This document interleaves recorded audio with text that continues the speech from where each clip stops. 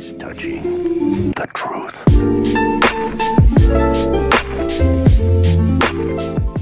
Boss, the contact person from A.I.M. has responded. He said that the company's founder and executive, Mr. Aldrich Killian, is currently out of the country dealing with company affairs and will only return after Thanksgiving. So, we have scheduled the meeting for next Monday morning. Mr. Killian is very interested in the cooperation you proposed, and to show his sincerity, he will personally come to our company to meet with you. After the contact, A.I.M. quickly responded as well. The secretary hurriedly reported to Mark that they agreed and proposed to have the meeting at Mark's company. Alright, I got it. You can go now.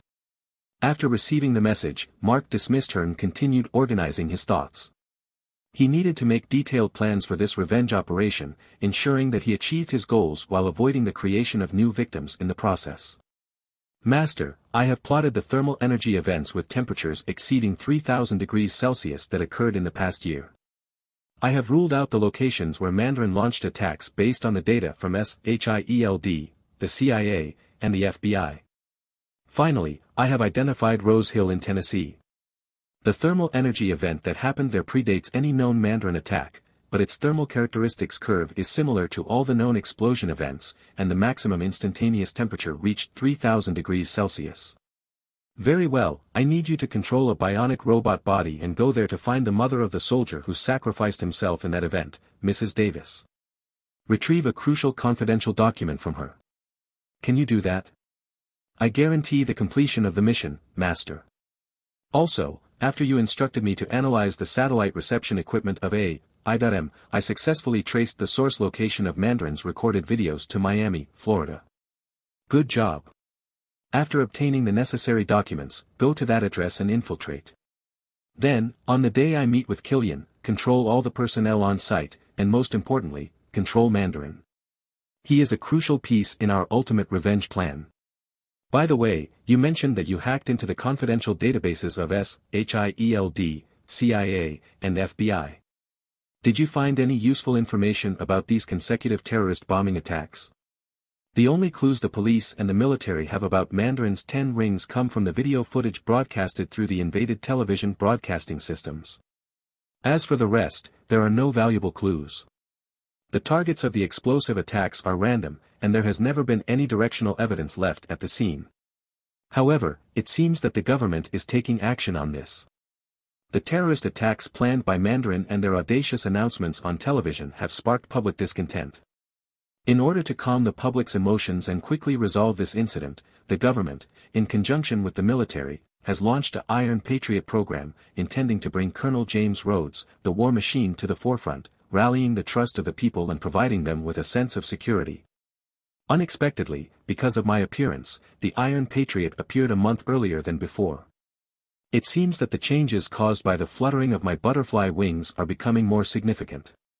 However, the redesign and modification this time are really of poor taste. The red, white, and blue color scheme is both tacky and mismatched. I can't believe Uncle Rhodes can accept it and wear it every day. Master, the company responsible for the design and modification is a I.M. Corporation, Baymax explained to Mark. No wonder, according to the original development, Killian and his henchmen were able to easily control Uncle Rhodes' armor and carry out the hostage-taking of the president. Ah! They say that a setback leads to greater wisdom. When they first modified the armor, they had already suffered a loss from Hammer Industries, and it was thanks to you, Baymax, that he regained control of the suit. And now, not long after that, they have forgotten the lesson they learned and found another company to mess with. It's really. Mark was so powerless to comment on their foolish behavior. It was truly beyond comprehension. When it comes to such important matters as armor modification, one should find skilled, trustworthy individuals with a good reputation. Who else could be more suitable than him and Tony?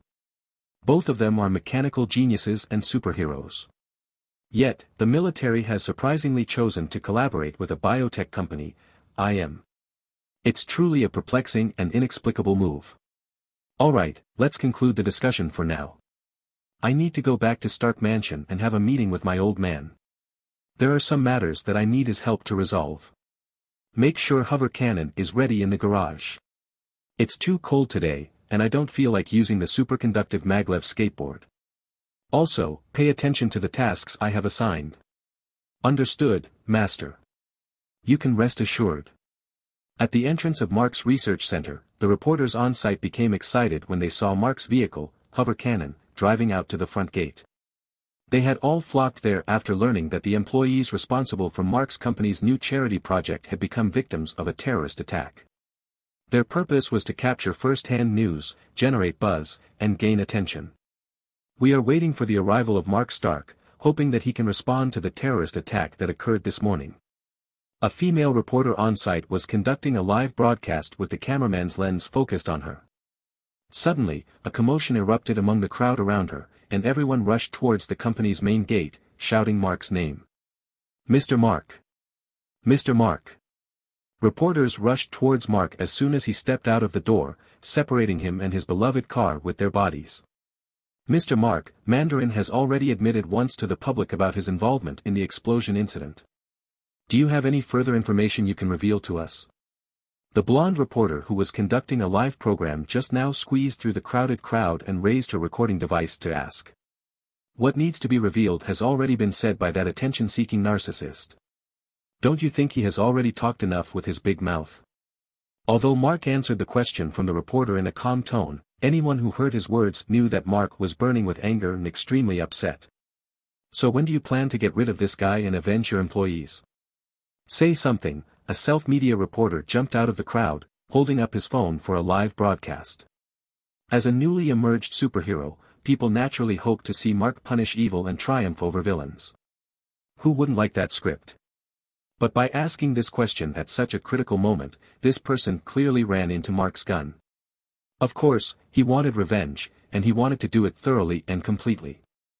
I have a little holiday greeting for Mandarin, listen carefully, Mandarin, maybe you didn't plan to provoke me, and you might not even know that you have already provoked me. But whether you did it intentionally or unintentionally, I want to solemnly remind you here that you are in big trouble. Just wait for your demise, buddy, I will personally end you. This has nothing to do with politics. I am retaliating against you out of personal anger and seeking personal revenge. After all, I am an avenger, aren't I? Perhaps you think you are hiding very discreetly, you think you are in the dark while I am in the light, and you are the hunter aiming the gun at me. But I will tell you who the real hunter is, and who the prey is. You cannot escape my pursuit and control, after finishing these words, Mark forcefully pushed through the crowd, got in his car, and drove away, leaving behind a crowd of excited and cheering reporters who were excited about the information he had disclosed. Back at Stark Mansion, Mark went directly downstairs to the laboratory in the underground garage. At this time, Tony was testing his latest development, Mark 42 in the lab previously, Tony had made improvements to the suit to make it more convenient to wear and remove. The suit could now automatically attach to the body under stationary or moving conditions. However, in order to accumulate technology and confirm directions and routes for future nanotech suits, Tony made many changes and experiments on the newly designed suit. For example, on Mark 33, Silver Centurion, Tony attempted to cover the suit's surface with an energy barrier instead of relying on repulsor cannons for protection. This is because in Tony's analysis and argumentation, the nanoparticles that constitute the nanosuit, although their connections are sufficiently stable, cannot provide additional protection and cushioning for the wearer. By adding an additional energy barrier, it can act as a cushioning effect similar to the air cushion on sneakers, enhancing the strength of the suit. Additionally, in the same suit, Tony also used for the first time the magnetic axis servo technology that Mark applied to Magneto and the nanobots, magnetic axis servo technology. Using magnetic axis servo technology as the connectors and fasteners on the suit, it replaced the previous buckles and screws. The advantage of using this technology is that it provides greater flexibility and freedom, which is crucial for the free combination and transformation of the nanoparticles. And today's experimental Mark 42 built on this foundation incorporates even more ideas and creativity. Firstly, a brainwave reception control device was added, allowing the components of the suit to receive the brain waves released by Tony and execute commands, enabling remote control functionality. This is somewhat similar to the floating cannons, turning each part of the suit into individually operable attack units. And the brainwave control device is also one of the fundamental functions for controlling the nanosuit. The second experimental design conducted on Mark 42 is the separate attachment and automatic assembly of the major components of the suit. Although the complete realization of the nanosuit technology has not been achieved, by dividing the suit, which was originally a whole, into separate parts, it is possible to simulate some aspects of the nanosuit. The separate components also utilize Mark's invented magnetic axis servo system, eliminating many screws that were originally used to connect the joint parts. Although it is an experimental model, Mark is not optimistic about the performance of this suit. Not to mention how problematic this suit is in the original storyline, just considering the use of the magnetic axis servo system to connect vital joint parts, Mark is already silently mourning for Tony. If it doesn't hurt in the event of a collision, Mark is willing to do a handstand and wash his hair on the spot. Hey, Mark. When did you arrive? Tony, who was originally focused on his preparations, looked up and saw Mark standing at the door. I have something to discuss with you, but since you're experimenting with the new suit, it's a good opportunity for me to observe as well. We can talk about my matter later, Mark explained to Tony. That's right, you should witness the latest invention by the great Tony Stark. It will surely surprise you. Alright, Jarvis, implant the neural amplification chip into the back of my neck. As you wish, sir. I have also prepared a detailed safety manual for you to ignore, Jarvis joked while controlling a mechanical arm, implanting a chip the size of a grain of rice into the back of Tony's neck. Such work could never be entrusted to a dummy unless Tony had gone mad. At this moment, Tony had not been psychologically scarred by the Battle of New York. He had completely removed the remaining shrapnel from his chest, indicating that his mental state was healthier than ever before. Alright, the experiment officially begins. Mark, you better stand back to avoid getting hurt. Dummy, start recording with the camera and include the time and date watermark. With the energetic music playing, Tony twisted his body while simultaneously focusing his mind, his left hand extended. Responding to Tony's telekinetic command, the forearm and hand armor of his left arm's gauntlet activated the autopropulsion system and accurately flew towards Tony's right hand, attaching itself. Next, the automatic attachment of the right hand gauntlet was tested, and the effect was excellent, precise recognition and a successful attachment on the first attempt. Two consecutive successes boosted Tony's confidence. Alright, since it's going so well, let's go all in. With a thought from Tony, the leg armor of his right leg was summoned and immediately flew over, completing the automatic attachment. However, the helmet, which followed too quickly, directly collided with Tony's head due to its excessive speed. Tony quickly moved his head back and used his already attached left forearm armor to block this, pleasant surprise. Maybe it's a bit too fast. Can't we slow it down a bit? Can't we be a little more gentle? Tony, realizing the danger, didn't dare to continue risking it and quickly called for a halt. However, it seemed that calling for a stop was already too late. Perhaps the system debugging hadn't been done properly. The remaining components of the suit continued to execute Tony's previous command, ignoring the recent order. Each component continued to fly towards Tony at a relatively fast pace, one after another, and then attached itself. However, each attachment came with a heavy inertia impact, repeatedly jolting Tony's body. When the armor piece near his groin was attaching itself, even Mark couldn't help but shrug his shoulders and tighten his legs, as if he could imagine the sensation of satisfaction Tony was experiencing at that moment. At this moment, after the rapid attachment of the suit, only the previously failed helmet remained. Come on, I'm not afraid of you, Facing the deformed trajectory of the helmet component, Tony seized the opportunity and executed a side flip. As the helmet perfectly attached itself, Tony landed steadily in the iconic Iron Man pose. I'm the best. Just as he finished speaking, the previously overlooked, genuine final piece from behind Tony directly collided with him. Caught off guard, Tony was sent forward in a somersault upon impact, ending with a unique backward landing, resembling a graceful swan dive with his butt facing backward. Sir, watching you work always brings me joy, Jarvis's teasing voice sounded, causing a vein to pop on Tony's forehead as he lay on the ground. Meanwhile, Mark, who had been watching as an audience member, suppressed his laughter and squatted by the wall, clutching his stomach. Alright, today's experiment ends here. It seems I still need to make improvements to the command system, Tony said angrily as he forcefully removed the helmet component from his body and slammed it onto the test bench. It's not just the command system that needs improvement, I think you should use a more stable pulse thruster for the suit's propulsion system instead of the current ion flow thruster. The connection structure should also be replaced with my newly improved tri-axis servo system instead of the current dual-axis system. Got it, got it, annoying. Tony, feeling a bit embarrassed by Mark's remarks, responded a few times before quickly changing the subject. There must be something important if you've come to see me. Once you start researching, you forget about everything else. How could you suddenly make the time to come over? It seems your level of seriousness is no less than mine. It seems you haven't even had time to pay attention to the news lately. As Mark spoke, his words suddenly paused because in one corner of the laboratory, he noticed something very familiar. In a small glass bottle, there were several irregular blue-green fragments, none other than the remaining shrapnel Mark had helped Tony remove from his chest six months ago. Then his speech came to a halt, and he lifted his head, casting Tony a gaze of resentment mixed with disdain, as if saying, you still haven't dealt with this? You said you were going to turn these fragments into a necklace and give it to Pepper, didn't you? And express your feelings, letting her know she's the most important woman to you. Why is it still here, and why hasn't it become a necklace? Mark picked up the small bottle from the table and placed it in front of Tony, asking. Ah. Uh, well, I. Seeing Tony's hesitant and evasive behavior, Mark became frustrated. He knew his suspicions were correct. Have you been holed up in the lab researching the new suit since the fragments were removed? Haven't you gone out at all? Faced with Mark's question, Tony nodded guiltily.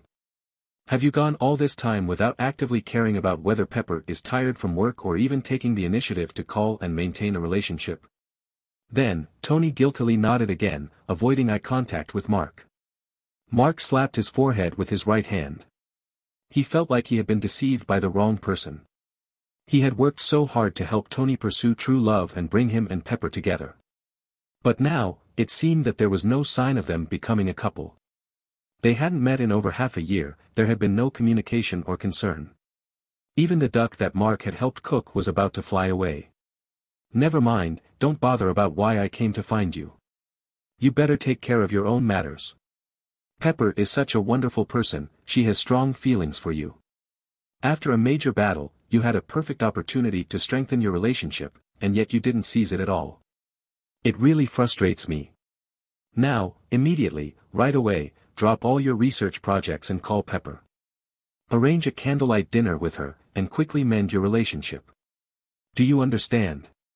Seeing Mark's stern tone, Tony could only bury his head in his chest and repeatedly nod in agreement. If an outsider were to witness this strange scene, they might think Tony was the child and Mark was the father. However, there was no other way. Mark didn't want this either, but Tony was an inexperienced novice when it came to serious relationships. For the sake of his happiness, Mark had to toughen up and give him a lesson. Also, find a designer to quickly design these fragments into a necklace and give it to Pepper. Although your idea is a bit plain, for someone like Pepper who doesn't pursue vanity or fame, it will be the best surprise. Furthermore, there have been increased terrorist activities recently. You need to ensure her safety and prevent any accidents. It would be your regret if something happens. In the end, Mark, worried that Tony and Pepper might be affected by an explosion before he could complete his revenge plan, gave a serious reminder. Terrorist activities. Tony, who hadn't been following the news, naturally looked confused and didn't know the details. You'll find out from the news later, or have J.A.R.V.I.S. give you a report.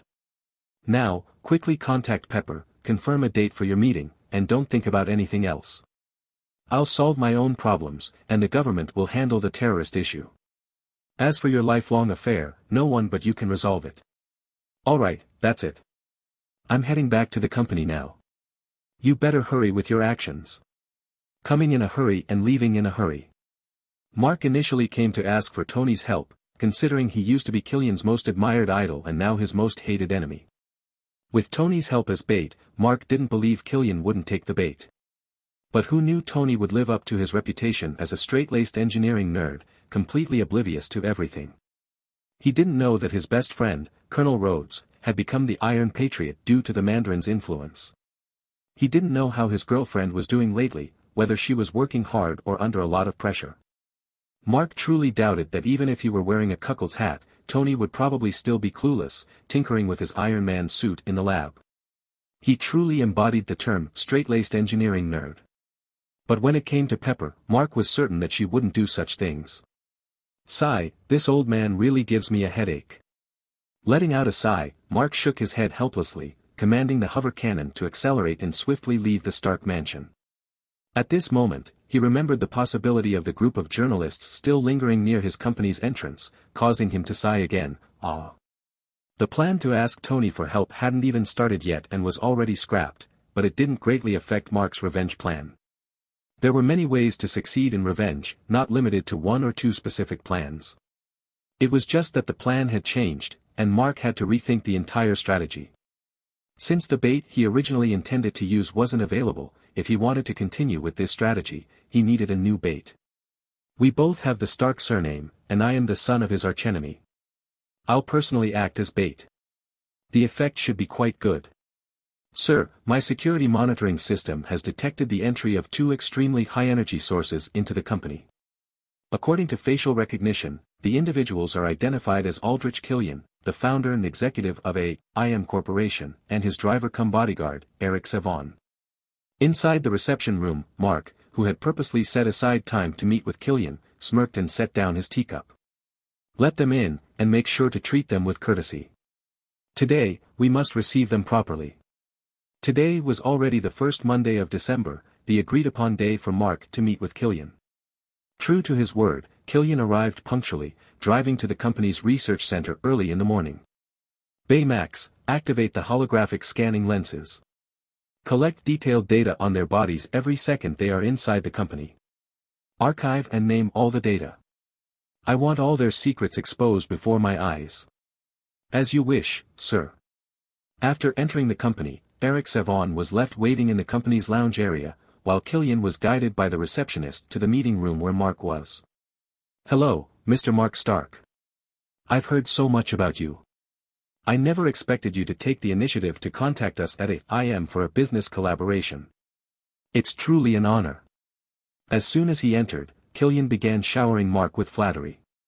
Killian truly lived up to his reputation as the individual who single-handedly brought AIM to its current level. If it were someone else who didn't know his true nature, they might have been genuinely deceived by him. While it's true that wealth moves hearts, if one's character doesn't match, even immense wealth can be detrimental to them. Don't you agree, Mr. Killian? Saying this, Mark stood up and approached Killian, extending his hand for a handshake, displaying a friendly demeanor. Indeed, a person's abilities determine the wealth they acquire. It seems that you, Mr. Mark, have a high regard for the strength of our IM.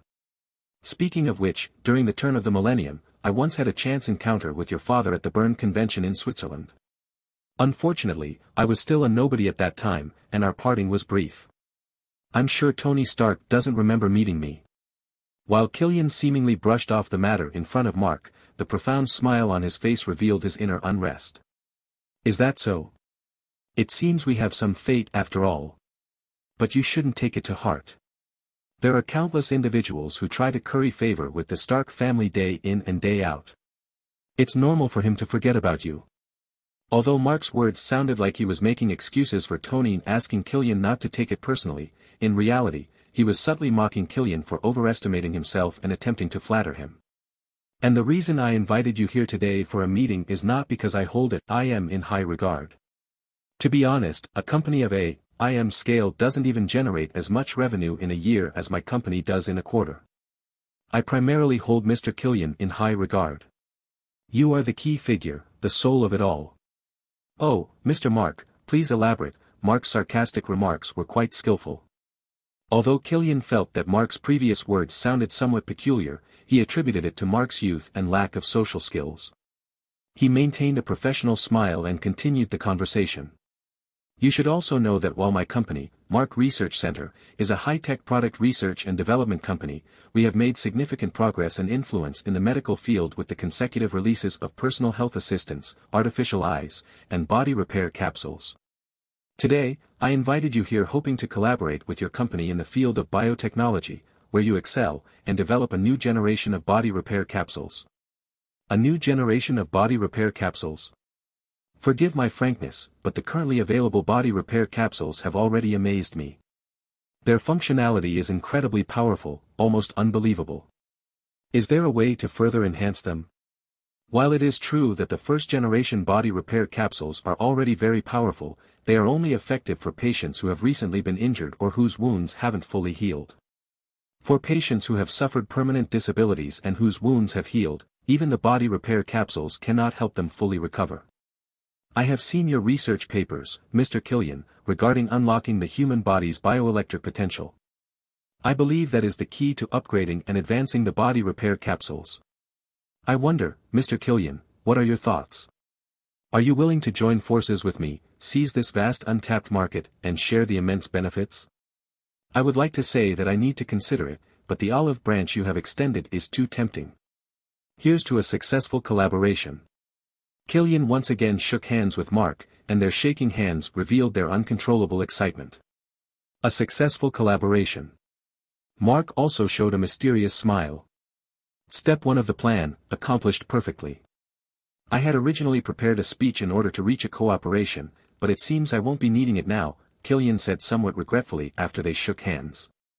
Oh, so you had prepared. Since that's the case, let's not waste it. I also happen to have a deeper interest in your research. Mark believed in the saying, know yourself, know your enemy, and you shall win a hundred battles. Regardless of how much of the information Killian presented was true and reliable, Mark wouldn't miss this opportunity to understand his opponent better. In that case. Killian said as he took out a small box from his pocket and placed three small balls from inside it on the table. Please take a look at the human brain. He said, and the small balls on the table projected a holographic image of brain neurons within the conference room. This is the human brain, and the simulation effect is incredible, isn't it? Killian proudly stated. Mark nodded, the simulation effect is exceptional, but the projection device is a bit outdated. I'll have my secretary bring you the most advanced holographic projection lens later. It wouldn't befit your position as the executive of a high-tech company to use this outdated three-phase overlay holographic technology. Killian couldn't keep up the act this time, he didn't know whether Mark was too young and inexperienced or if he simply had a sharp tongue. In any case, an obvious awkward smile appeared on his face. Thank you for the gift. Let's get back to the main topic. What you are currently seeing is a projection from the depths of my brain, just like a live broadcast. Take a look. If I pinch my arm right now. Killian said as he reached out and pinched his left arm. Then, immediately, the corresponding sensory area on the holographic projection of neurons emitted a shining light. The primary somatosensory cortex, the brain's pain center. It is perceived using the brainwave device we use in virtual reality equipment, right? Indeed, you're perceptive. That's correct. This real-time broadcast of the brain is captured using the brainwave device, and then constructed through system software.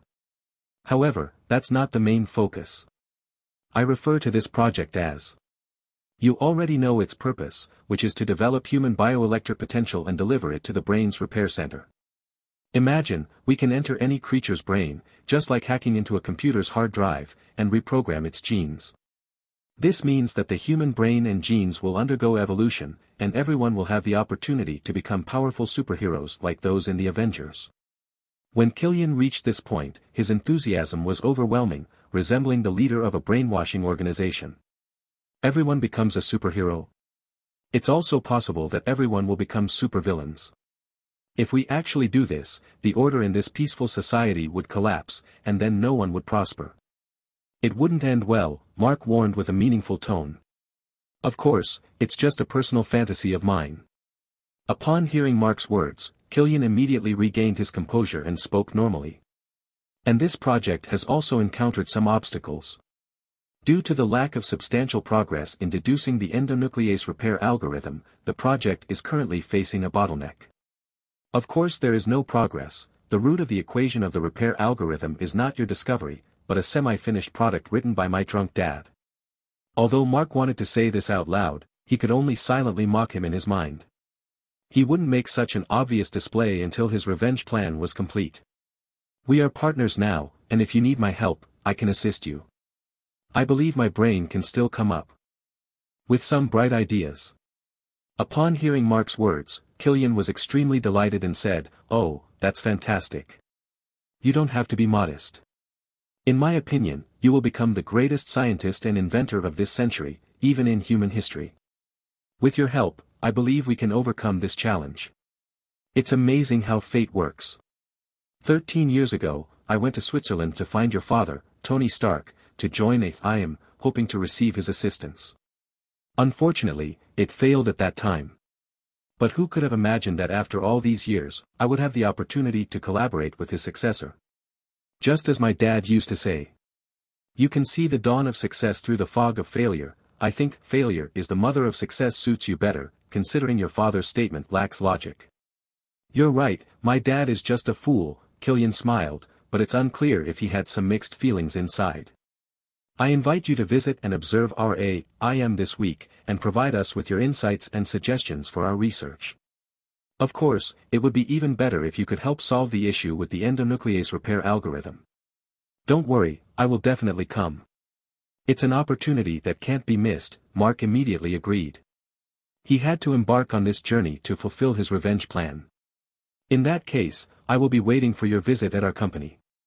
I just returned to the country today, and there are still some matters in the company that require my attention. I won't disturb you any longer. It was a pleasant meeting with you. Alright, same here. Goodbye. Goodbye. Mr. Mark Stark. How's it going, boss? Did that brat agree? After leaving the Mark Research Center, Eric Savin asked Killian, who was sitting in the back seat of the car. Of course, he agreed. Things went much smoother than I expected. I thought it would be a mess caused by those fools under my command, and I would have to clean up the mess. But unexpectedly, they ended up giving me a big gift. Tony Stark's son, very good, whether it's Tony Stark or Mark Stark, dared to underestimate me, Aldrich Killian. I will make you all pay a heavy price. When that kid, Mark, really comes to the company, his inventions, his wealth, his intelligence, everything will be mine. No one among the modified individuals will resist me unless they are willing to self-destruct and die dash, as Mark expected, Killian's intentions for inviting him are definitely not simple. Otherwise, a normal person would not be able to keep smiling and appeasing him continuously, even when provoked by Mark's words, unless the other party has a very clear and definite goal. And Mark's plan of using himself as bait has indeed succeeded. Now Killian has taken the bait, and we're just waiting to reel in the big fish. Baymax, did you get any useful information or data from scanning and analyzing those two people for a long time? Report, Master. Through the recent scan and analysis, I only obtained detailed physical data of the two individuals. It was not possible to reverse engineer and restore the extremist modifications they have undergone. However, I found an interesting piece of data. Whenever you attempted to provoke Killian and his adrenaline increased due to anger, his body's repair mechanism would activate. At that moment, his body temperature would noticeably rise, metabolism would accelerate, and the growth rate of normal cells in his body would be nearly 15 times that of cancer cells. But this condition immediately subsides once his adrenaline levels return to normal. So, if we can effectively utilize this, we can turn his advantage into a disadvantage dash, Mark exclaimed with excitement. Exactly, Master. If the opponent is injected with an excessive amount of exogenous adrenaline, it will cause rapid growth of their normal cells. In this case, the so-called normal cells are no longer normal. They will become like cancer cells, constantly growing and competing for limited nutrients and energy in the body, ultimately leading to organ failure and death due to malnutrition. After careful thought, Mark said to Baymax, prepare an ample amount of adrenaline injection solution for me. I need to convert them all into injection projectiles. Also, how is the situation with Mandarin being handled? Mark had previously given Baymax instructions to capture Mandarin and the others alive during his meeting with Killian. They are all tied up. The opposition's defenses were lax, and their equipment was rudimentary. I easily infiltrated and defeated all of them. Now all the captured targets have been handed over and brought back. Mark nodded. Baymax had successfully completed the task, which meant that his own plan could proceed as scheduled. In order to help Baymax transport Mandarin and the others from Miami to Los Angeles, Mark spared no expense and created the Transformer Optimus Prime, primarily because of its enormous cargo space. In the future, whether as a mobile base for the Avengers or for transporting goods, it would be very convenient. Perfect, today is Monday. Let's drop a news bomb for the journalists. Baymax, contact all the media organizations we collaborate with. I want to hold a press conference, and I want people from all over the world to be able to see it. The purpose of Mark holding a press conference was not only to announce that he had captured Mandarin, but also to provide an explanation to the families of the deceased employees and give a peace of mind to the terrified population. More importantly, Mark wanted to inform Killian about this news in a reasonable manner. Mandarin, being the puppet controlled directly by him, held crucial secrets. Once he revealed those secrets, Killian's years of effort would go down the drain. Therefore, in order to keep his own secrets, Killian would definitely make a move against Mandarin, whether to rescue him or to eliminate him. Similarly, as the hero who apprehended Mandarin and brought him to justice, did Mark manage to extract any information from him? Killian, who is uncertain about this, will definitely make a move against Mark when the time comes. And what better opportunity for Killian to strike than when Mark personally visits A. IDM for a tour. Mark has already planned the script. Killian will provide the time and stage, and the rest of this grand performance depends on whether Killian, as a supporting character, is willing to cooperate with Mark, the protagonist, to start the show. Baymax's efficiency in handling tasks goes without saying, it is extremely high. Coupled with the fact that Mark is currently a prominent figure in the spotlight, be it due to his Stark family background, his immense wealth that rivals nations, his superhuman intelligence, or his experience as a superhero, even the involvement of Mandarin in this unexpected incident has made journalists eagerly follow his news. So, after Baymax released the news of Mark's upcoming press conference, journalists wasted no time and quickly rushed to the venue, the Hollywood Grand Theater. Even though they didn't know exactly what major announcement Mark was going to make, the stellar performances of the father and son from the Stark family in the past told them that whenever these two held a press conference, something significant would happen, and it would undoubtedly make headlines. This is truly an ability to attract money that makes others envious. At exactly 3 o'clock in the afternoon, the hastily arranged press conference officially began, with the spacious venue already packed with people. Among them were news reporters from major television stations stationed all over the country, contributing writers from major newspapers, and content editors from online portals. Some small media outlets and self-media personalities managed to secure entry through their own efforts. After the conference started, the atmosphere in the room wasn't as relaxed and lively as usual product launches. Everyone quickly quieted down, eagerly waiting for Mark to take the stage and explain the purpose of this meeting. From the simple and serious setup of the venue and the robots guarding the exits tightly, it was evident that whatever Mark was about to announce today was out of the ordinary. The curtains opened, and Mark, dressed in a dark plain suit, appeared on stage from the backstage. Once on stage, Mark didn't do his usual routine of setting the mood or creating suspense. Instead, he went straight to the point. Today, I hurriedly invited all of you here for this press conference with the main purpose of announcing good news. At the same time, it is also to account for the unfortunate incident that happened to a few of our deceased employees and their family a week ago. Just this morning, the robots I assigned to track the Ten Rings organization, led by Mandarin, successfully located their stronghold and apprehended all their personnel. Among these individuals is the leader of the Ten Rings, Mandarin. Whoosh! When Mark announced this news, the crowd erupted into an uproar. Clearly, everyone was astonished by Mark's efficiency in action and deeply impressed by what he had accomplished.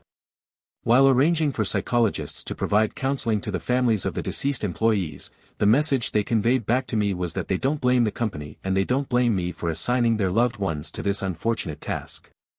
When asked if they had any compensation demands from the company, not a single person spoke up about money. They had only one common wish, and that was for us to bring the mastermind behind this incident to justice and give their loved ones the justice they deserve. And now, I have achieved it. I have fulfilled the promise I made to them and met their expectations. Now, I will show you the current appearance of Mandarin, who once appeared mighty and confident on television. As Mark spoke, a dim image appeared on the large screen behind him. The footage was shaking continuously, accompanied by the roaring sound of a car engine, clearly filmed inside a truck's cargo container.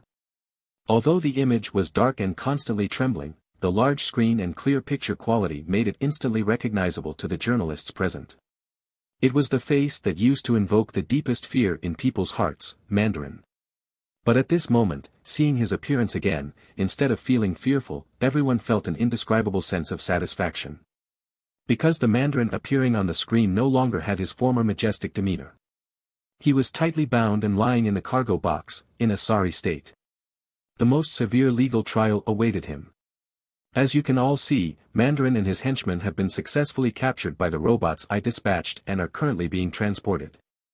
I will hand them over to the government institution I trust, believing they are capable of guarding these villains. I will also arrange an official handover ceremony and invite all of you to witness it. I believe Mandarin will receive the justice he deserves, and the souls of all the victims can rest in peace. To all the unfortunate family members, your anger can be appeased now. And to all the citizens, you can let go of your unease and worries. Mark concluded his speech, bowed to show gratitude, and then turned to enter the backstage, bringing an end to the press conference. However, the journalists in the audience did not leave. On the contrary, they fervently pressed the shutter buttons on their cameras, and the flashlights almost illuminated the entire theater. For Mark, his plan had been accomplished, and his objective successfully achieved. But for these journalists, their work had just begun, and the more fervently they pursued it, the higher the spread and intensity of the news, making Mark's plan proceed more smoothly. Bang! The exquisitely decorated vase that was originally placed on the desk for decoration had a close encounter with the ground, shattered into countless small pieces due to Killian's violent throw. Damn Mark Stark! Stupid Trevor Slattery! 7. Tell me, how did that wretched kid manage to find our carefully hidden trail? As the executive of a IM, Mark caught wind of such significant news about Mandarin, and naturally, it was immediately relayed to his ears by his subordinates. The moment Killian heard this news, he immediately became furious, accompanied by the fear concealed beneath his angry facade. For many years, Killian had always regarded hiding himself as the guideline for his actions under the alias, the Mandarin, always operating from behind the scenes as the puppeteer. He knew that once evil was given a face, the owner of that face would become a target for all, like Osama bin Laden, Muammar Gaddafi, and Mandarin. Although Killian had become more high-profile since he learned about Thor's hammer descending from the sky, planning one terrorist attack after another, one thing had never changed, he still operated from behind the scenes, manipulating everything as the mastermind. And now, with Mandarin's arrest, as the puppet and spokesperson he manipulated, Killian's true identity and many undisclosed secrets were in his adversary's hands. He couldn't bear it any longer, Killian was certain that he wouldn't be able to withstand interrogation. This would break his long-standing behind-the-scene actions and expose himself to others. This was too dangerous for Killian. Although he held some power in his hands, allowing him to thrive all this while. However, once these secrets were exposed, he would not only become a public enemy, but also become the prey chased by capital and politics because he held the secret to human evolution. Our plan needs to be accelerated. 7. You must keep a close eye on the news, and we need to intervene in the event of Mandarin's handover. We also need to make arrangements and invite that wretched kid Mark to visit the laboratory as soon as possible. Before he hands over Mandarin, we will turn him into our puppet. And regarding the vice president, go and communicate with him. After we rescue Mandarin, we will plan another event and make him cooperate with us to temporarily remove the Iron Patriot from the president's side. We need an opening. I understand. I'll take care of it right away, Seven received the order and responded before leaving Killian's office. On the other hand, after sending out the message, Mark didn't pay much attention to the waves it could create. He knew that with the ability of those media workers to create topics, he didn't need to concern himself too much about the publicity effect. Now he needed to proceed with his next plan, continuing to pressure Killian. So that he couldn't afford to spend too much time pondering, risking not making mistakes in hasty decisions and revealing vulnerabilities. To achieve this, he had to make some arrangements regarding the handover of Mandarin. Firstly, the timing of the handover. The sooner it happened, the fewer preparations Killian could make, resulting in more flaws and mistakes. And these mistakes would ultimately become the key to Mark's complete revenge. Next was the location. Everything was like a carefully arranged play by Mark. Everything before was just a prelude to the main act. To complete this thrilling performance, he needed to find a suitable venue for Killian to perform, making it easier for himself, the bait, to venture deep into the lion's den. Lastly, he needed to identify a reliable person for the handover. The right choice would bring significant psychological pressure to Killian while ensuring that Mark willingly went along with the person taking Mandarin, capable of protecting Mandarin from being taken away or silenced. Regarding this point, Mark already had someone in mind. Friday, contact Uncle Rhodey for me. Understood, sir. Once the connection is established, the line will be tightly secured. Please proceed with the call without worries. Good evening, Uncle Rhodey. It's been a while. Today, your nephew has prepared a surprising gift for you. I wonder if you're willing to accept it. Mark greeted Rhodey in a slightly teasing and relaxed tone. Cut the nonsense, you little brat. Time and location, tell me quickly so I can prepare. Huh, you're always so direct.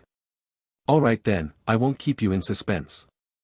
I do intend to hand Mandarin over to you.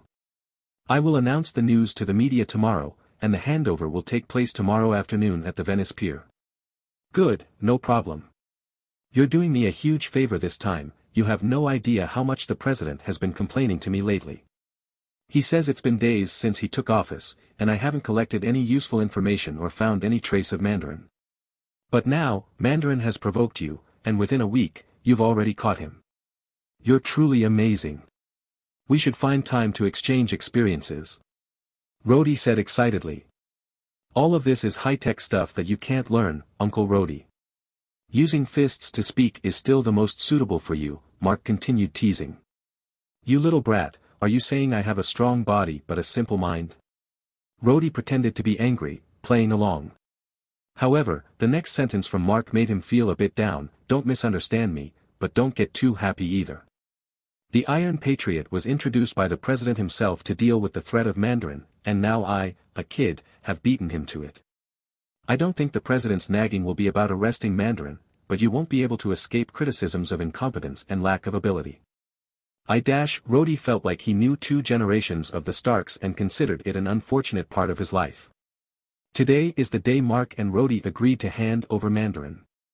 Early in the morning, Mark released this news to the public through the company's official website and his personal social media, causing a wave of excitement among the media.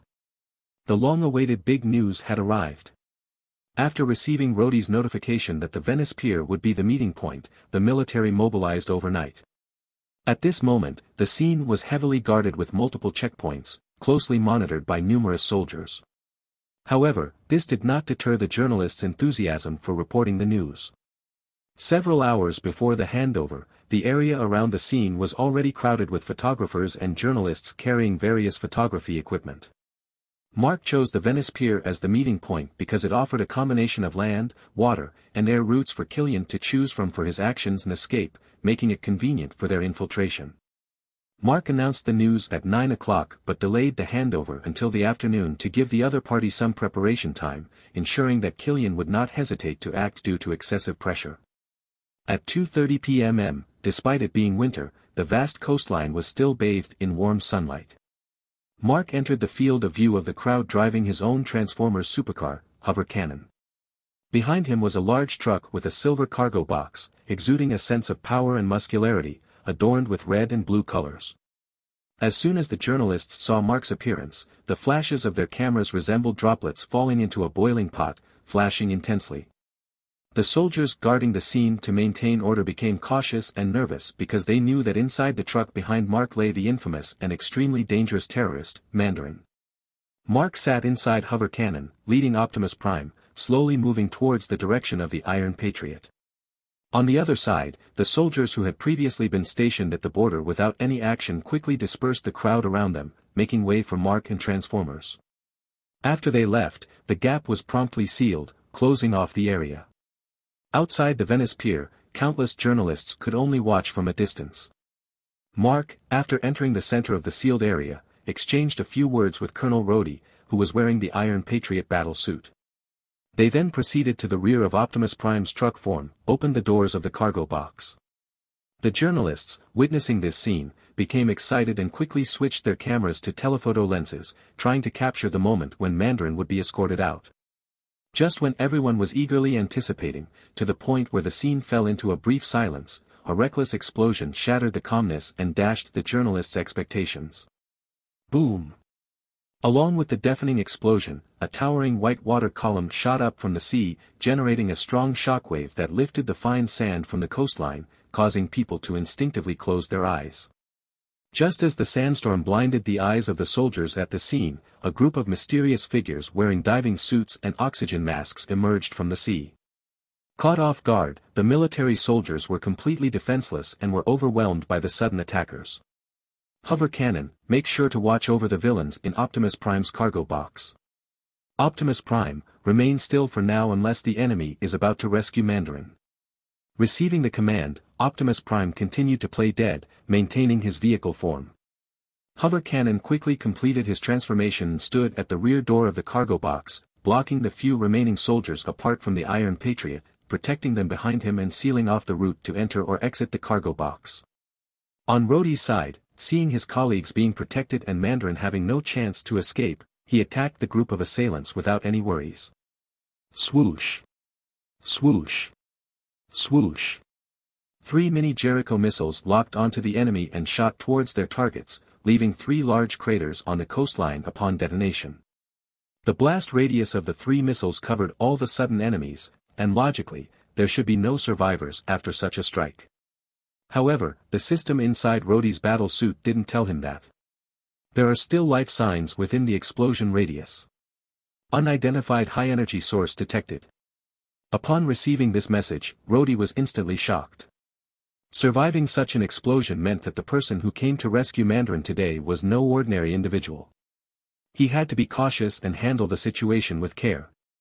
With this in mind, Rhodey cautiously took a few steps back, moving towards the cargo box where Mandarin and others were held, preventing any unexpected incidents that could lead to Mandarin's escape.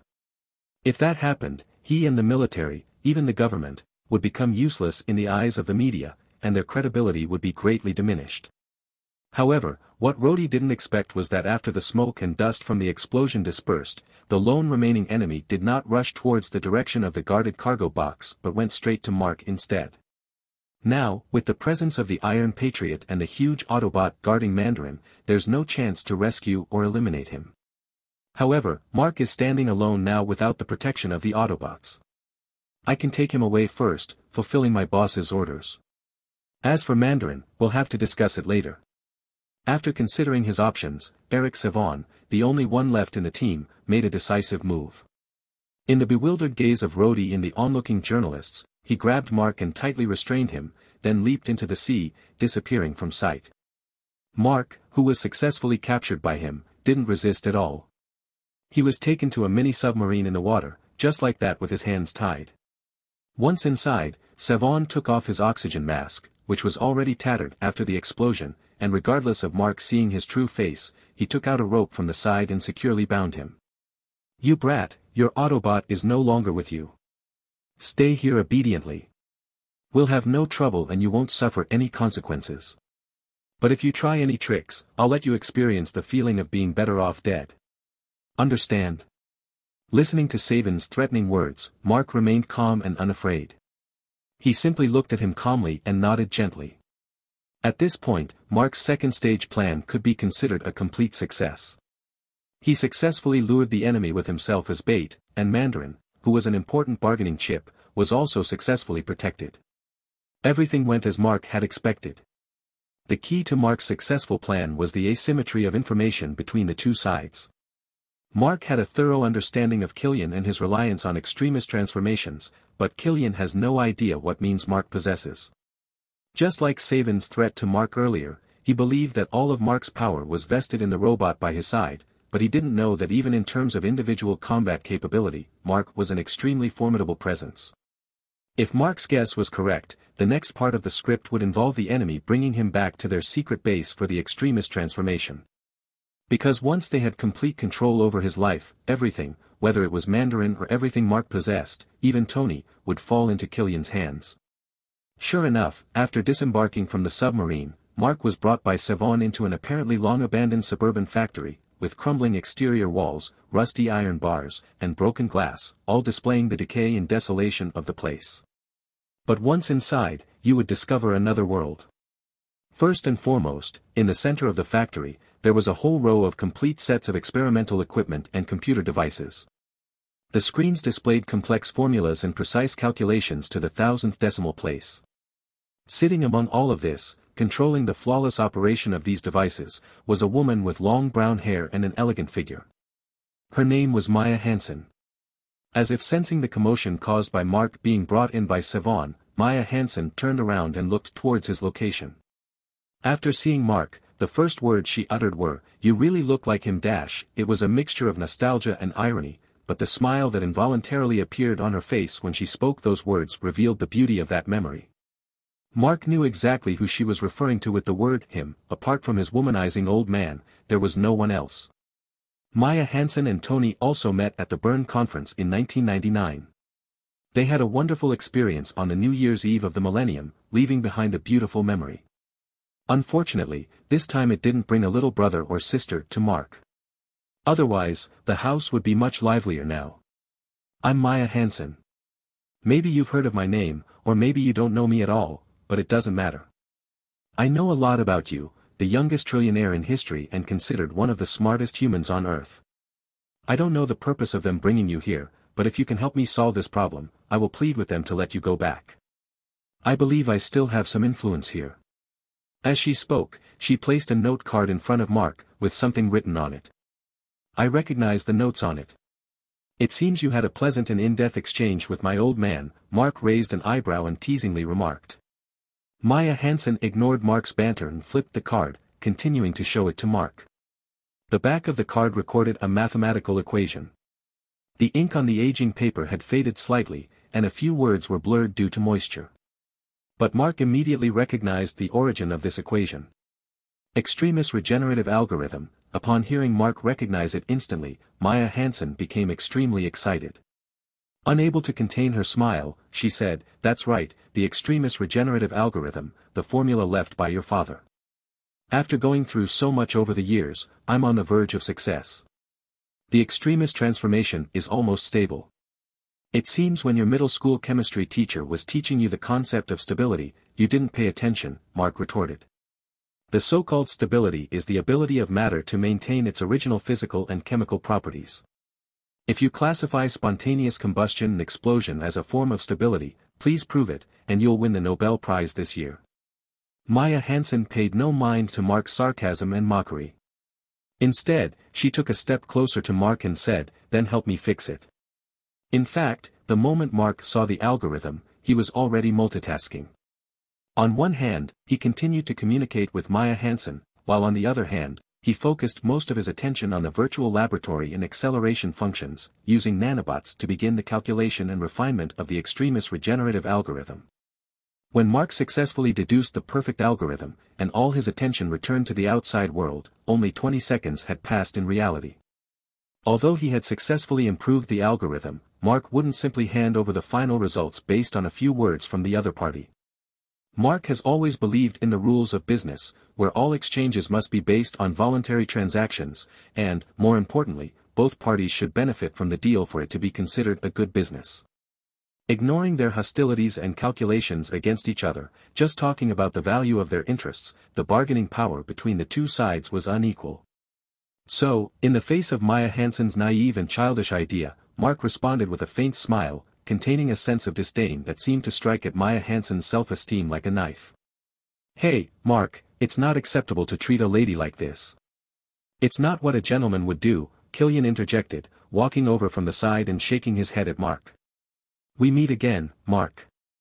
I was too eager, waiting for your confirmation to visit my laboratory. Since I didn't hear from you, I directly sent someone to bring you here. I see you still hold a grudge against my old man for standing you up in Switzerland. They say love can run deep, and you seem to have idolized him a lot back then, Mark replied. Not allowing Killian to feel too triumphant. As the saying goes, when a petty person succeeds, they become arrogant, especially someone like Killian, who can turn into a human bomb at any time. He couldn't let him become too arrogant. Only when Killian was angry would he reveal more flaws, so to provoke him, Mark made a piercing remark right from the start. After hearing Mark's words, Killian's temples immediately bulged with veins, but his years of practicing self-control allowed him to barely keep himself in check. So, you already know, Mark. It seems Slattery is really unreliable. I need to silence him as soon as possible and find a new puppet. But what does it matter even if you know so much? Now that you're in my hands, I will make you experience a pain you've never experienced in your life. After everything is over, you will become my new toy, my new puppet, Killian confidently spoke. Due to the flaws in the extremis regenerative algorithm, individuals who underwent the extremist transformation would have difficulty maintaining stable bodily functions once they stopped taking the stable medication provided by Killian. Generally, if they didn't take the medication for a month, the individual who completed the extremist transformation would potentially become a devastating human bomb due to the uncontrollable nature of their body's repair mechanism. The absolute control over this medication became the key to Killian's control over so many people under his command. Regarding Mark, Killian believed that as long as he forcibly underwent the extremis transformation, there would be no other choice for him but to obey his commands in order to stay alive. Even if Mark resisted to the death, holding this trump card would still be advantageous, whether it was threatening Tony Stark or seizing the achievements and benefits of Mark's research center. Furthermore, Mark was brought here during the handover with the military, and the military had an undeniable responsibility for Mark's predicament. At that time, Killian could also use Mark as a bargaining chip to retrieve Mandarin from their hands. 7. Take him downstairs for the extremis transformation. We have a new partner to add among us, and I hope Mark, you can withstand our hospitality. Wait. Let him go. Just as Mark was about to be taken into the transformation room by Seven, Maya Hansen, who had remained silent, spoke up. Maya. Killian turned around, looking at her in confusion. I said, let him go. But Maya didn't intend to explain to him. Instead, she took out a vial of potent poison from her body and aimed it at her own carotid artery. What are you doing? Killian continued to ask. Milliliters. If I inject half of it, I'm as good as dead. If I die, what will you and your soldiers do? If you experience overheating, what will you do? I need him to help me perfect the extremis regenerative algorithm. I know he can do it, I can see it in his eyes. Maya's obsession with this research had reached a level of madness. In order to see the perfect results of the experiment, she was willing to use her own life to threaten Killian. Aren't you testing my patience? Killian shook his head expressionlessly. As soon as he finished speaking, bang. He shot and killed Maya Hansen, who was attempting to threaten him, right in front of Mark. You are truly an innocent girl. How could I not have taken hold of something so important in advance? 7. Take him down and start the extremis transformation immediately. Also, have someone come in and clean up this place later. Yes, boss. Seven obediently responded. Maya Hansen lay in a pool of blood, despairingly watching as Mark was taken into the transformation room, and then her eyes went dark as she fell unconscious. No one noticed that at this moment, in the air, countless undetectable nanobots took advantage of the flow of air to move onto Maya Hansen's wound. After successfully landing on Maya Hansen's wound, the nanobots first locked onto the position of the bullet and then penetrated deeper along the wound, pushing the bullet out of her body. At the same time, a portion of the nanobots began releasing nutrients and energy, accelerating the healing of her wound. Although Maya Hansen temporarily fell into a state of apparent death due to excessive blood loss, her life was ultimately saved by Mark. The reason Mark was willing to save her life was because she had just stood up and pleaded for him. In this lost scientist, Mark saw remnants of her conscience, self-esteem as a scientist, and humanitarianism that hadn't completely vanished. However, no matter what, she would definitely not escape the severe punishment of the law. On the other side, Mark, who was brought to the transformation room by Seven, was already restrained on the transformation device. This was a vertical transformation chamber made of highly heat-resistant and strong material to withstand the immense heat generated during the extremis transformation process. It ensured that the person undergoing the transformation would be tightly bound and unable to move. Completely restrained, Mark showed no fear of the dangers he would face next. It could be said that Killian's arrangements were within Mark's expectations. The main purpose of willingly surrendering and entering this dangerous situation was to obtain the extremist virus, which was crucial for the extremis transformation project. After Killian injected the virus into his body, Mark planned to analyze and decipher it, studying the corresponding reverse transcriptase genome. In other words, Mark wanted to use the sample of the extremist virus injected into his own body to deduce the method of reverting the individual back to their pre-transformation state. At this point, Mark's plan for revenge was already clear.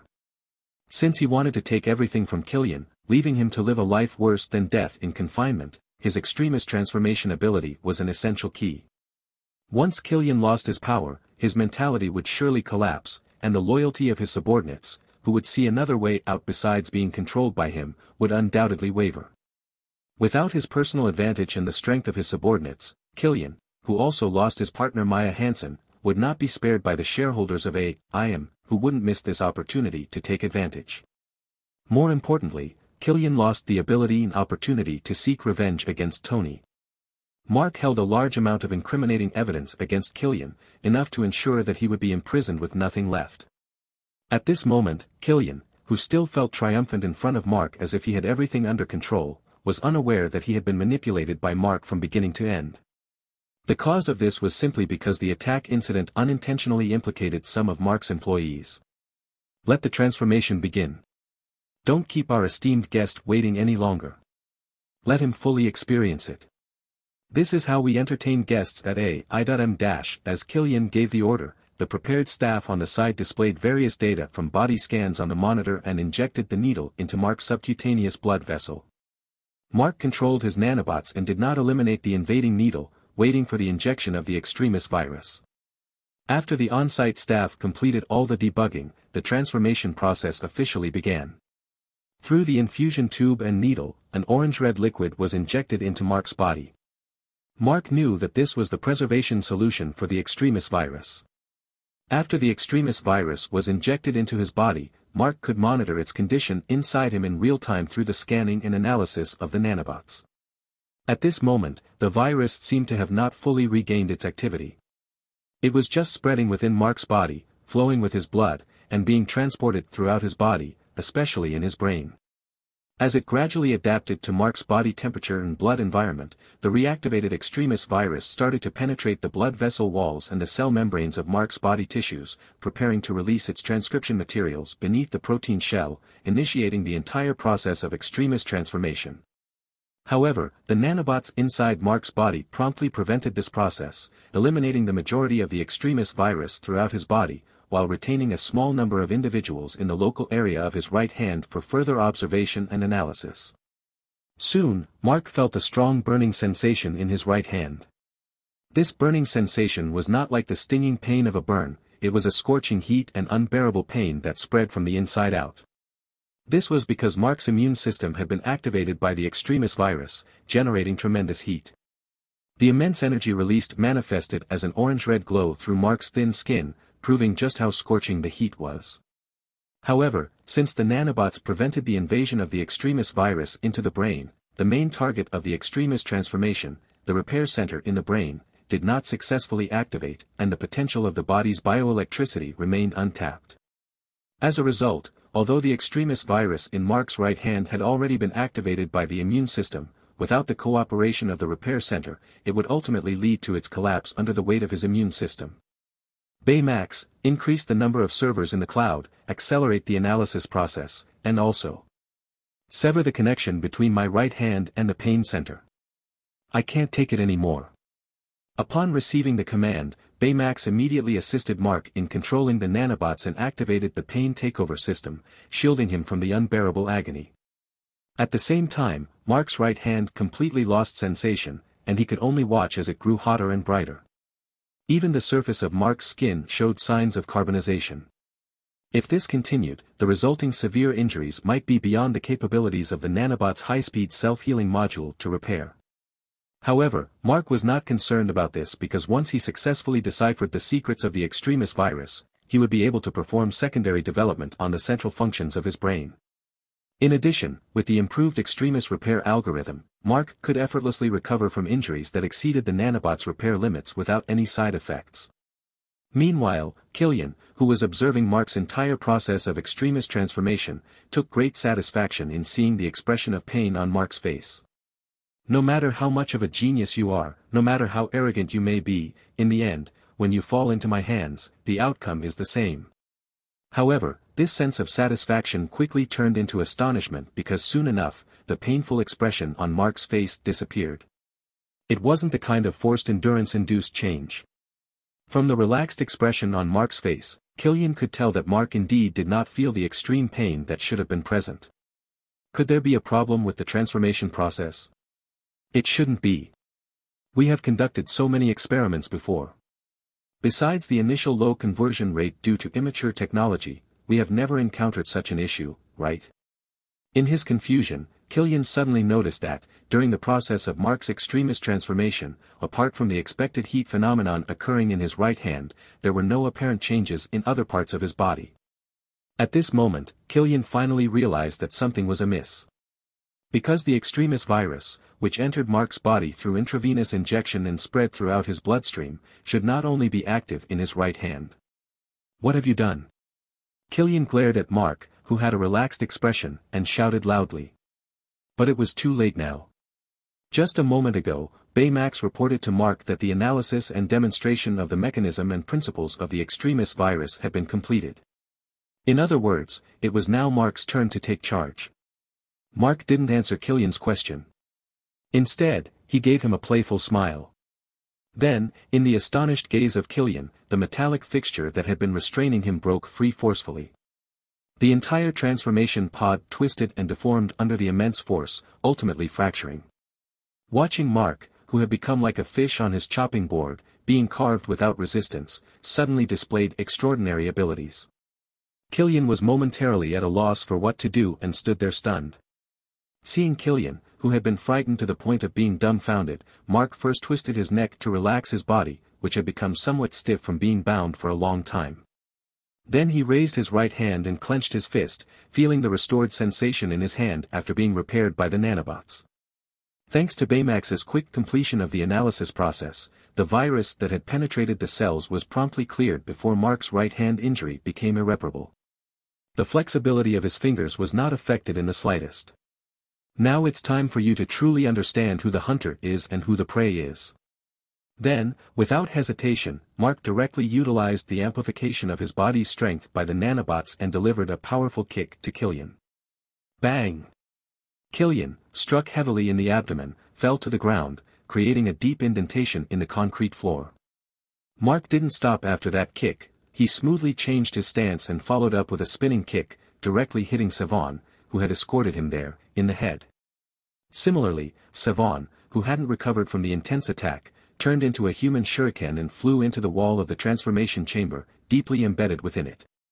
The experimental personnel who were implementing the extremis transformation on Mark beside him finally regained their senses after witnessing this scene. They hurriedly spread their arms and rushed towards Mark, intending to restrain him again.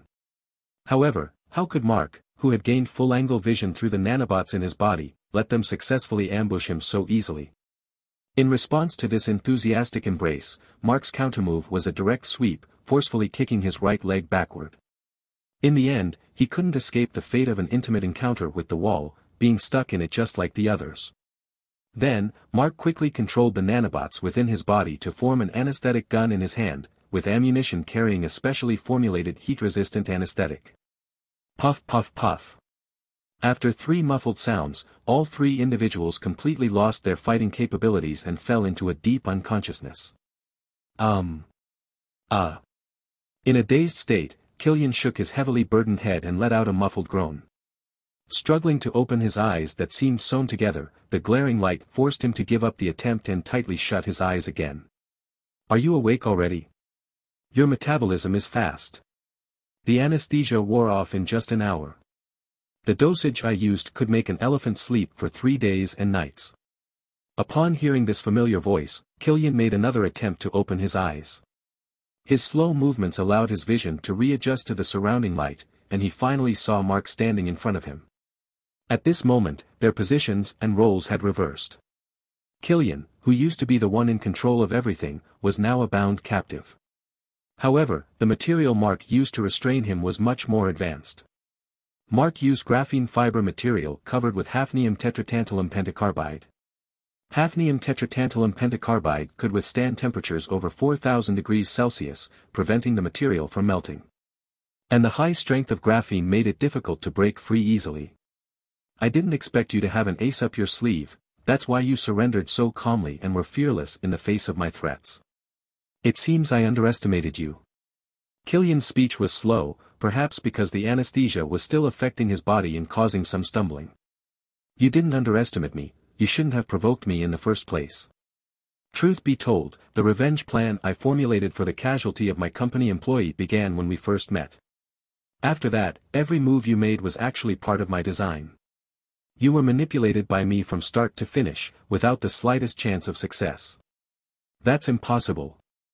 I haven't even started implementing the retaliation plan against Tony. How did you connect Mandarin's terrorist activities to me? Killian couldn't accept this fact. He had always believed he had hidden himself well, with a shining surface identity as a perfect successful person. All the dirty work was arranged by his subordinates or manipulated through Mandarin. He couldn't figure out how he had slipped up and allowed Mark to discover his involvement. There's nothing impossible. There are no airtight walls in this world. If you don't want others to know, don't do it. As for how I did it, you don't need to worry about it. I have my ways. Mark pretended to be mysterious, but in his mind, he was thinking, do I have to reveal to you that I'm a time traveler? Or that I activated the plot cheat. So what do you want? Now that I'm in your hands, you can make any demands, and I can fulfill them. Money? Technical data for extremis transformation? Or the original shares of a IM corporation? I believe that as long as the price is right, there's nothing that can't be traded. And if there is, I'll offer double. Heh. Faced with Killian's shameless surrender and begging, Mark responded with a cold laugh. No matter how much money you ask, I'll offer double. The condition for the trade is that you revive the innocent lives that perished because of your involvement. If you do that, I'll let you go. How does that sound? That's impossible. Killian shouted excitedly, you simply don't want to let me go, that's why you're making things difficult for me. I'm making things difficult for you. Mark's voice grew louder upon hearing Killian's words. The fact is that not everything can be measured in terms of money and other external things, such as life. You want to trade your own life with me but consider other people's lives worthless, all for the sake of fulfilling your ambitions, indiscriminately killing and causing chaos. And now you have the audacity to say that I'm making things difficult for you. Those who live by the sword, die by the sword. This is just the retribution you deserve. Upon hearing Mark's words, Killian's expression remained indignant, clearly showing his anger towards Mark valuing his own life and the lives of those who had already died differently. However, when he wanted to retort, he couldn't find any words to attack Mark's viewpoint. But don't worry, I won't kill you. I'm not like you, and if I let you die so easily, that would be too cheap for you. I will make you lose everything, bring you down to dust, and then lock you up in prison, where you'll spend the rest of your miserable life in agony. While you were unconscious, I contacted the other shareholders of a IM Corporation and provided them with my support. I believe that your beloved creation, IM, has already been devoured and divided by them. In other words, you are now a penniless pauper. Furthermore, I have just developed a serum called the Hope Serum, which can reverse the extremis transformation. Under its effect, all your subordinates have returned to their normal human states. Your super army no longer exists, and now you are all alone. But I can give you a choice. In front of you are two syringes, one contains the hope serum, and the other contains adrenaline. You can choose one to inject yourself, and then I will hand you over to the Iron Patriot to face a public trial. I choose adrenaline. Killian hardly had any hesitation or contemplation and directly chose adrenaline. He didn't know what adrenaline meant for him, having undergone an imperfect extremis transformation. He only knew that he now had this altered body that surpassed ordinary individuals, and if he lost even that, he would truly have nothing and no chance of turning the tables. He wasn't sure if the syringe truly contained adrenaline as Mark claimed, but now he had no choice but to make a decision. In order to preserve his abilities, he had to believe Mark's words. With firm determination, Killian made his choice, and Mark wasted no time. He aimed directly at Killian's neck and injected over 10 milliliters of adrenaline into his body. Under normal circumstances, a regular person could only tolerate a dose of 1 milliliter of adrenaline. Now, Mark not only increased the dosage by tenfold, but more importantly, the adrenaline injected into Killian's body would greatly activate the repair center in his brain. For Killian, who hadn't suffered any injuries, this kind of activation was extremely deadly because it essentially transformed the normal cells in his body into abnormally proliferating cancer cells. His body would collapse under the immense strain and endless consumption. Soon, Killian felt that something was seriously wrong with his condition. His body began to heat up uncontrollably, and at the same time, the hair on his body and face started to grow wildly. His body tissues also began to undergo uncontrolled proliferation and expansion. Killian felt that if this continued, he would inevitably explode due to the overwhelming internal pressure. What did you inject into me? What is happening to me? Sensing his deteriorating condition, Killian became increasingly frantic and loudly questioned Mark. I didn't do anything. That syringe indeed contained adrenaline. It seems you haven't conducted in-depth research and understanding of your prideful extremis transformation project. Due to the imperfections in your extremist repair algorithm, after the modification, your body lacks important inhibitory mechanisms, making it prone to uncontrollable self-destruction. And adrenaline is the best catalyst to trigger this reaction. If you want to stay alive, there is only one option now, inject the hope serum before your body completely collapses, reverse the extremis transformation, and eliminate the lethal effects it brings. Ah, you tricked me. You didn't leave me any other choice from the beginning. I can only inject the hope serum and return to being an ordinary person. Killian went completely mad. He first shouted and yelled, then burst into laughter, and finally started crying. This was exactly the effect Mark wanted to achieve. Why did he deliberately make Killian make a choice? It was to take away his last thing, hope. He injected the hope serum to save his own life but he would lose hope for the future. How ironic. In the end, Killian, driven by the fear of losing his life and unbearable pain, chose to inject the hope serum prepared by Mark, extinguishing his last flicker of hope. As soon as the serum was injected, it quickly took effect. Killian's vitals started to normalize, returning to the level of an ordinary person. The previously proliferating cells also ceased their activity. However, the proliferative tissue that had already formed could not return to its original state. He had to endure the grotesque and bloated appearance and face judgment and punishment. With this, Mark's revenge finally came to an end. Killian and his henchmen were handed over to the military, along with the evidence Mark had gathered and Trevor Slattery's confession, which had already been given to the military. They would not escape legal sanctions, and it was likely that Killian would spend the rest of his life in prison. However, it is worth mentioning that in the prison where Killian was held, he had a cellmate who shared his interests, Justin Hammer. The two were confined in the same cell, both being company bosses, both hating Stark, and both having assisted the military in modifying War Machine. In the end, they ended up in the same fate, both locked up in a prison cell. Sometimes fate works in mysterious ways. On the other hand, Maya Hansen, who assisted Killian in the extremis transformation research, was handed over by Mark to S.H.I.E.L.D., or more precisely, was intercepted by Nick Fury.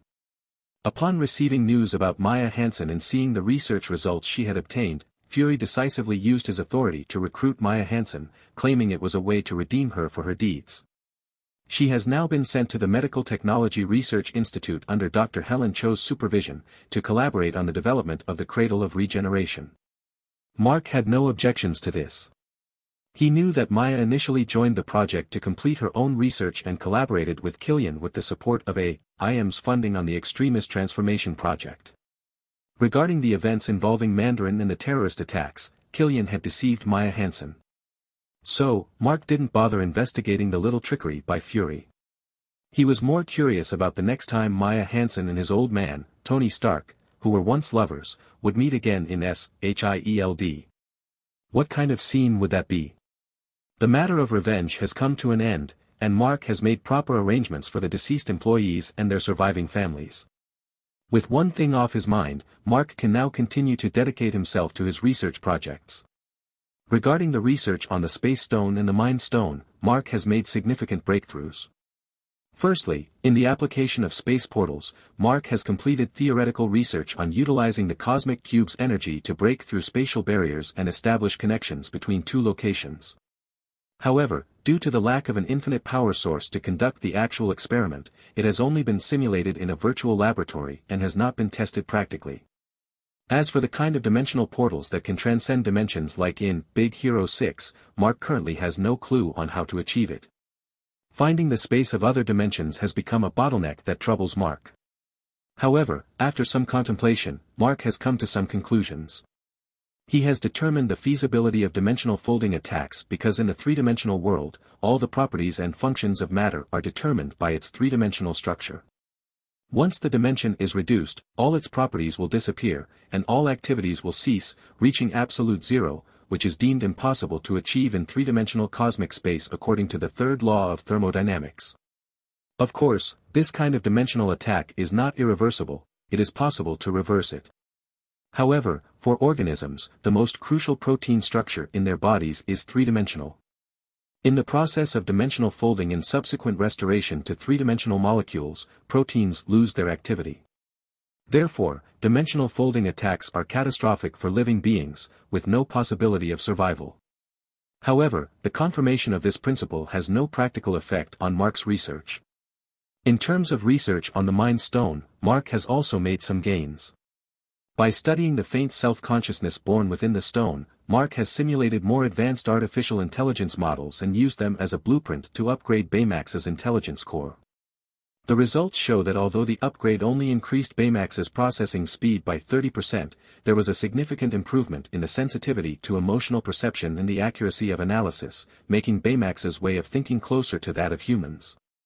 Thanks to this upgrade, Mark was able to analyze the extremist virus in time and complete the decryption task before irreversible damage occurred to his right hand.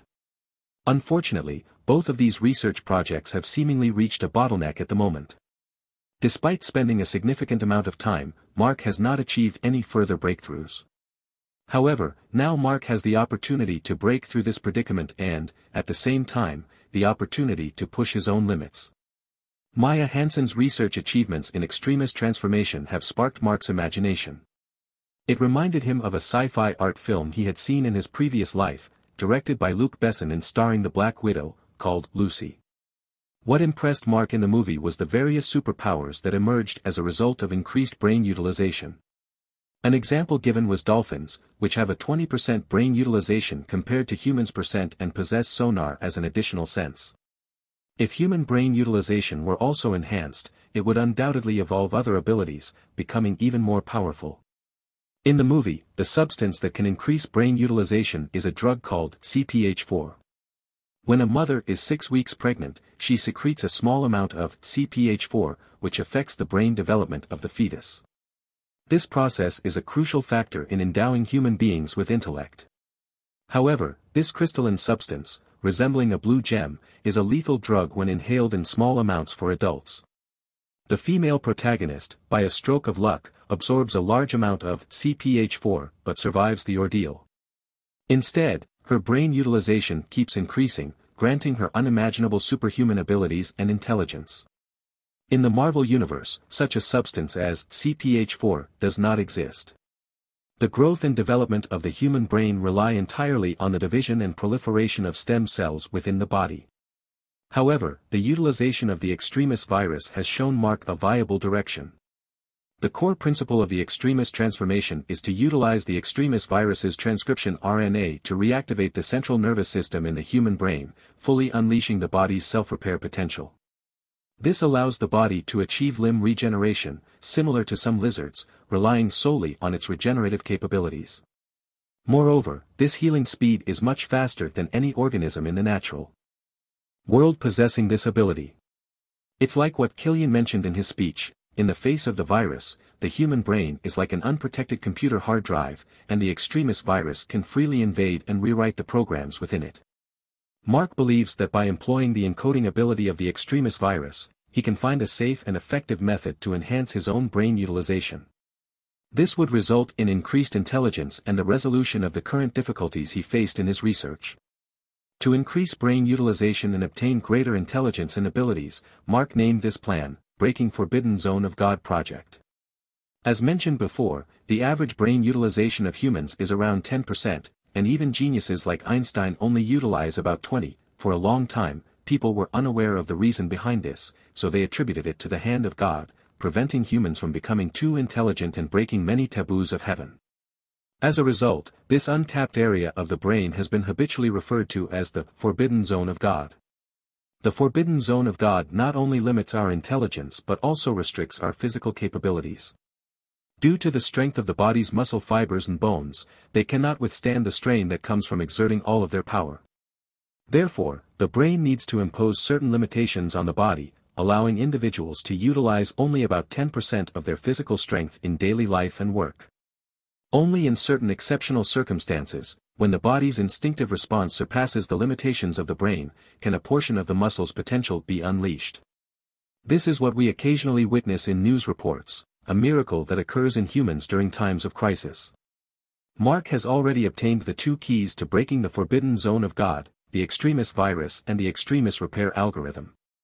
The extremis virus is responsible for opening this legendary sealed forbidden zone by God, while the extremis repair algorithm is responsible for suppressing and restricting it, maintaining the necessary stability of the human body.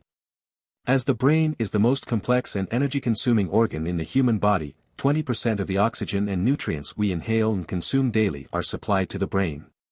Whether awake or asleep, the brain maintains this high-speed state of burning energy. And this is the state when the brain utilization is at around 10, once brain utilization increases, it means a significant increase in the demand for energy and oxygen. If not restricted, Mark's body would bear a heavy burden. Not to mention if he also activates the Accel World, causing the brain to work in an overclocked state. Even with advanced technology like nanobots, Mark would not be able to withstand it. The nutrients in the nanobot's fluid are limited. The faster the supply, the faster the consumption. Once the reserves are depleted, Mark would immediately collapse due to brain hypoxia and symptoms of hypoglycemia. Of course, Mark cannot stay in a nutrient hibernation pod all the time just to ensure that his brain receives sufficient nutrients to maintain its high efficiency. This raises a question, while breaking the forbidden zone of God and unleashing the potential of the brain and body. So Mark must also improve his physical fitness. A better physique and stronger qualities mean that the digestive system can process food faster and absorb more energy and nutrients from it. The respiratory system can complete the exchange of oxygen and carbon dioxide more quickly, ensuring an adequate oxygen content in the blood. The circulatory system can deliver the absorbed nutrients, energy, and oxygen to the brain and throughout the body more efficiently, ensuring the normal functioning of the body's mechanisms. There are two ways to improve physical fitness.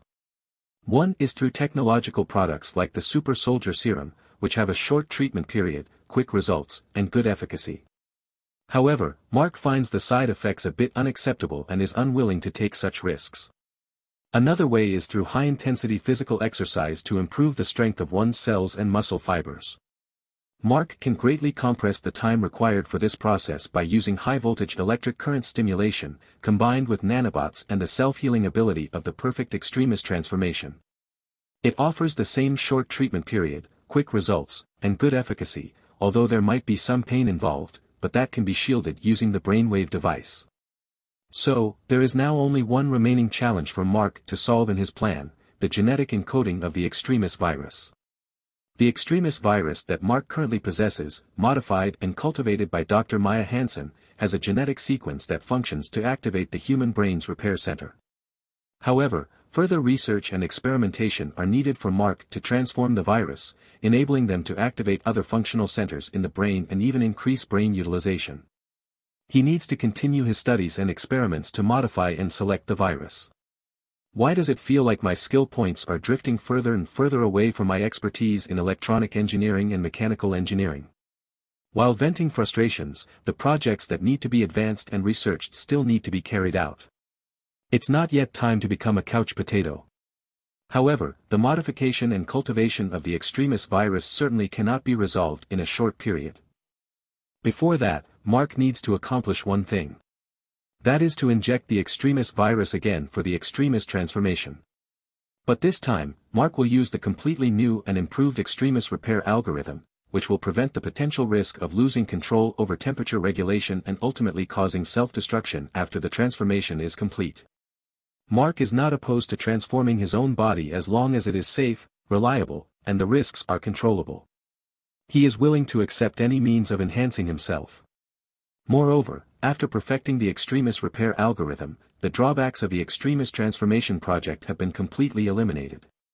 There is no risk of self-destruction during the process, and there is no need to worry about temperature control issues after the transformation is complete.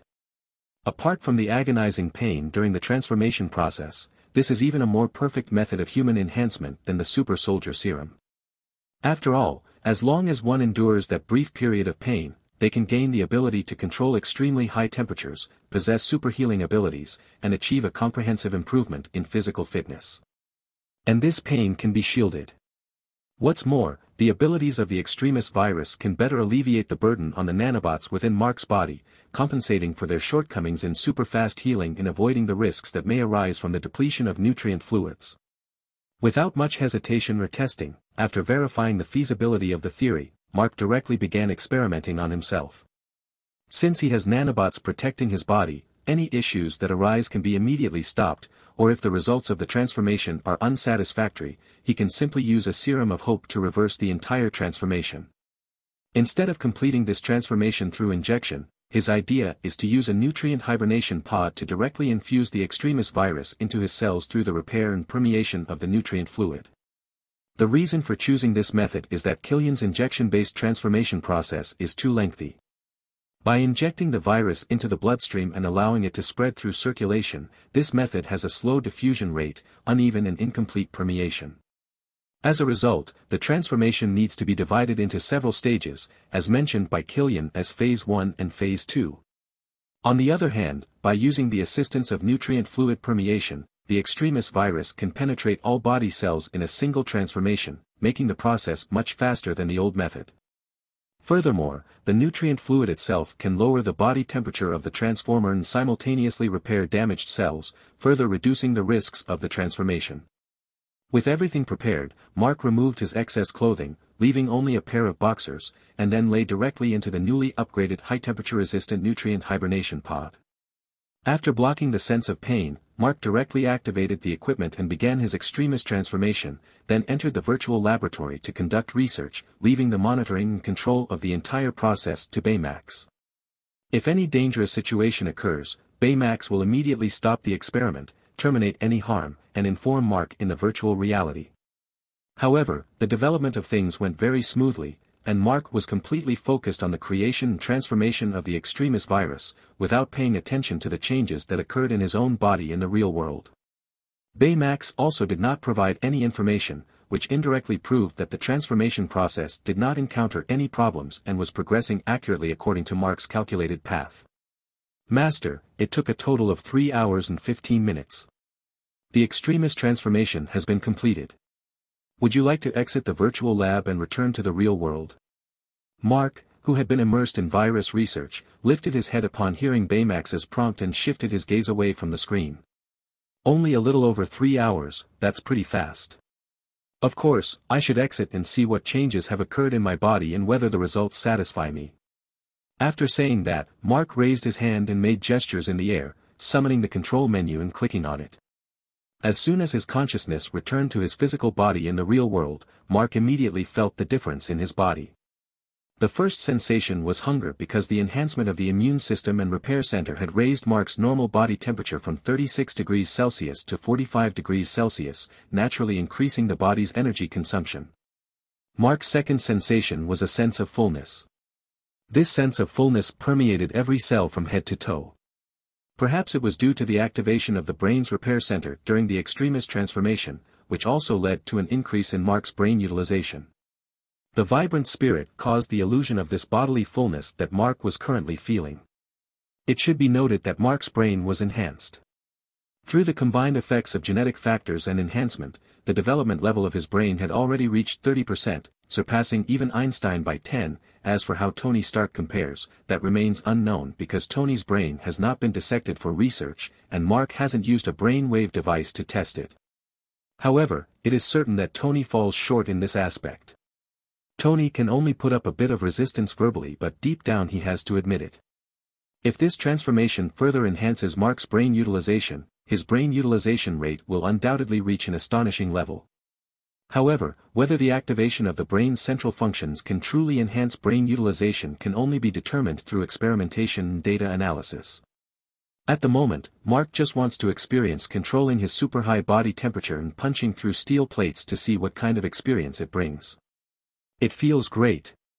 After raising the temperature of my right fist to 3000 degrees Celsius, the thick steel plate that couldn't be pierced by my enhanced strength and the support of nanobots, surprisingly, was easily penetrated by this punch, as if a hot knife effortlessly cut through butter, leaving a fist-sized hole in the middle of the steel plate.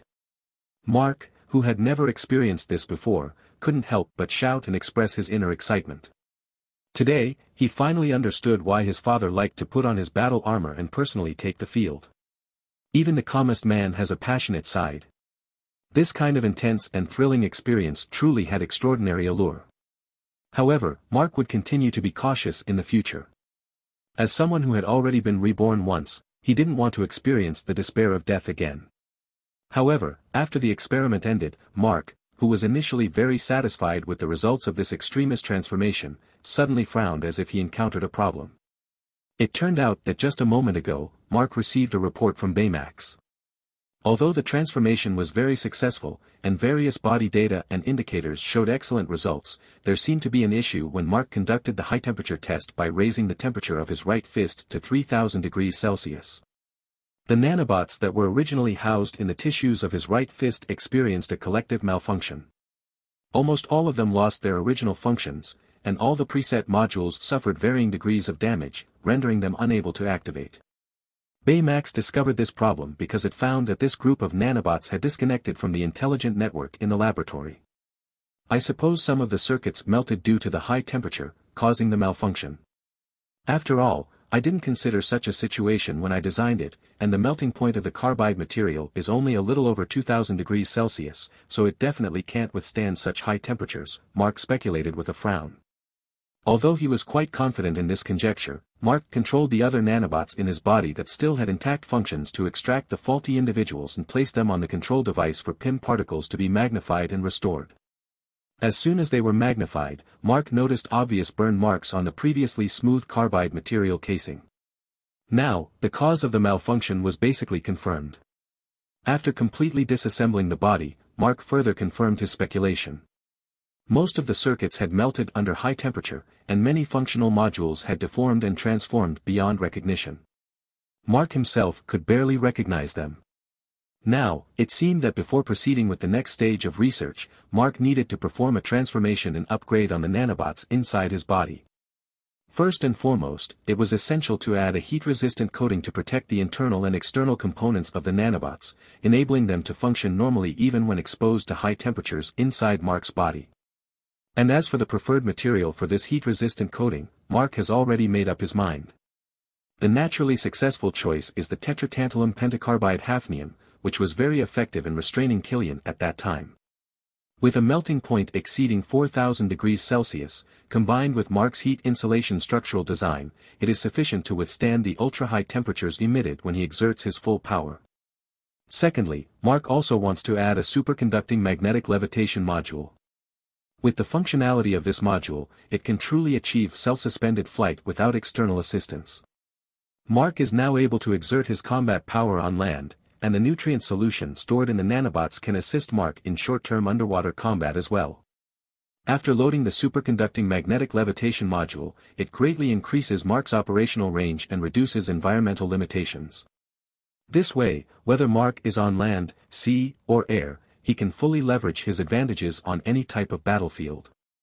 While Mark is enthusiastically carrying out the upgrade and transformation project of the nanobots, Baymax notifies him that Coulson is calling and wants to talk to him about something, forcing Mark to stop his work. What's the matter, Coulson? Has something happened with S-H-I-E-L-D? Or do you want to make a deal with me again? I do have quite a lot of good stuff on hand lately. On the other end of the phone, Coulson, who had remained silent after the call was connected, suddenly interrupted Mark and said, Mark, listen to me, after I tell you this news, you must stay calm and not act impulsively. Alright, go ahead. I will control my emotions. Do you want me to put on the emotion controller?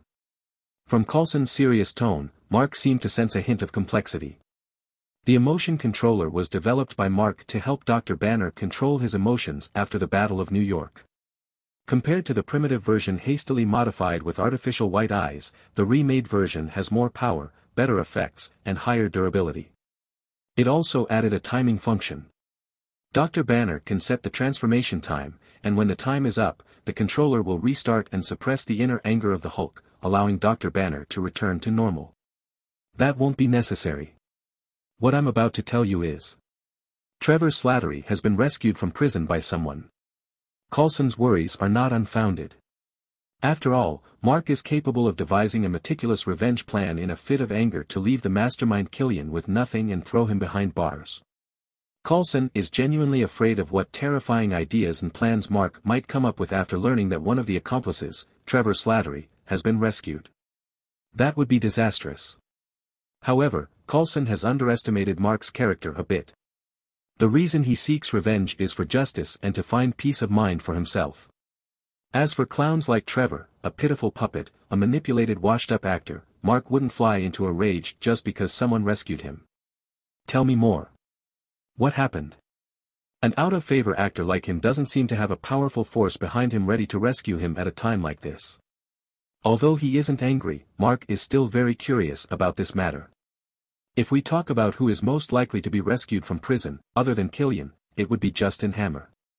After all, both of them had a prominent background and had connections with both lawful and unlawful forces before entering prison. It's possible that some idiot would lend a hand out of loyalty, thinking it's a matter of chivalry and brotherhood. But the person who was rescued turned out to be Trevor Slattery, an out-of-favor actor with no money, no background, and no connections. Mark couldn't quite understand. The person who rescued him is a journalist named Jackson Norris. He has been working in the documentary department of the national television station for over five years. But after this incident, I'm not sure if that's his real name anymore. The national television station has been applying to interview this nationally infamous criminal, Trevor, ever since he was successfully handed over to the military. Their top-level management has connections with the government, so they finally obtained approval and dispatched Jackson Norris to the prison today for the interview. Based on the surveillance footage recorded in the room during the interview, we learned that this Jackson Norris appears to be a true member of the Ten Rings organization. He was sent on an undercover mission by the organization and had been lurking until today when his identity was exposed in order to complete his mission. He rescued Trevor because it seems that Trevor's character, Mandarin, actually exists. Although in official records, this Mandarin is a character documented since the Middle Ages, according to Jackson Norris's words, this supposed old man who should have already become a part of history seems to be persistently engaging in terrorist activities and has become increasingly active in recent years.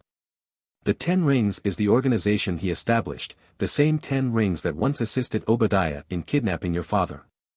And because Trevor impersonated this true Mandarin, he sent his subordinates today to break him out of prison simply to meet the actor who made him famous. They are organized and well-planned, and each of them is skilled. It seems that the Ten Rings organization infiltrated our country more than we could have imagined. The real Mandarin. Hearing Coulson deliver this news, Mark felt somewhat shocked.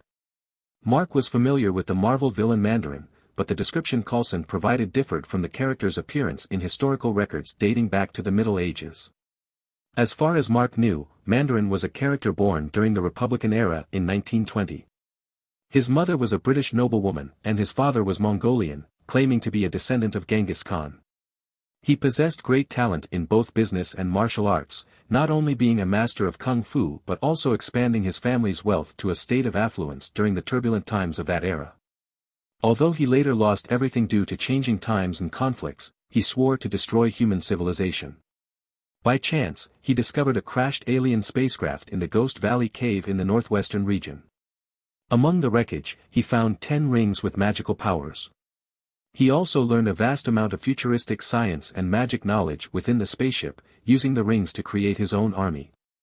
And thanks to the rings, he gained immortality, forever preserving his youth. The Mandarin Mark knew of was a character from the comics, and this information contradicted what Coulson had told him.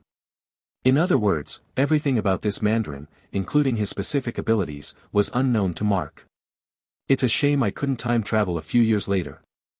I heard that in the Marvel Cinematic Universe, Shang-Chi and the Legend of the Ten Rings will be released in 2021. I wonder if the Mandarin described in the Legend of the Ten Rings matches the medieval character mentioned by Coulson. Facing the unknown, the sudden appearance of the real Mandarin, Mark did not feel fear. Because regardless of the opponent's abilities, Mark could explain them with a scientific theory.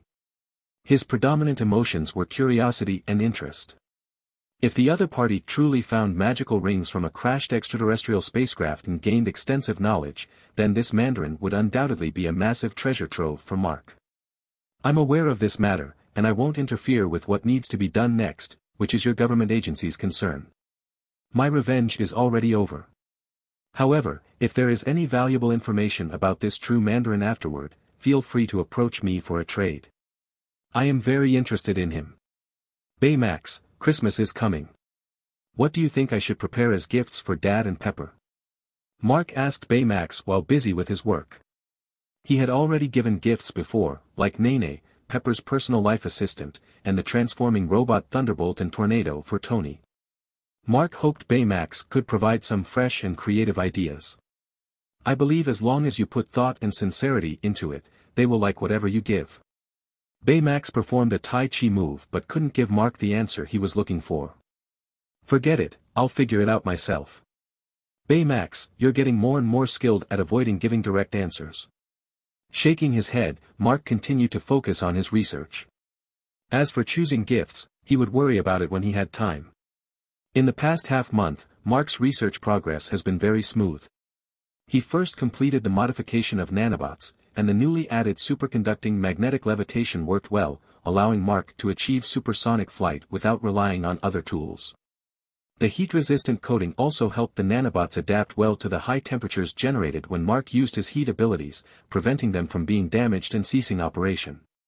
However, the most significant breakthrough was the breakthrough Mark achieved by guiding the extremis virus to undergo specific mutations. He found a variant of the virus in the genes that could act on the human brain's visual center and named it the Heaven's Eye virus. Currently, Mark has confirmed that the Heaven's Eye virus acts on the brain's visual center without any toxic side effects on the human body. However, until real human experiments are conducted, there are still no conclusive findings regarding the specific changes it will bring and whether these changes are good or bad for Mark. Mark's current task was to create a restorative serum that could reverse the effects of the Heaven's Eye virus on the human body, providing himself with an insurance policy for his experiments. Following the usual practice, confident Mark decided to be the first test subject for this project. Phew, it's quite challenging. Luckily, I already had experience with the extremis virus, and I managed to complete the restorative serum.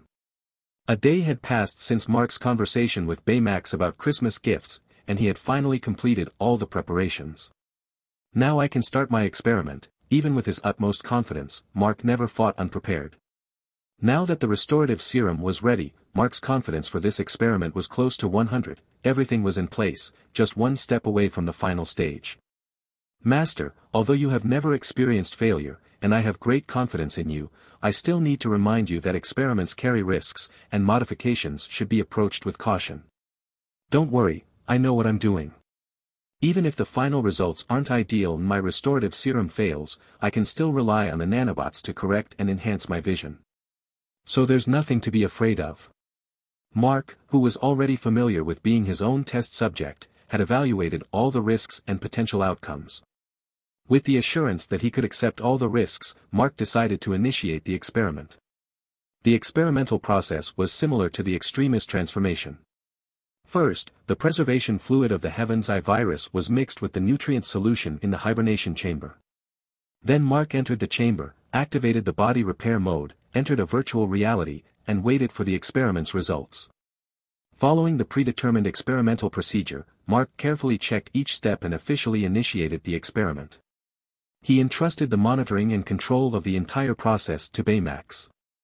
However, this time, the activation of the Heaven's Eye virus on Mark's brain's visual center and the transformation process took much longer than the extremis transformation of the Desperation virus. It consumed a full 12 hours before Baymax notified Mark that the experiment was over within the virtual reality. The extended modification time, nearly four times longer than before, would have led Baymax to terminate the experiment if it hadn't detected that Mark's vital signs were healthy and even strengthened. Congratulations, Master. It seems you have succeeded once again. You are listening to this audiobook on web novel audiobooks Tgthegood. Based on the collected data, Baymax observed that while the enhancement of Mark's physical functions wasn't as noticeable as during the extremis transformation, there was indeed improvement. There were significant changes in the strength of the muscles around the eyes and the structure of the eyeballs. The activity of the brain's visual center had also significantly increased. From Baymax's perspective, it was already time to congratulate Mark on the successful experiment. However, Mark shook his head without responding. He wouldn't draw any conclusions before personally experiencing the changes. Skillfully accessing the virtual realities menu, Mark clicked on the exit button, bringing his consciousness back to his physical body in the real world. Click. The door of the hibernation chamber opened supporting himself on the edge of the chamber, and Mark tightly closed his eyes slowly sitting up. At this moment, Mark's inner worries and bad premonitions had already emerged. Just the faint light that his eyes received through his closed eyelids caused a slight throbbing sensation. At the same time, his brain felt a bit heavy. Attempting to control his eyelids to open slightly, Mark didn't feel any discomfort caused by the change in light and darkness. It should be said that Mark hadn't had a chance to experience any discomfort yet. The moment he opened his eyes, Mark felt as if his brain had been struck by Mjolnir, the hammer of Thor. With a buzzing sound, his vision darkened, and he lost consciousness. MMM. In a dazed state, he didn't know how much time had passed. When Mark regained consciousness, he felt a heavy fog in his brain, and even a slight movement of his head caused intense pain. Unable to make excessive movements, Mark clenched his teeth and focused his mind, communicating with Baymax through brain waves and said, Baymax, how long was I unconscious? Thank goodness, Master, you've finally woken up. You weren't unconscious for long, less than an hour. While you were unconscious, I detected that your brain was in an overclocked state, depleting the nutrient fluid stored in the nanobots instantly. Due to oxygen deprivation and inadequate blood and energy supply to the brain, your body triggered a self-protective mechanism, causing you to pass out. When the brain ceased functioning, the repair center was unable to release bioelectricity to stimulate the body's self-recovery. Therefore, I immediately activated the hibernation pod to replenish your body and brain with oxygen and energy through the nutrient fluid. Through a scan, I found no irreversible damage. Your body has already recovered, Master. Mm, thank you, Baymax. You're welcome, Master. Should I proceed with the restoration procedure and administer the restorative serum? Baymax asked. No, it's not necessary. I already know why I passed out. It wasn't due to the experiment's failure, the modification was a great success. The problem was that the modification was too successful, exceeding my expectations and causing an unbearable burden on the brain. In this experiment where Mark used the Heaven's Eye virus for body modification, he didn't evolve the ability to see through objects as he had speculated before. Neither did he gain abilities like microscopic vision or thermal vision. The activation of the brain's visual center in this instance brought Mark informationized visual abilities. Simply put, Mark could obtain all the information within his field of vision through sight.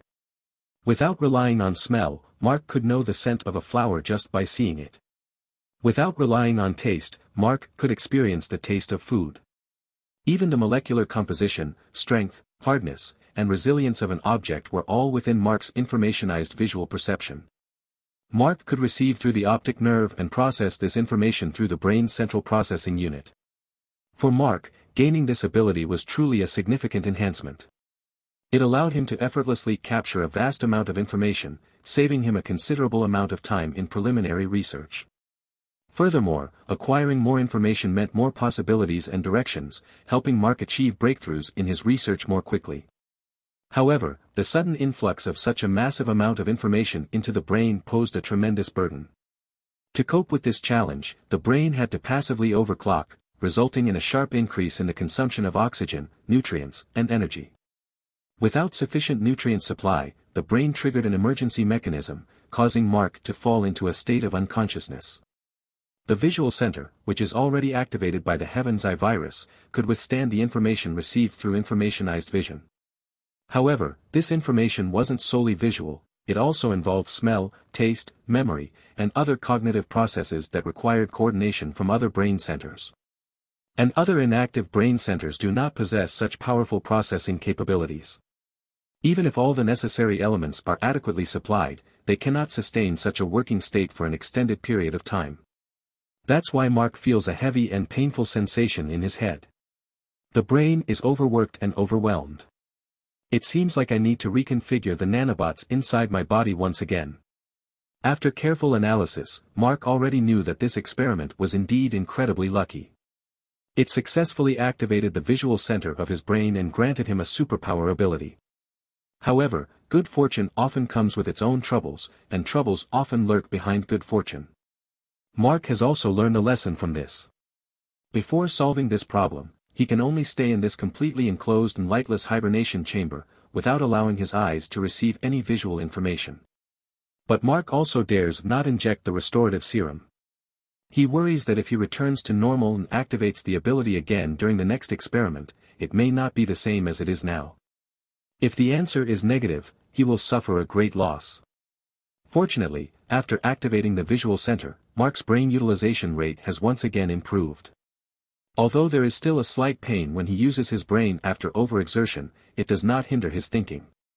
He quickly found a solution.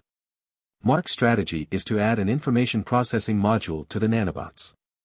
Essentially, this serves as Mark's second brain, assisting him in processing a massive amount of information beyond his own capacity. First, using the brainwave device, most of the information received through informationized vision would be intercepted and sent to the information processing module of the nanobots. Once they have processed the information, the results are directly sent to the corresponding brain centers, thereby reducing their workload. In addition, Mark can also set up a dedicated server cluster specifically responsible for this information processing. The intercepted information from the nanobots can be uploaded to the server cluster via wireless networking. After high-speed processing, the results are then sent back. With this plan in mind, Mark urgently needs to solve this problem, otherwise, he will truly become like a living dead trapped in a coffin.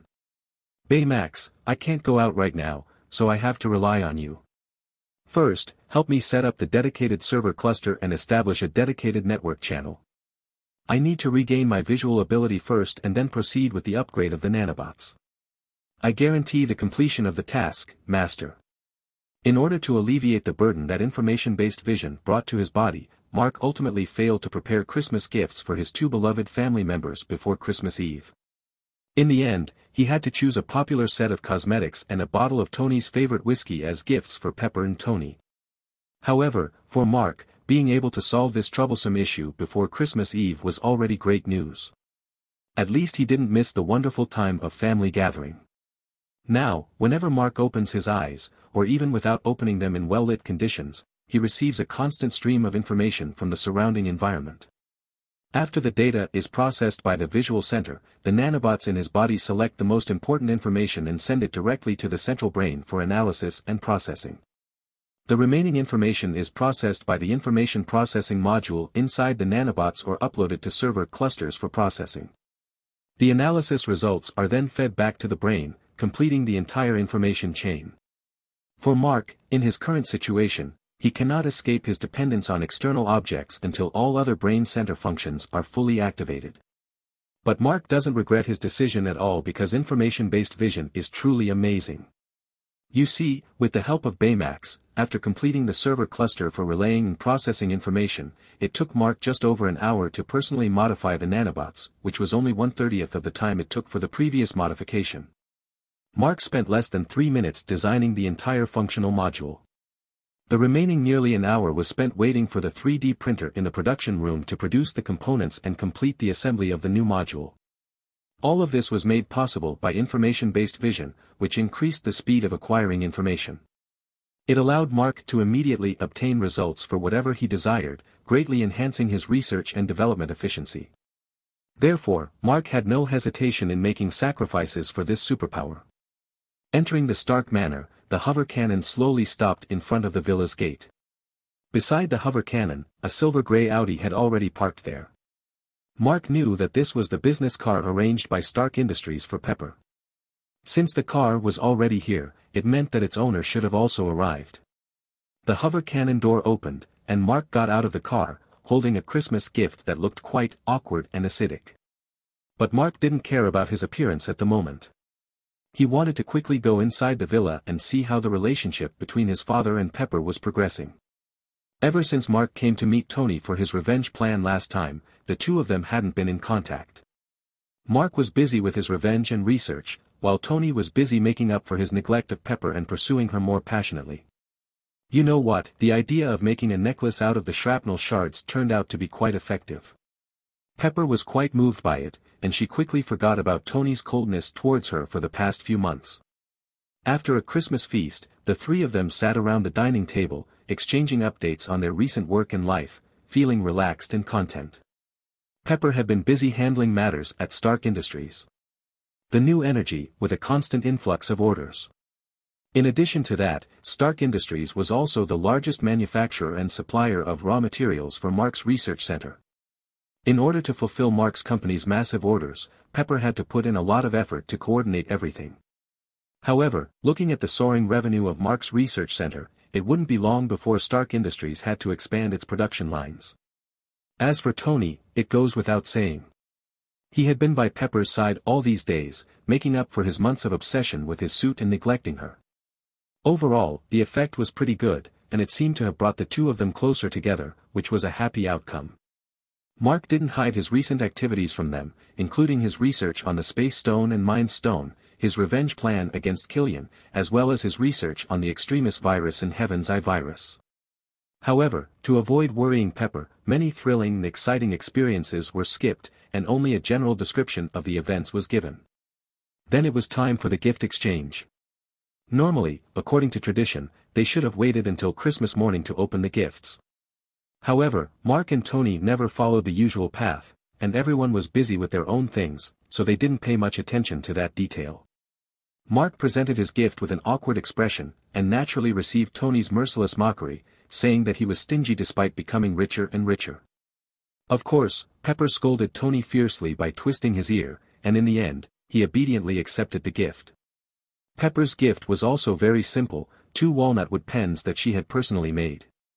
Although they weren't valuable, Pepper had taken the time amidst her busy schedule to learn how to make them from a craftsman, pouring her heart and love into them. Both of them were naturally touched and accepted the gifts. Finally, it was Tony's turn. It seemed that he had prepared a huge surprise and he led them to the open space in the courtyard. My gift is for both of you. Recently, I've spent a lot of time and energy developing my Iron Man suits, but I neglected the two most important people in my life. So I've decided to reduce the number of suits, J, A R V I S, dash, at your service, sir dash, you know what to do, J, A R V I S. Shall I execute the program? Yes, exactly. Hurry up, J, A R V I S activate that damn program before I change my mind. After saying that, Tony opened his arms and tightly embraced Mark and Pepper. Then, with their chins resting on Tony's shoulder, the two of them saw dozens of Mark's Iron Man suits continuously flying out of the villa's collection room, hovering in the sky, forming a magnificent light show. Just when Pepper and Mark thought this was the surprise Tony had prepared for them, boom. One of the Iron Man suits suddenly exploded in midair, creating a brilliant burst of sparks that scattered around. Pepper quickly patted Tony's back with force, thinking that something unexpected had happened and wanting to remind Tony. However, at this moment, Mark, who was standing next to Pepper, already knew what Tony was up to. It was a grand and expensive firework display, expressing his feelings and telling Pepper that he would make more time for her in the future. Then, as if a chain reaction had occurred, after the first suit exploded, the second and third suits exploded one after another. At this point, the clever Pepper also understood what Tony was up to.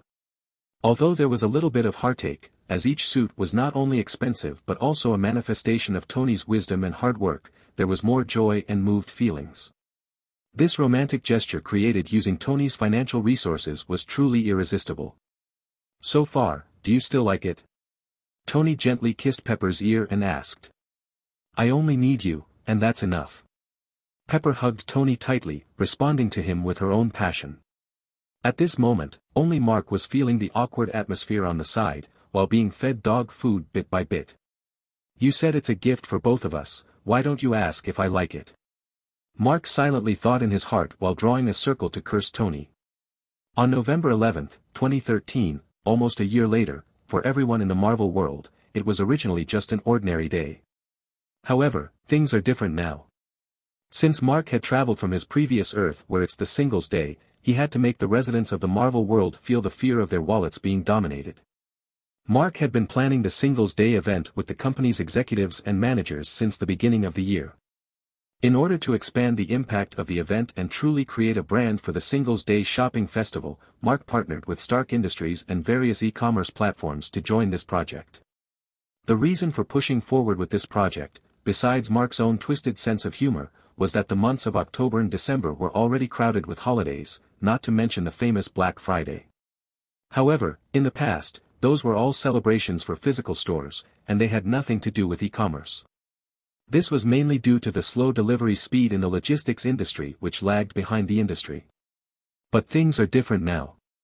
Not to mention that Mark had united numerous companies to make a joint effort, the discounts offered on Singles Day had astonished everyone. Additionally, in order to provide more efficient logistics services, Mark had specially established a logistics company to provide delivery services to all partners. This logistics company was named Beehive Express, and it used fully automated robotic parcel sorting. The bees, unmanned drones, delivered the goods and ultimately placed them in the hands of the buyers or in Beehive Express pickup lockers near their residences. Once this service was launched, it immediately ignited the enthusiasm of all e-commerce companies within the alliance, and they all signed service agreements with Beehive Express, becoming its customers. After several months of cultivating user habits and analyzing big data systems, when the time finally came for Singles Day, just 10 minutes past midnight, the sales of the entire e-commerce alliance had already exceeded billions of dollars. This result not only left all the partners of the e-commerce alliance grinning from ear to ear but also shocked the entire world. The news media that followed and reported this news couldn't believe it. If it weren't for Mark and Tony's reputation backing it up, they truly wouldn't dare to publish this report to the outside world. After all, this data was simply astonishing. Although the planning was a tremendous success, and Singles Day gained reputation and praise, Mark was no longer interested in paying attention to this matter.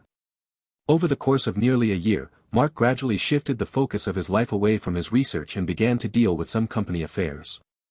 He also started to enjoy some ordinary pleasures in life and frequently went on vacation trips with Tony and Pepper. The significant change happened due to the upgrade. Since accepting the modification from the Heaven's Eye virus, Mark's brain utilization rate had once again increased, allowing him to quickly find answers to any questions he pondered. Therefore, shortly after Christmas, Mark made another breakthrough in his research on the Mind Stone. Taking this research breakthrough as a blueprint, Mark designed a mirror perception system for Baymax's core intelligence. As the name suggests, mirror perception refers to the ability to correspond with reality and create a completely symmetrical mirror image. After integrating this system, Baymax can combine the emotional perception engine to form an emotional mirror for the analyzed and recognized objects. Through this mirror, it can experience the emotions and feelings that originally only belonged to real living beings. And as the first subject of perception after Baymax's upgrade, naturally, none other than Mark. However, it was precisely this first experience and perception of human emotions that caused Baymax's core intelligence to malfunction. After a full two minutes, Baymax finally rebooted and returned to normal. After the reboot, the first thing Baymax said to Mark was, Master, you have a serious mental illness and must undergo psychological intervention and therapy. Question mark. Mark was naturally confused and had many questions in his mind. Because Mark had never felt that there were any unresolved negative issues in his emotions. He could wholeheartedly engage in any activity and find joy and satisfaction in scientific research. In Mark's view, even if he couldn't be considered mentally 100% healthy, he shouldn't have any connection to serious mental illness. Master, perhaps you haven't felt it yourself, but through the emotional mirror and the analysis of your emotional perception, I have detected an unusually high level of anxiety in your subconscious. This anxiety compels you to believe that you must constantly improve and dare not relax your own expectations. As a result, you experience particularly heightened emotions and great pleasure in the scientific research lab. Because only at that time can you temporarily escape the anxiety burdening your subconscious. Over time, this has become your coping mechanism for psychological issues, leading to more serious psychological barriers. After hearing Baymax's explanation, Mark also realized the root of his problem. As a reincarnated individual, having grown up as an orphan, he naturally carried a certain amount of anxiety, which had become a habit over a long period of time. After Mark's rebirth and learning that he was in the crisis-ridden Marvel Universe, this habitual anxiety was amplified once again. In addition, his identity as a time traveler was also a significant source of Mark's anxiety. To cover up this truth, Mark created a protective barrier around himself and isolated himself from others, resulting in the pressure he had to bear having no outlet for expression. It could only build up within his inner self, and he would evade the issue by focusing on his research. So, from that day on, Mark decided to undergo Baymax's psychological intervention and start changing his lifestyle and way of thinking. Firstly, it was to prevent a potential psychological breakdown when facing even greater challenges in the future and being unable to self-regulate. Secondly, this subconscious anxiety, besides being a shackle on Mark's mind, also constrained his brain. It would occupy limited resources in the brain's activation area and restrict the brain's utilization space. By resolving this issue, it would provide some assistance in advancing future projects. Therefore, Mark was willing to invest this time cost to solve this seemingly insignificant trouble. However, after Mark was excited to see the data he had created on Singles Day and the excitement it brought, an old friend's appearance interrupted his thoughts. Mark, I need your help. Thor looked at Mark with an anxious expression, sincerely seeking his assistance. Thor. Mark looked at the tall man standing in front of him with surprise. It was Thor, a member of the Avengers whom he hadn't seen for over a year since their parting in New York. Mark, who had been undergoing psychological therapy throughout the year, quickly recalled the timeline of the Marvel Universe. At this moment, after Thor returned the Space Stone to Asgard, the Bifrost, which had been destroyed by Thor, had been repaired. That's why he was able to come to Earth smoothly to seek Mark's help. Otherwise, even with the power of Odin, the king of gods, it would be impossible for him to endure the energy consumption of traveling between the two realms in a short period of time. On November 11, 2013, The Convergence, Ether Particles, Dark Elves, and Jane Foster. It seems that Thor is here to discuss an issue regarding Jane, a problem that even Asgard's technology and Odin's wisdom couldn't solve. He must think highly of me to seek my assistance. With a little thought, Mark immediately understood the situation. Thor's concerned expression indicated that he was probably here about his girlfriend. Since you think highly of me and have come to me for help, I won't stand by and do nothing. However, I can't guarantee to solve a problem that even the power of Asgard is incapable of resolving. Mark didn't refuse Thor's request and promptly agreed. On one hand, it was because of their relationship and friendship, and on the other hand, it was an excellent opportunity to have contact with the ether particles, or the reality stone, for research purposes. Upon hearing Mark's immediate agreement, Thor excitedly embraced him, squeezing him so tightly that Mark felt a bit deformed. Fortunately, Mark's body had undergone two virus enhancements and was protected by nanobots, so he didn't end up disabled from the enthusiastic embrace. Mark didn't hesitate to knee Thor in the stomach, forcefully separating the two. Really, you almost choked me to death. It's a good thing I have many means to save my life, otherwise, would end up disabled despite helping you. Mark said, not in the best of spirits, as he looked at Thor innocently clutching his stomach. Ha ha ha, my apologies, Mark. I forgot that earthlings don't have such sturdy bodies. This is how I usually embrace my brothers and comrades. After listening to Mark's words, Thor smiled sheepishly and apologized.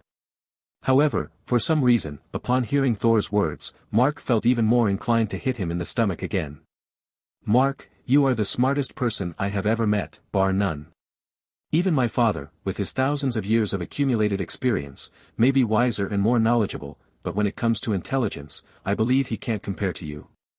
So I trust that you can help me solve this problem. Since you've already agreed, let's see what preparations we need to make. I'll also brief you on the situation. Later, you'll accompany me back to Asgard. Oh. Go to Asgard? Mark didn't expect Thor to bring him an unexpected joy. Initially, Mark only wanted to have some contact with the ether particles within Jane Foster's body and collect some research data.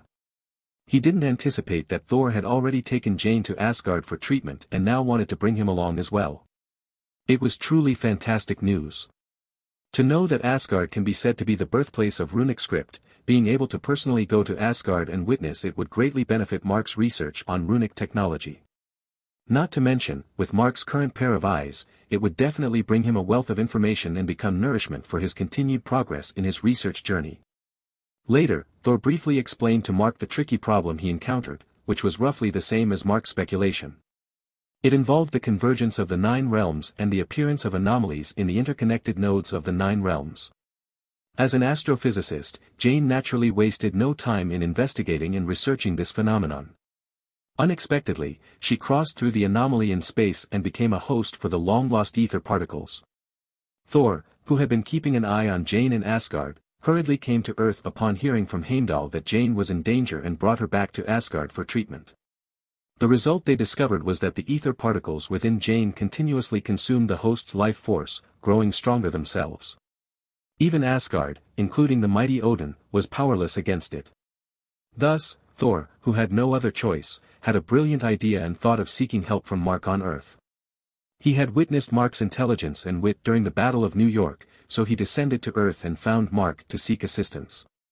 Considering Jane Foster's current condition, Mark quickly made some preparations and brought along some conveniently portable tools to better address the issues at hand. In addition, Mark had Baymax upload an intelligent duplicate to the core of his nanobots within his body so that even after leaving Earth's information network, he could still receive assistance from Baymax. With the preparations complete, Mark followed Thor to the location where he descended in Los Angeles, where he could still see the runic symbols on the ground, symbols that Mark was very familiar with. Then Thor looked up and greeted the sky, and a rainbow beam of light descended, enveloping Thor and Mark within it. A few seconds later, as the Bifrost disappeared, Mark and Thor on the ground also vanished, leaving only a deepened runic symbol imprint, indicating their presence in that location. Enveloped by the powerful energy of the Bifrost, Mark felt himself being reduced to a quantum state, with his own mass approaching zero. His mind and body were highly fused and unified, truly becoming one. In this quantum state, Mark's brain and body were fully liberated. His central nervous system began continuously receiving and processing massive amounts of information vision, without relying on the assistance of nanobots. The information Mark obtained through analysis and processing informed him that the energy channel they were passing through was a massive dark energy construct driven by the Bifrost, constructing a quantum tunnel between Earth and Asgard. Within this quantum tunnel, in their quantum state, they could move at speed surpassing that of light, allowing them to be rapidly transported to distant Asgard in a short period of time. Soon, Mark sensed that the energy maintaining the entire quantum channel was gradually weakening, and the part of the tunnel they had already passed through began to collapse and converge, gradually sealing itself. Finally, the quantum state of Mark and Thor became highly unstable, and they transformed from a pile of quantum information back into solid entities. At this point, they had arrived at their destination for this journey, Asgard. Ah! Ah! Just as Mark arrived in Asgard, he fell to the ground in pain, his face contorted. Seeing this scene, Thor quickly crouched down and asked about Mark's condition, Mark, what's wrong with you? I, I'm fine. Mark waved his hand, indicating that he was not seriously injured. There were two main reasons for his discomfort. First, Mark was now so far away from Earth that the nanobots inside him could no longer connect to the server cluster he had set up. The overwhelming data had nowhere to go and suddenly flooded into Mark's brain, causing the discomfort he just experienced. The second reason was the unfamiliar environment. In the quantum channel, Mark's brain's information processing speed was infinitely enhanced due to his quantum transformation. This allowed him to handle the information influx in the quantum tunnel with ease. But now that he had arrived on the land of Asgard, the unfamiliar environment meant a large influx of new information. As Mark had already returned to his physical form, he couldn't bear the sudden increase in the flow of information. This was also a major reason for his discomfort. However, Mark adjusted quickly. He had to reluctantly let go of most of the data since relying solely on the nanobots within his body would not meet his computational and analytical needs. He had to make a difficult decision. He instructed the nanobots to filter and retain most of the information, transforming some of the more valuable data into a storable format within his body. As for the remaining information, which couldn't be analyzed and processed in time, it had to be directly destroyed. It's worth noting that among these pieces of information, there might have been the truth Mark had been longing for in his research on runic technology. Or perhaps there were runic symbols and applications of dark energy that Mark had never seen before. Regardless of which kind it was, it was enough to make Mark agonize over it. But there was no other way. Sacrifices had to be made, and the retained information undoubtedly held the highest value. If one didn't know how to make the appropriate choices, in the end, they would lose sight of the bigger picture and suffer unnecessary losses. Welcome to Asgard, guest from Midgard, the wise one, said a towering figure in golden armor, stepping forward to welcome Mark after his discomfort had faded and his complexion had returned to normal. Clearly, this golden-armored warrior knew of Mark's presence and seemed to hold a favorable attitude towards him. At this moment, Thor introduced Mark, saying, Mark, this is my dear friend, Heimdall. He is the guardian of Asgard, overseeing the realm's gates and the Bifrost that leads to various realms. He is one of the mightiest warriors in the divine realm. He possesses extraordinary hearing and vision, able to perceive almost any obstruction and observe any place within the nine realms. During the Battle of New York, he happened to witness your performance and has been praising you ever since I returned, considering you possibly the most intelligent sage among the nine realms. Hearing Thor's introduction, Mark appeared somewhat surprised. Although he had absolute confidence in his own intelligence, he hadn't expected Heimdall's assessment of him to be so high. For Heimdall, who can oversee the nine realms, it was not easy to make such an evaluation. He had seen too many people, and hardly anyone in the nine realms could escape his gaze. Even so, he was willing to give Mark such high praise for his intelligence. Although it might not be entirely accurate, it was evident that Mark's wisdom was at least among the top in these nine realms. So, despite the initial setback upon arriving in Asgard, hearing such praise instantly lifted Mark's spirits, and a smile appeared on his face. He replied, Oh, no, you're giving me too much credit. I still have a lot of room for improvement. After exchanging a few polite words and expressing mutual appreciation, Thor forcefully pulled Mark along. Thor's main concern was still Jane Foster's condition, and he didn't want to waste a single second. They could have a conversation. After resolving the issue, and at that time, Thor wouldn't stop them. But it wasn't possible at the moment. As Thor dragged Mark along, they arrived in a dimly lit room. In the room, Jane Foster was lying on an illuminated platform, surrounded by Asgardian women dressed in uniform blue robes. They were performing some mysterious operations around Jane, who was in a state of unconsciousness. Mark could deduce that these women held positions in Asgard equivalent to doctors on Earth. They were currently examining Jane's physical condition, but their equipment was far more advanced than holographic scans or magnetic resonance imaging. A quantum field generator. Mark couldn't help but ask when he saw the glowing platform where Jane was located, as it continuously transferred the molecules within her body and restored the information from its quantum state, displaying it in front of these people for viewing and manipulation. Ah. It's probably something similar. Jane mentioned it just now. But here in Asgard, we call it the Soul Forge. The ether particles have already erupted once. It seems that they protect themselves, so they fiercely counterattack anyone who intends to harm Jane. The medical officers in Asgard are powerless against this, and even my father, Odin, can't find a way to extract the ether particles from her without harming Jane. After saying this, Thor looked up with a hopeful expression, gazing at Mark. Don't worry, I'll do my best to help you solve this problem. But first, I need to thoroughly examine her condition. Mark opened the only carry-on suitcase he brought with him to Asgard this time. Inside the suitcase was a small black metal robot doll, Mark's favorite tool, Magneto. As soon as the suitcase was opened, Magneto jumped out of it. It seemed that it had been pent up inside for too long. It first circled the entire room several times before leaping onto Mark's shoulder, awaiting his master's commands. Mark gently tapped Magneto's head with his finger, as if reprimanding it for its mischievous behavior. Then he raised an eyebrow towards the suitcase, and Magneto immediately understood his thoughts. It leaped down from his shoulder, and its limbs, which were connected by a servo system through a magnetic axis, fell off one by one. It then replaced them with accessory modules equipped with holographic scanning lenses. With the transformation of Magneto complete, it approached Jane and began scanning her body. Although there was a more advanced quantum field generator nearby, on one hand, Mark had no idea how to use that thing. On the other hand, the medical officers from Asgard showed no intention of helping him, so Mark ignored them and resorted to his own methods to overcome difficulties. Although he was not as technologically advanced as the other side, regardless of whether it was a big cat or a small cat, the one that catches the mouse is a good cat. Moreover, after Magneto completed the scan, no matter how advanced the technology was, Mark would bring it back to Earth for thorough research. Soon, the data obtained by Magneto's scan was transmitted to the nanobots through a telepathic wave device and then relayed to Mark's visual nerves, displaying the information in front of him. According to the data, Mark analyzed that the reason why the ether were able to counterattack anyone with malicious intent who approached was because it constantly emitted energy pulses. This energy pulse was a kind of information flow that sent its own information to this pulse creator, the Dark Elf Malekith. At the same time, this energy pulse also served as a detection method. It could capture objects with energy fluctuations exceeding a certain range. When it determined a threat, it would instantly unleash the immense energy contained in the reality stone, driving the opponent away. In this way, it was almost impossible to separate the two without alarming the ether or protecting Jane from harm.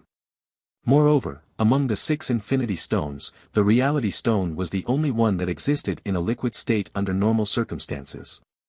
The ether, which were at its core, completely inherited this characteristic. Therefore, Mark's idea of capturing it using his nanobots with minimal energy fluctuations within his body was also unachievable. If it's in liquid form, it's really troublesome.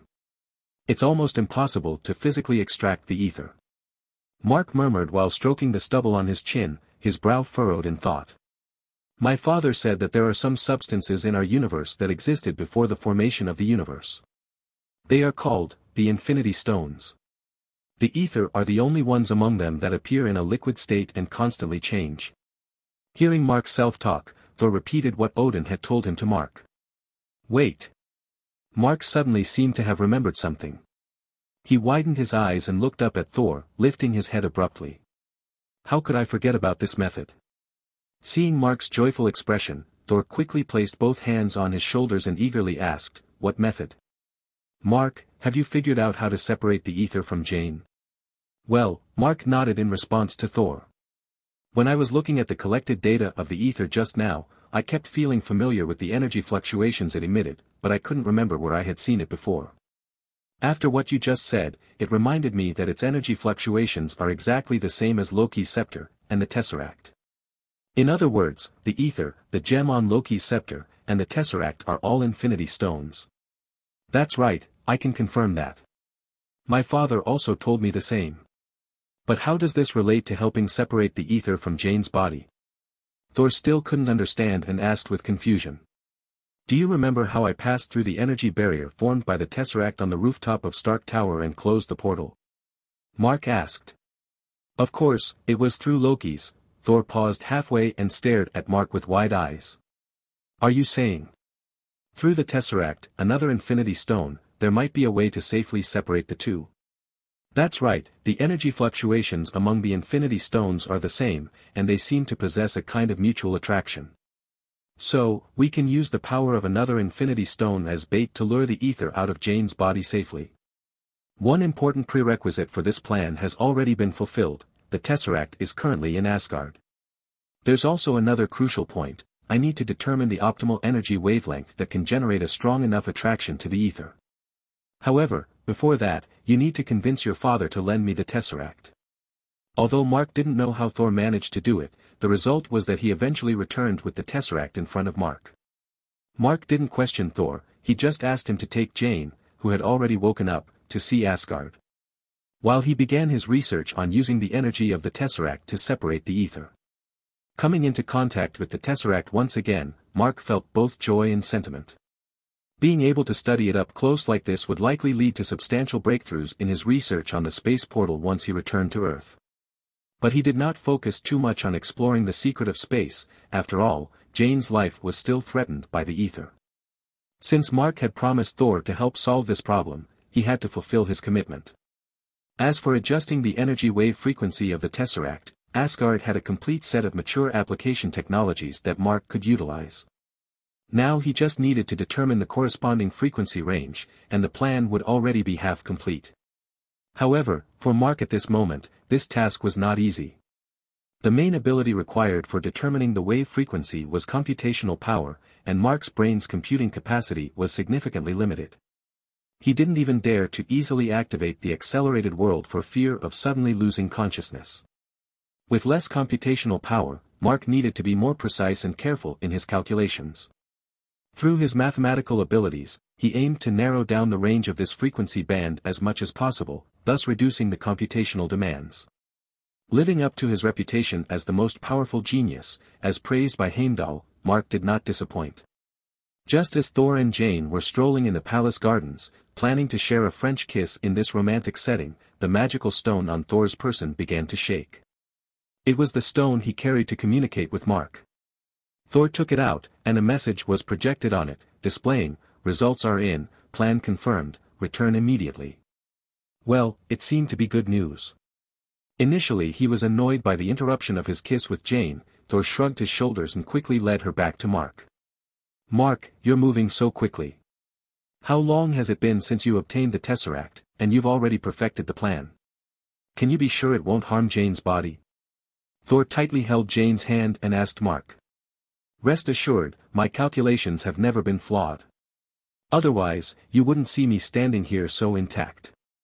However, as I am a male, it's not convenient for me to carry out this treatment plan. It would be best if you find a trusted woman to execute this plan. I will guide her through remote voice communication. Alright, time is of the essence. I will request my mother to personally carry out this task. She is one of the people I trust the most. I believe that with her executing this plan, Jane will be able to recover safely and regain her health. Queen Frigga was very open-minded and treated Thor and Jane's relationship with warmth. Unlike Odin, she didn't hold any airs of being a queen and was gentle and kind towards Jane. Coupled with her love for her son Thor, when he made this request, Frigga didn't hesitate and immediately agreed. Your Highness, I have already set up the activation device for the Tesseract. When the time comes, you just need to activate it, and the energy fluctuations it emits will attract the ether inside Jane's body. Under this temptation, the ether will eventually leave Jane's body on their own and gravitate towards the tesseract. Your task is to seal them in this container after the ether appears, to prevent it from inhabiting Jane's body again. Outside Frigga's chamber, Mark was explaining the detailed operational process of the entire treatment plan to her, giving her instructions on essential key steps. After that, everything had to be carried out by Frigga herself. Mark could only answer her questions through the communication stone, as he couldn't be physically present to assist her. Frigga carefully noted down the key points Mark described and repeated them to verify accuracy. Once everything was confirmed to be correct, she entered the chamber to begin treating Jane. At this moment, Jane was wearing a pristine white gown in the style of Asgard and had already been put under a sleep spell by Frigga. She lay quietly on the bed. Frigga approached the bed and gently stroked Jane's face. Poor child, even though you and Thor love each other so much, your feelings will eventually be hindered by time. But I still want to bless you both and thank you for teaching Thor what love is and how to love. I will make sure you recover safely and return to normal. After saying that, Frigga stood up and went to the device where the Tesseract was placed. She mobilized her own magical power and activated the device. In an instant, the Tesseract emitted dazzling brilliance, casting a blue halo throughout the room. Sensing the energy fluctuations unleashed by the tesseract, the ether within Jane's body seemed to stir. Under their influence, Jane's entire body was completely levitated. Witnessing this scene, Frigga felt a sense of certainty. If the ether were reacting, it meant that the plan devised by Midgard's genius friend of Thor's was flawless. Now she had to wait for the ether to leave Jane's body and then seal them. Everything would then be successfully accomplished. However, at that moment, a loud noise resounded in Asgard, accompanied by strong vibrations. Even Frigga, located in the central position of Asgard where her chamber was, felt the tremors coming from the ground. Sensing that something was amiss, Frigga quickly contacted Thor through the magical stone. Thor, what is happening in the realm? Mother, enemies have invaded the realm with a large fleet. I am currently trapped by the intruders. Please ensure your own safety and protect Jane. I will quickly deal with the enemies and come to you. Magneto, find a vantage point. I need a broad, panoramic view. Zoom. Magneto spun around at Mark's feet and then rushed out of the room towards the high point of Asgard, the palace of the gods. In the instant the loud noise reached his ears, Mark knew exactly what had happened. The Dark Elves, who had been dormant for thousands of years, had invaded Asgard and launched another war. Understanding the gravity of the situation, Mark immediately dispatched Magneto to the high point of Asgard to gain the widest view and the most comprehensive information. Soon, the visual information obtained by Magneto through holographic and optical lenses was transmitted to Mark's eyes through the wireless communication network constructed by the nanobots inside his body. At the outer periphery of Asgard's airspace, there was a massive mothership of a space battleship, accompanied by at least hundreds of micro-sized warships attempting to invade the central palace, by breaking through the layered defenses of Asgard. These micro-sized warships resembled daggers, small in size, agile in movement, and equipped with formidable energy weapons. Although Asgard's defense network was strong like the one in Wakanda, long-term defense would eventually lead to defeat. The enemy broke through in large numbers and approached the location of the palace. Seeing the approaching enemy and their own precarious situation, Heimdall, in order to protect the core of Asgard, the palace where the Allfather Odin resided, decisively activated the energy shield of the palace, attempting to keep the enemy outside. After the energy shield was activated, its effect was indeed impressive. It quickly closed, enveloping the palace in protection. When the enemy ships collided with the shield, they either exploded and crashed or had no other outcome. As for the few ships that managed to change direction in time or pass through before the energy shield closed, they were quickly eliminated by Asgard's defense forces due to their limited number. Mark was very envious of Asgard's energy shield technology. Although he could also achieve the function of an energy shield using the electrical energy output from the arc reactor, its energy density, scale, and defensive capabilities could not compare to Asgard's protective artifact. The key to the strength of this shield lay in the fact that it was created using runic technology and its energy source came from the nearly limitless dark energy in the universe. The shield's ability to absorb and supply energy allowed it to maintain a high-density energy level for a long time, resisting powerful impacts. However, the strongest defense is often undermined from within, and the energy shield of Asgard was no exception. Just as the shield was about to reach its peak and fully close, it suddenly lost power and began to gradually fade away. Mark knew that this was the work of the curse warriors the Dark Elves had dispatched into Asgard's interior. They had sabotaged the control core of the energy shield, completely rendering this defense measure ineffective. At this moment, a warship seized the opportunity, broke through all defenses, smashed through the walls of the central palace, and entered the central hub. If I'm not mistaken, the leader of the Dark Elves, Malekith, is on that warship. Now is not the time to hold back. I must quickly go to Queen Frigga's chamber. The treatment for Jane was already halfway through, and it couldn't be stopped. If Malekith were to intrude at this moment, things might develop in the worst possible direction. Jane and Frigga would both lose their lives at his hands, and the ether would be taken back by him. In that case, Thor would undoubtedly be devastated. Once Malekith obtained the ether, the level of difficulty in dealing with him would escalate once again, and it wouldn't just threaten Asgard anymore. After all, the Dark Elves' goal was to plunge the entire universe back into darkness. For Earth, which relied on the sun for almost all vital energy, this would undoubtedly be a catastrophic disaster. Thinking of this, Mark dared not delay. He had to prevent Malekith from obtaining the ether, Otherwise, Earth would fall into a tremendous crisis, and it was uncertain whether Thor could stop this crisis in time. Activating the superconductive magnetic levitation module, under the influence of a special force field, Mark's own gravity was relatively neutralized, allowing him to float in mid-air with a gentle leap. Then, the nanobots within Mark's body became visible, assembling and combining to form a set of energy thrusters. Buzz, swoosh. Then, with the sound of wind, Mark disappeared from his original position, heading towards Frigga's chamber. Meanwhile, inside her own chamber, Frigga was sweating profusely as she manipulated the Tesseract. Due to the unexpected events in the realm, Frigga sensed a hint of danger. To ensure the smooth success of the treatment, she had to speed up and extract the ether from Jane's body as soon as possible. To do so, she spared no effort in depleting her stored magical energy, intensifying the stimulation of the tesseract, hoping to increase the attraction between the tesseract and the ether. Her approach indeed achieved success. Although her magical energy was on the verge of depletion, the ether inside Jane's body had already emerged and was about to completely separate. Frigga couldn't afford to be complacent. Because even a small misstep at this moment could cause all the efforts in this entire process to go in vain.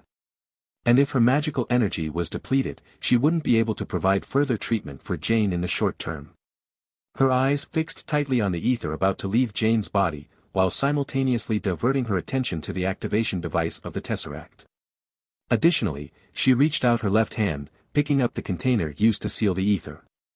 Success was within sight. Frigga steadily picked up the sealing container and approached the completely separated ether from Jane's body. Before it could react, she directly placed it into the container, completing the sealing process. Phew. Seeing everything settled, Frigga let out a long breath. After gently placing down the container, she wiped the sweat from her forehead. Looking at Jane, who was still lying on the bed and hadn't woken up yet, her complexion had regained a hint of rosy color. It was estimated that within a few days, her own restorative abilities would completely eliminate the negative effects caused by the ether. However, just as Frigga relaxed and before she could catch her breath and restore her own magical power, the doors of the chamber were forcefully blasted open. Bang! The enormous doors shattered, and in front of Frigga appeared a masked warrior even taller and more robust than Thor. Beside him was a lean and pale-faced man. Stand back, monsters. I will not spare your lives, Frigga's reaction was swift. Upon sensing the hostility of the intruders, she immediately placed the container with the sealed ether into her pocket. Since her magical power had been depleted while separating the ether from Jane, she could only draw the short sword from her waist, hoping to intimidate the two individuals before her. I have been very lucky, woman, but Frigga's threats had no effect on Malekith. As the leader of the Dark Elves, who once dominated the battlefields and forced the other nine realms to unite against him, how could he fear the threat of a seemingly weak woman? Who are you? Why have you invaded my chamber? Seeing that the enemies not only showed no signs of retreating but also arrogantly closed the distance between them, Frigga remained composed. She firmly grasped the sword with her arm, her feet moved, protecting Jane behind her while ensuring that the enemies remained in front, avoiding being vulnerable from any direction. At the same time, Frigga attempted to gather more information about the enemies through conversation. She had no prior knowledge of the opponents she faced. The appearances of these two individuals were different from any race in the Nine Realms, and their appearances were vastly dissimilar as well. However, Frigga managed to gather some useful information. Based on their pointed ears, she determined that both individuals belonged to a branch of the elven race. I am Malekith, the leader of the Dark Elves. I have come to reclaim something that belongs to me. Now, you had better return what you just put away to me, which... Frigga's hidden intentions couldn't escape Malekith, who had experienced countless years. But he didn't mind revealing his identity since the return of the Dark Elves to the world would be announced sooner or later. So even if he told Frigga his name now, it didn't matter. You can forget about that. Frigga was well aware of the danger of the ether. She couldn't possibly hand over such a dangerous weapon to someone who could threaten the safety of the Nine Realms. Knowing that there was no room for reconciliation, Frigga gave her final answer and decided to strike first. Raising her sword high, she charged directly at Malekith. Swish! The sharp sword light illuminated Malekith's face, and the powerful gust caused by the sword's blade tearing through the air stung the cheeks. This sudden and swift strike narrowly missed Malekith's chest. But relying on years of experience gained from the battlefield and a keen sense of danger, Malekith narrowly avoided that nearly fatal strike. After evading Frigga's attack, Malekith quickly stepped back, his gaze filled with fear rather than the initial contempt for the woman who posed no threat to his life. Although Malekith retreated, Frigga couldn't allow him a moment to catch his breath. She now faced two formidable enemies, and if they found an opportunity to attack her together, she would have almost no chance of turning the tables. Frigga took several big steps forward, continuously executing sword techniques of hacking and thrusting, forcing Malekith to barely defend himself. Nonetheless, he still sustained some injuries, deep sword marks on his arms and body, demonstrating Frigga's formidable strength. One could truly say that she was a woman befitting a queen. She excelled not only in domestic affairs and raising children but also in horseback riding and warfare. To become the goddess and queen whom all of Asgard respected and admired, it took more than just personal charisma, she had to possess genuine skills and abilities. However, after her attack failed to yield results, Frigga ceased her offensive. While she had cornered Malekith, their continuous retreat had allowed the two enemies to converge. If she continued pursuing them, she would face the danger of being surrounded on both sides, risking not only her own life but also the possibility of the ether being taken by the enemy, leading to even greater crises. Seeing that Frigga had stopped her assault, Malekith would not easily let her go. Now that he had the upper hand, he needed to swiftly resolve the battle and seize the ether. Otherwise, if Odin or other Asgardian soldiers arrived, his plan might be thwarted, and he would lose the opportunity to reclaim the ether. Through the recent confrontation, Malekith had also observed that Frigga had intentionally positioned herself between him, the other man, and the woman on the bed. It was clear that she had reservations about protecting the other woman's safety. Since that was the case, he had to exploit this weakness. Malekith exchanged a glance with the cursed warrior beside him, indicating the direction towards Jane. The cursed warrior immediately understood his intention, nodded, and bypassed Frigga, heading straight for Jane's location. Meanwhile, Malekith continued to engage Frigga, keeping her too occupied to focus on anything else. Stop. As expected, after Malekith and his companion made their move, Frigga's expression immediately turned chaotic as she tried to prevent the cursed warrior from approaching Jane. But Malekith would not allow her to succeed. Seeing the cursed warrior drawing near Jane, Frigga grew increasingly anxious but had no means to stop him. However, at that moment, as if by a twist of fate, a vulnerability suddenly appeared in Malekith's attack. Frigga, who was desperately eager, wouldn't miss such an opportunity. With a horizontal sweep of her sword, she created distance between herself and Malekith, swiftly lunging behind the cursed warrior, intending to prevent him from harming Jane. However, in the instant she arrived beside the cursed warrior, his hand that had been reaching for Jane suddenly clenched into a fist and changed its trajectory, striking Frigga's abdomen. Bang! Frigga, completely unable to defend herself, was sent flying by the force of the punch, crashing into the wall of the chamber before coming to a stop. Pooh! As a result of the blow, Frigga couldn't help but spit out a mouthful of blood. Her right hand, which had tightly gripped the sword hilt, now trembled, and she appeared utterly weakened. As it turned out, the opening Malekith revealed earlier was nothing more than a deliberately set trap, designed to lure Frigga into it.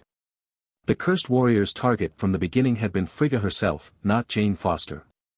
After Frigga completely fell into their scheme, the cursed warrior immediately redirected his attack, resulting in a heavy punch just now.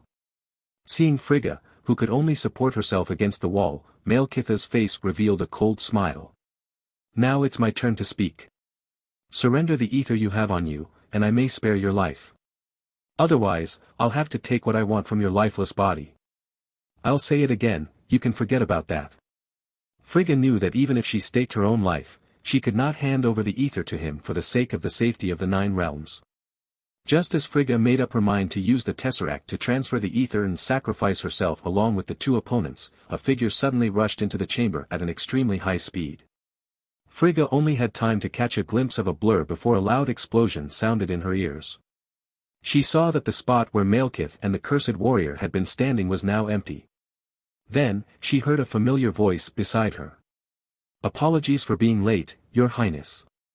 The person was none other than Mark, who had rushed here as quickly as possible. He had spotted Malekith preparing to harm Frigga from a distance and, while accelerating towards them, controlled the nanobots within his body to form two floating cannon bodies, launching an attack against Malekith and the cursed warrior. Although Frigga had been seriously injured, Mark arrived just in time, preventing the tragedy from unfolding. Your Highness, stay by Jane's side and wait for me. Once I subdue those two, I'll help you recover from your injuries. After saying that, Mark walked towards Malekith and the cursed warrior, who had been blasted into the wall by his earlier attack. As he took a few steps forward, before Mark could approach the two, a massive chunk of stone suddenly flew out from the wall, aiming directly at his head. Mark quickly reacted and raised his hand to block the incoming stone. Bang! The enormous stone collided with Mark's arm but shattered into pieces without causing any harm. The dust generated from the shattered stone obstructed Mark's vision. He immediately activated the holographic interface of his nanobots to enhance his visual perception. In Mark's holographic sight, the two individuals who had emerged from the wall did not seize the opportunity to launch a surprise attack on him. Instead, they approached the activation device of the Tesseract. Before Mark could fully comprehend their intentions, Malekith and the Cursed Warrior, together with the Tesseract, leaped from the terrace of the chamber and escaped. If you want to retrieve your Tesseract, bring the ether to the Dark World and find me there. Watching Malekith and the Cursed Warrior board their ship and fly away from Asgard, Mark felt that things were unfolding in a direction he couldn't predict. Mother. Frigga. After Malekith and the Cursed Warriors left, Thor and Odin also arrived one after another. Seeing Frigga sitting on the edge of the bed, pale-faced, both of them couldn't help but exclaim. I'm fine, thanks to Thor's friends who arrived in time and scared off the two intruders, Frigga weakly waved her hand at the two of them and forced out a smile, reassuring the father and son not to panic. In fact, Frigga's injuries were indeed severe. Although they didn't reach a life-threatening level at the moment, if these serious internal injuries were left untreated for too long, they would leave incurable sequelae and could even cost her life. Odin had led the armies of Asgard to battle in the Nine Realms and was very familiar with such injuries. How could he believe Frigga's words, spoken to comfort them? Odin walked to Frigga's side, half knelt on the ground, held her hand, and looked at Frigga with gentle eyes. My queen, it is because of your unwavering love for me over these years that I am able to turn bad luck into good fortune when facing all difficulties and challenges. Now it's my turn to accompany you through this ordeal. Odin. Hearing her husband's concern and confession, Frigga felt touched in her heart and gained more confidence in her recovery. She would continue to be Odin's lucky goddess and protect him. Your Majesty Odin, Queen Frigga, in fact, if you believe me, I can restore Queen Frigga's injuries in a short time, without leaving any sequelae, Mark spoke up at this moment. Really, Mark? Do you really have a way to restore my mother's health? Before Odin could speak, Thor eagerly approached Mark and asked. At the same time, upon hearing Mark say that he could treat Frigga, Odin also turned his gaze to him. Mark nodded, indicating that he indeed had confidence, in the past few days, in order to separate Jane from the ether particles safely, I have been communicating and exchanging with the medical officers of Asgard, and I have a rough idea of Asgard's medical level. You normally maintain your health and stimulate the recovery of injuries through the magic stored in your bodies. So, although your technology is highly advanced in the military field, it can be said that your level in the medical field is very backward. And now, Queen Frigga has depleted her magical power, unable to promote the healing of her injuries. At the same time, due to the severe internal injuries, she cannot draw upon the dark energy, which is magic, from the universe. This creates a vicious cycle. However, I can send nanobots into Queen Frigga's body and release nutrient fluid at the injured areas to facilitate rapid recovery.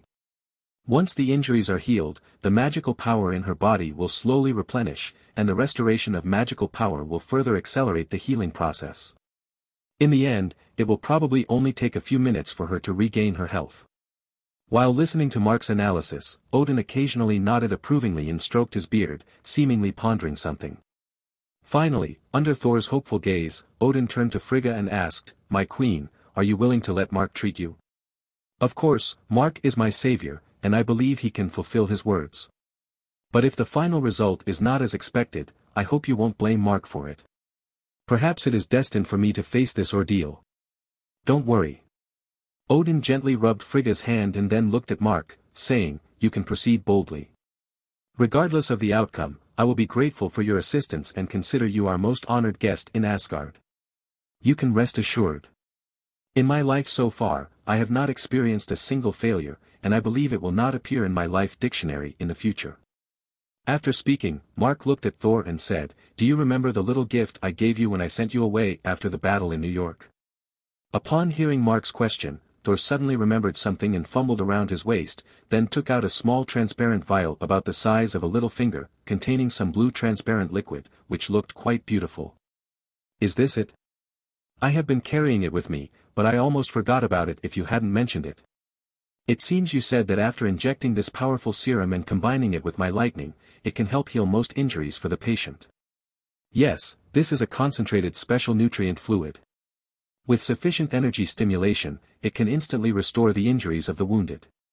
Even if the injuries are severe, they can at least recover to about 80 to 90%.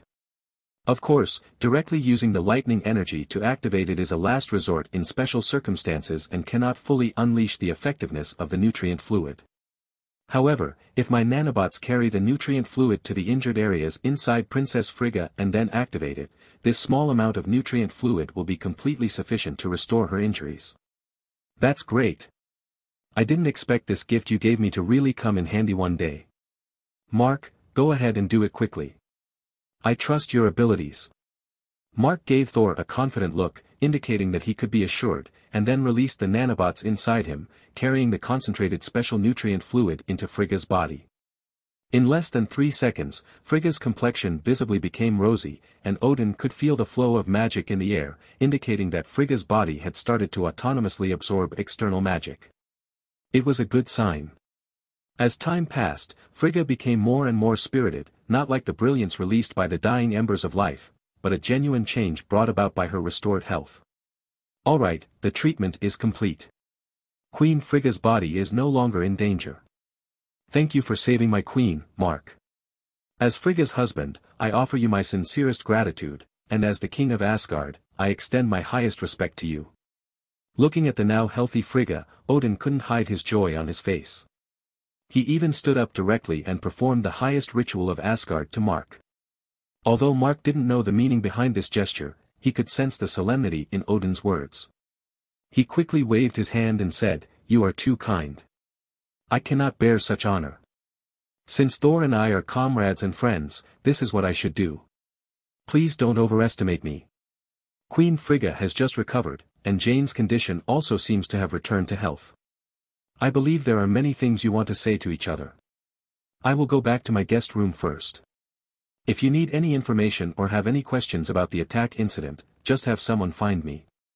With that, without waiting for Odin and Thor to respond, Mark left Frigga's chamber. And the reason he was in such a hurry to leave was not only because he was genuinely uncomfortable with Odin and Thor's gratitude, but also for an important reason. In fact, after completing Frigga's treatment, the nanobots that entered her body did not return to Mark's body. At this moment, these robots were concentrated in an empty bottle, which was the syringe bottle that previously contained the concentrated nutrient fluid. As the nanobots inside it spun rapidly, some thick red liquid appeared inside the bottle. Sorry, Thor. I collected a blood sample from your mother without her consent. But let's consider it as a small reward for helping her recover. If my research makes progress in the future, I will not forget the contribution you have made. Looking at the blood vial in his hand, Mark murmured to himself.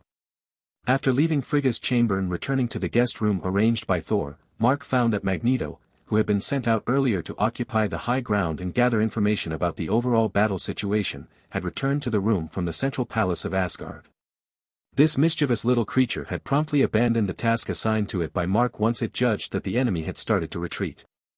Instead, it entered the central palace to meticulously scan and record the parameters and models of the Dark Elf mini-warships that had penetrated inside.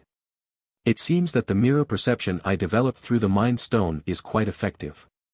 Now you even know how to flatter me. Knowing about Magneto's actions, Mark could only shake his head helplessly.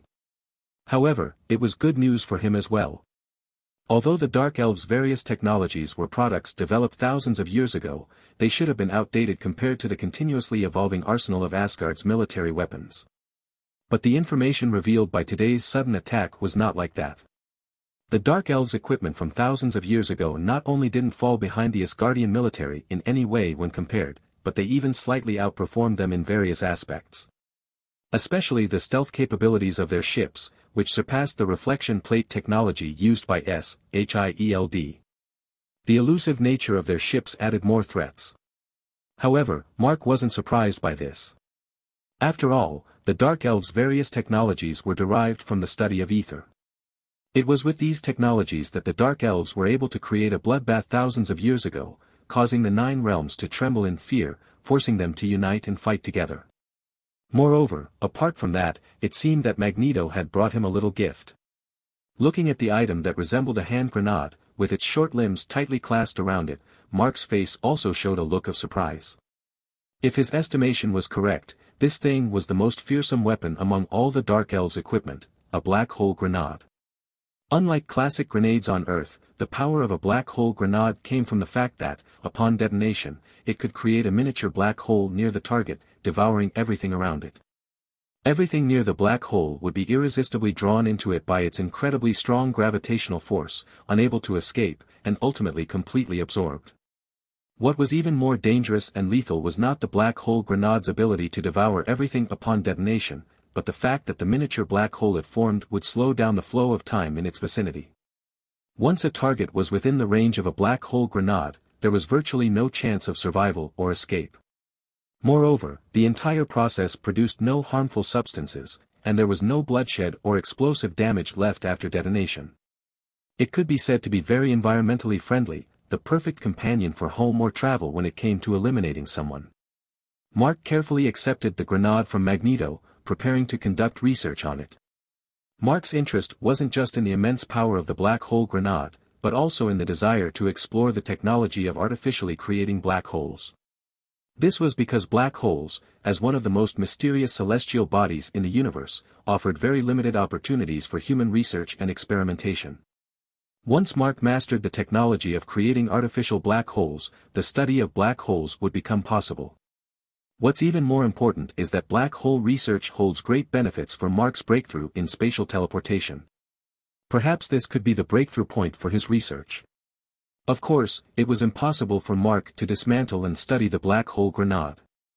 If he accidentally triggered the device and created a miniature black hole, even with the tremendous regenerative power brought about by his Extremis transformation, he would have no chance of escaping. Magneto, send the scan results to me. Don't tell me that you haven't finished this task after such a long time.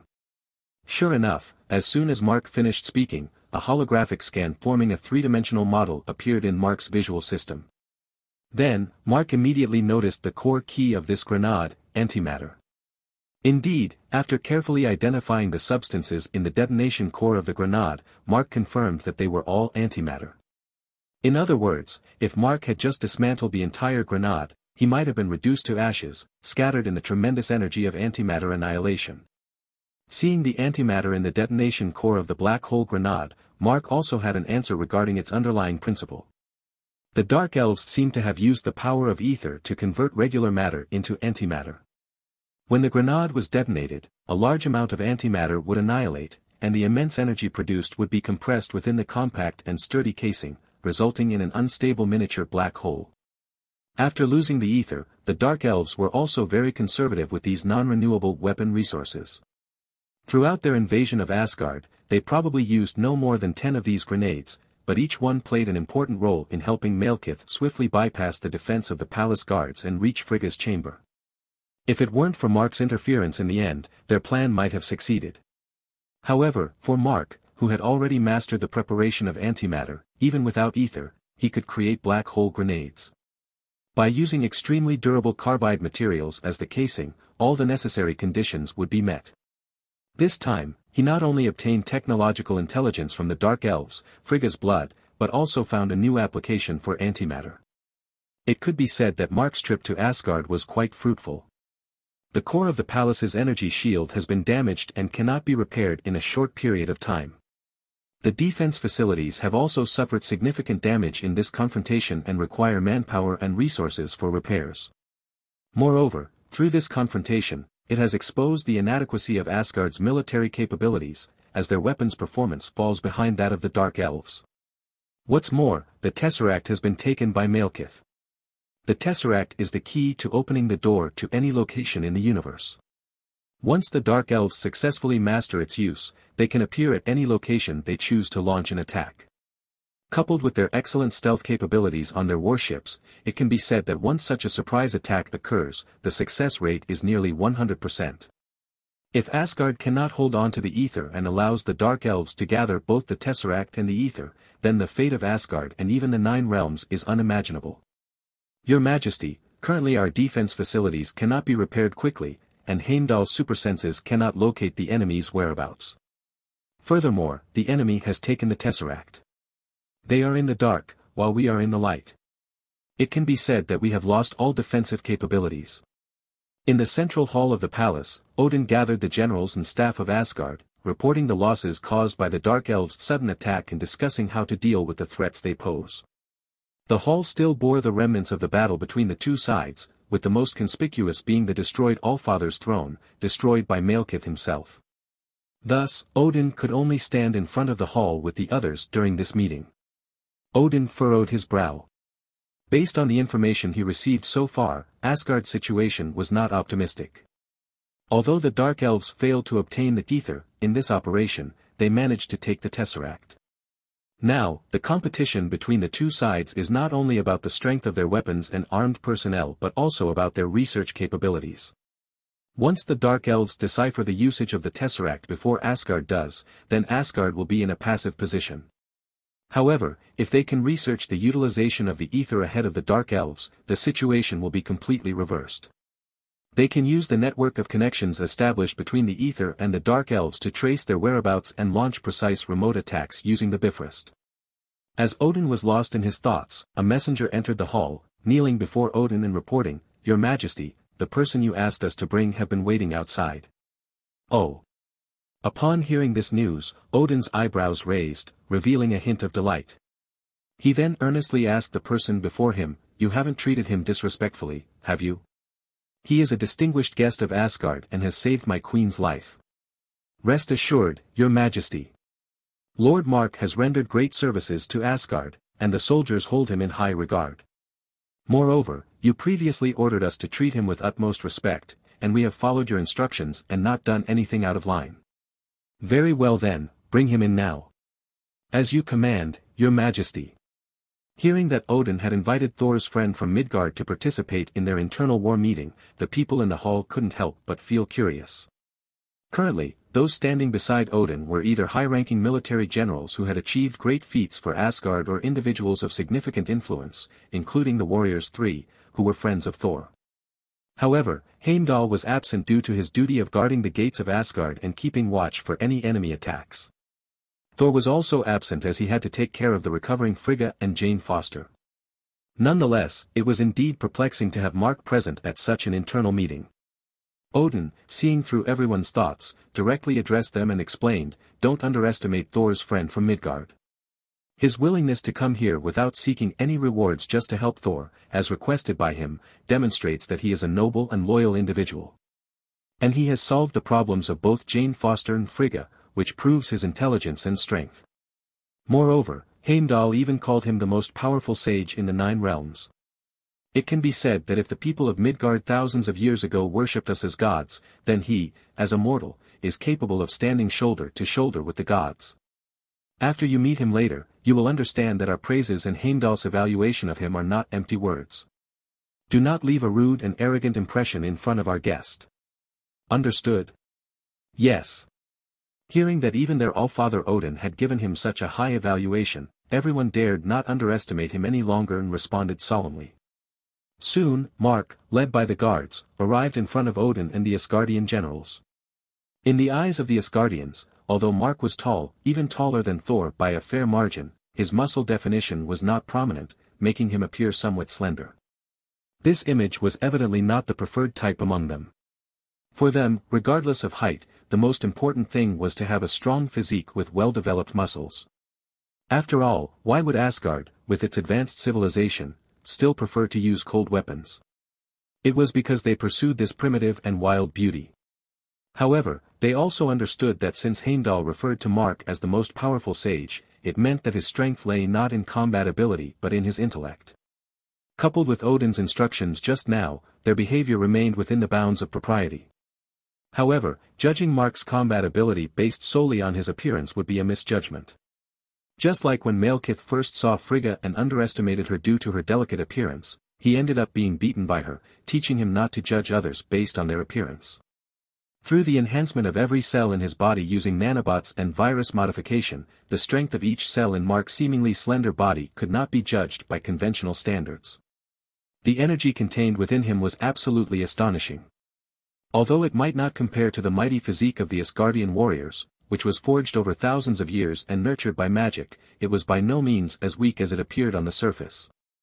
In addition to Mark's terrifying ability to generate temperatures over 3,000 degrees Celsius, his exceptional healing ability, the combat assistance provided by nanobots, and a variety of advanced high-tech weapons, it can be said that even in the face of the god of thunder, Thor, Mark could battle him and come out unscathed. Your Majesty Odin, may I ask what instructions you have for summoning me here?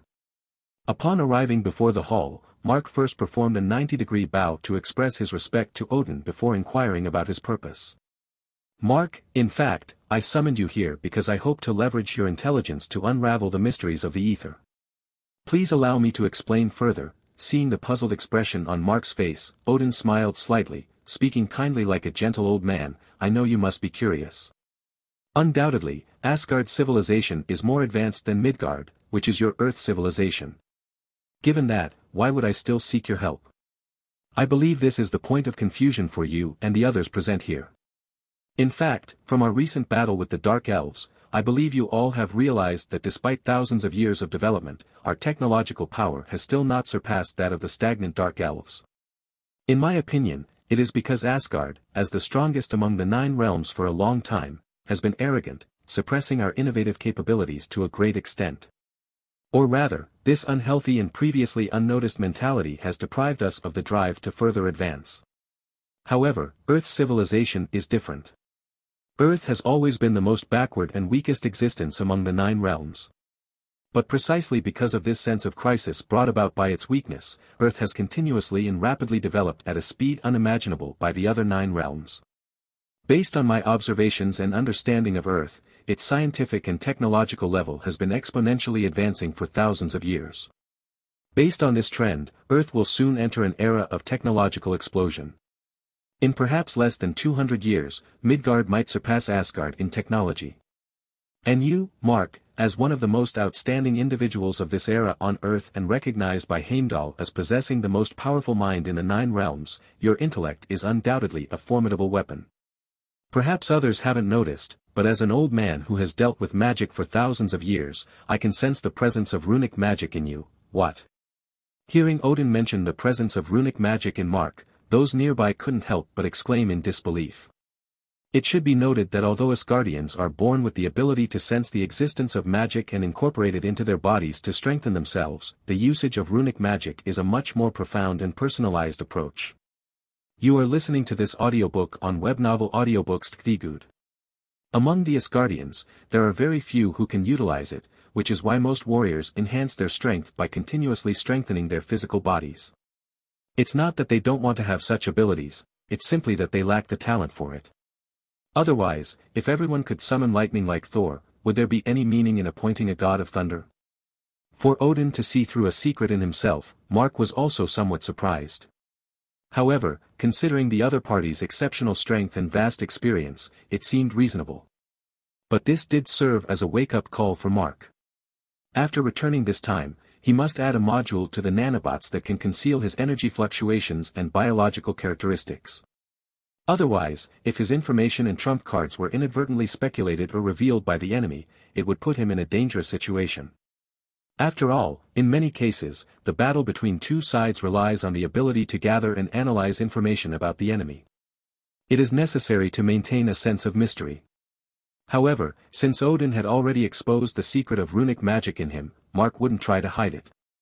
He openly admitted, that's right, I can indeed utilize runic symbols to achieve some minor functions. But compared to the mages and witches of Asgard, it's nothing impressive. Seeing Mark so candidly admitting this, a satisfied smile appeared on Odin's face.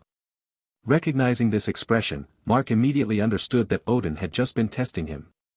Perhaps Odin did sense the presence of runic magic in Mark, but due to its faintness and limited interactions between the two, he couldn't be certain. Odin had played the gentle card in front of Mark earlier, lowering his vigilance. Then, he used his identity and experience to create a psychological advantage and probe Mark. However, Mark, who had lost his vigilance, directly confronted Odin, and it was only then that Odin confirmed his own suspicions. Ah! In front of such an old fox who has lived for thousands of years, I really can't let my guard down. Otherwise, I'll end up paying him instead, Mark silently admonished himself. From now on, he would be extra careful in his interactions with Odin to avoid falling into his traps again. On the other hand, not to mention the mental confrontation between Odin and Mark, the other people present now looked at Mark with eyes shining brightly, just like a struggling student discovering they were sitting next to a top-performing student during an exam. Once Mark confirmed his ability to use runic magic, they no longer had any doubts about him. To be able to bring such a powerful ally was definitely a good thing for Asgard, and they didn't want to ruin it due to their own reasons. I'm curious, how did you learn runic magic? As far as I know, Thor did not teach you any related knowledge, and even Thor himself uses this ability through instinct and natural talent. He shouldn't have the ability to teach you runic magic, right? Upon hearing Odin's question, Mark didn't feel nervous at all. This wasn't a difficult question to answer. On the contrary, Odin's description of his son, Thor, as someone who relies solely on instinct and lacks any techniques, was quite accurate. To give such an evaluation, Mark felt that Odin's son was truly his own flesh and blood. However, he wondered what Odin's thoughts and evaluations were regarding the other adopted son. But Mark could only keep this thought hidden deep in his heart. He didn't dare to speak or ask about it. While it's true that Thor didn't teach me any theoretical knowledge of runic magic, it's not wrong to say that I learned from him. In addition to Thor inviting me to help him, he has visited Earth three times in total, and I have had contact with him on each occasion. It was through the special runic symbols on his hammer, Mjolnir, and the imprints left by the Bifrost teleportation, combined with the runic inscriptions left on Earth by all of you thousands of years ago, that I analyzed and deduced their usage. I obtained some techniques for using runic symbols and applied them to certain technologies within myself. After listening to Mark's account, all present including Odin were amazed. To be able to analyze and deduce the combination of runic symbols through brief contact with Thor and the recorded runic inscriptions on Earth, and then apply them practically in his own inventions, such wisdom truly made everyone acknowledge the evaluation given by Heimdall, the strongest sage in the Nine Realms, without a doubt. Moreover, Mark was a Midgardian. Although his appearance was similar to that of the Asgardians, he did not possess the innate sensitivity to magic or the ability to draw and utilize magic through himself. Even so, Mark had successfully overcome the technological barriers and achieved successful applications. This made some individuals in the Great Hall, who naturally possessed advantages that Mark did not have, feel somewhat inadequate. Indeed, as Odin said, their unconscious arrogance and complacency had limited the possibility of their own breakthroughs towards higher goals. An amazing talent. Even in the long history of Asgard, only the ancient sage who created the runic inscriptions can be compared to your wisdom. I believe you have discovered the danger of ether during your research these past two days. They actively seek hosts to parasitize and absorb the host's life force. Once they return to the hands of the Dark Elves, their leader Malekith will use them to achieve his ambition of plunging the universe back into darkness and seizing it for himself. Now is the moment when we need you to utilize your talents to reverse the fate of Asgard and even the Nine Realms. I wonder if you are willing to help us unravel the secrets of the ether. Mark looked at Odin and gently shook his head. Actually, whether it's because of my relationship with Thor or for the sake of the safety of the entire universe, I should indeed agree to your request. But I can't embark on such a journey without any benefits. I have always believed in the principle of fair exchange. If you want me to help you unravel the secrets of the ether, how about we make a trade? Oh. I'm curious to know what kind of trade. Why don't you tell me? Odin looked at Mark with interest. Mark realized that there was a chance and quickly continued, I don't want to take advantage of you. You also know that I am researching runic magic, and in the process, it is essential for me to use URU metal as a medium. But there is no URU metal on Earth, which has hindered the progress of my research. So, I wonder if you can provide me with some for my research. Ha ha ha, I thought you had some demanding request.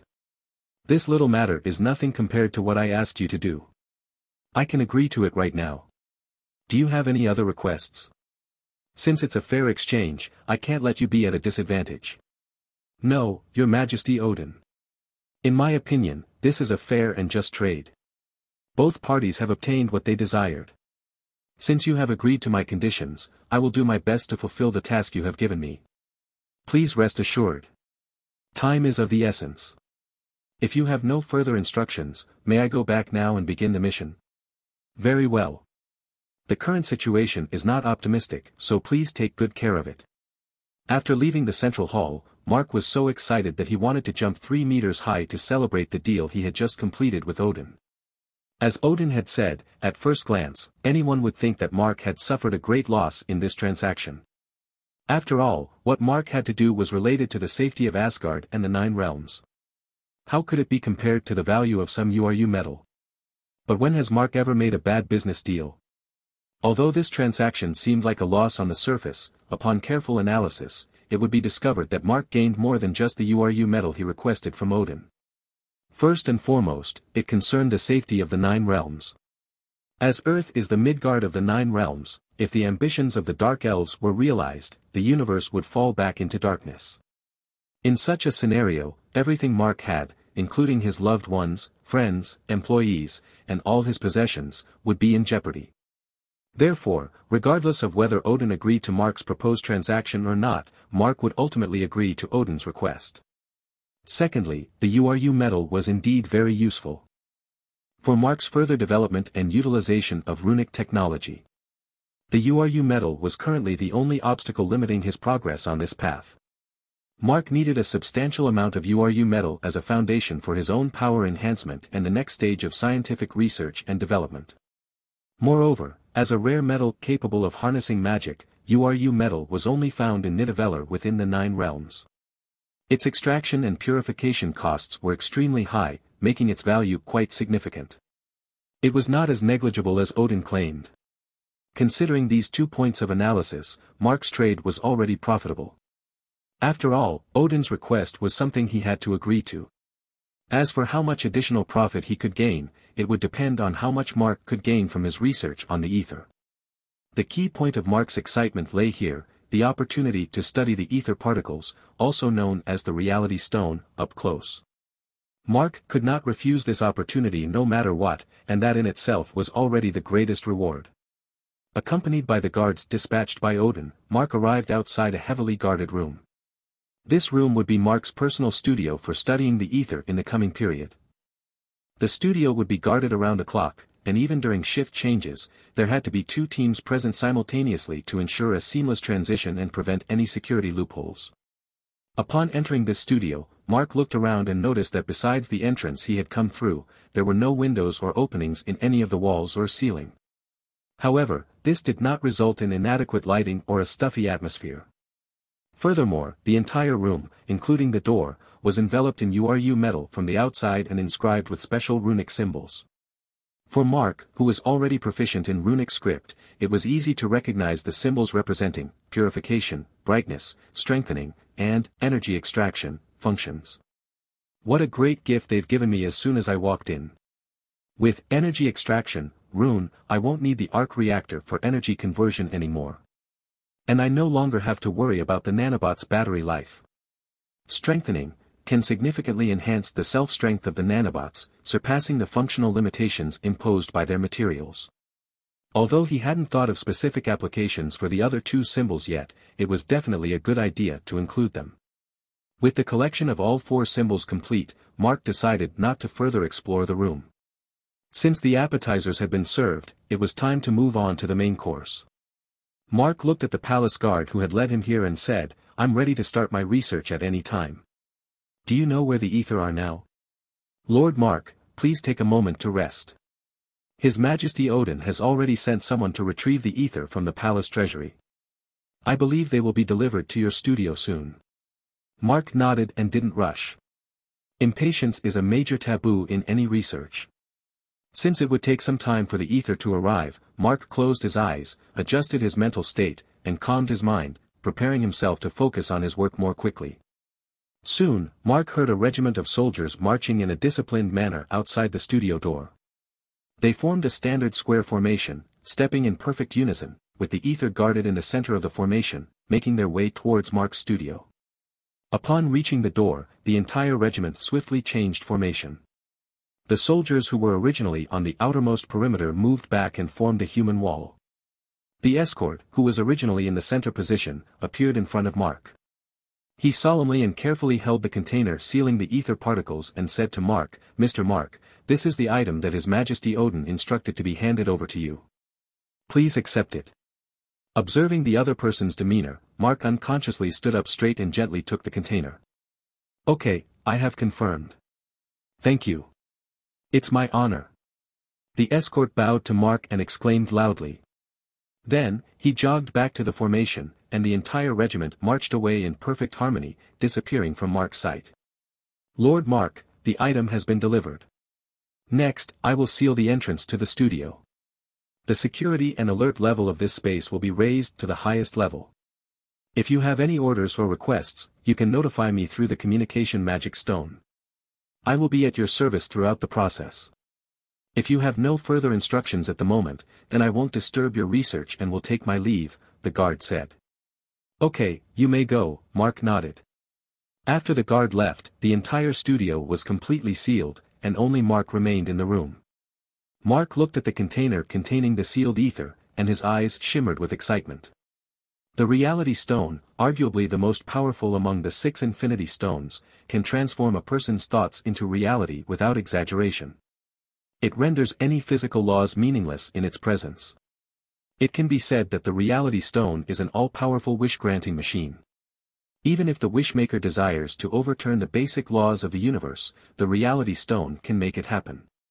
However, in order to harness the terrifying power of the Reality Stone and turn it into a true all-powerful wish-granting machine, the remaining five Infinity Stones must be collected. By allowing them to interact and form a complete energy circuit, they provide the immense energy needed to rewrite reality.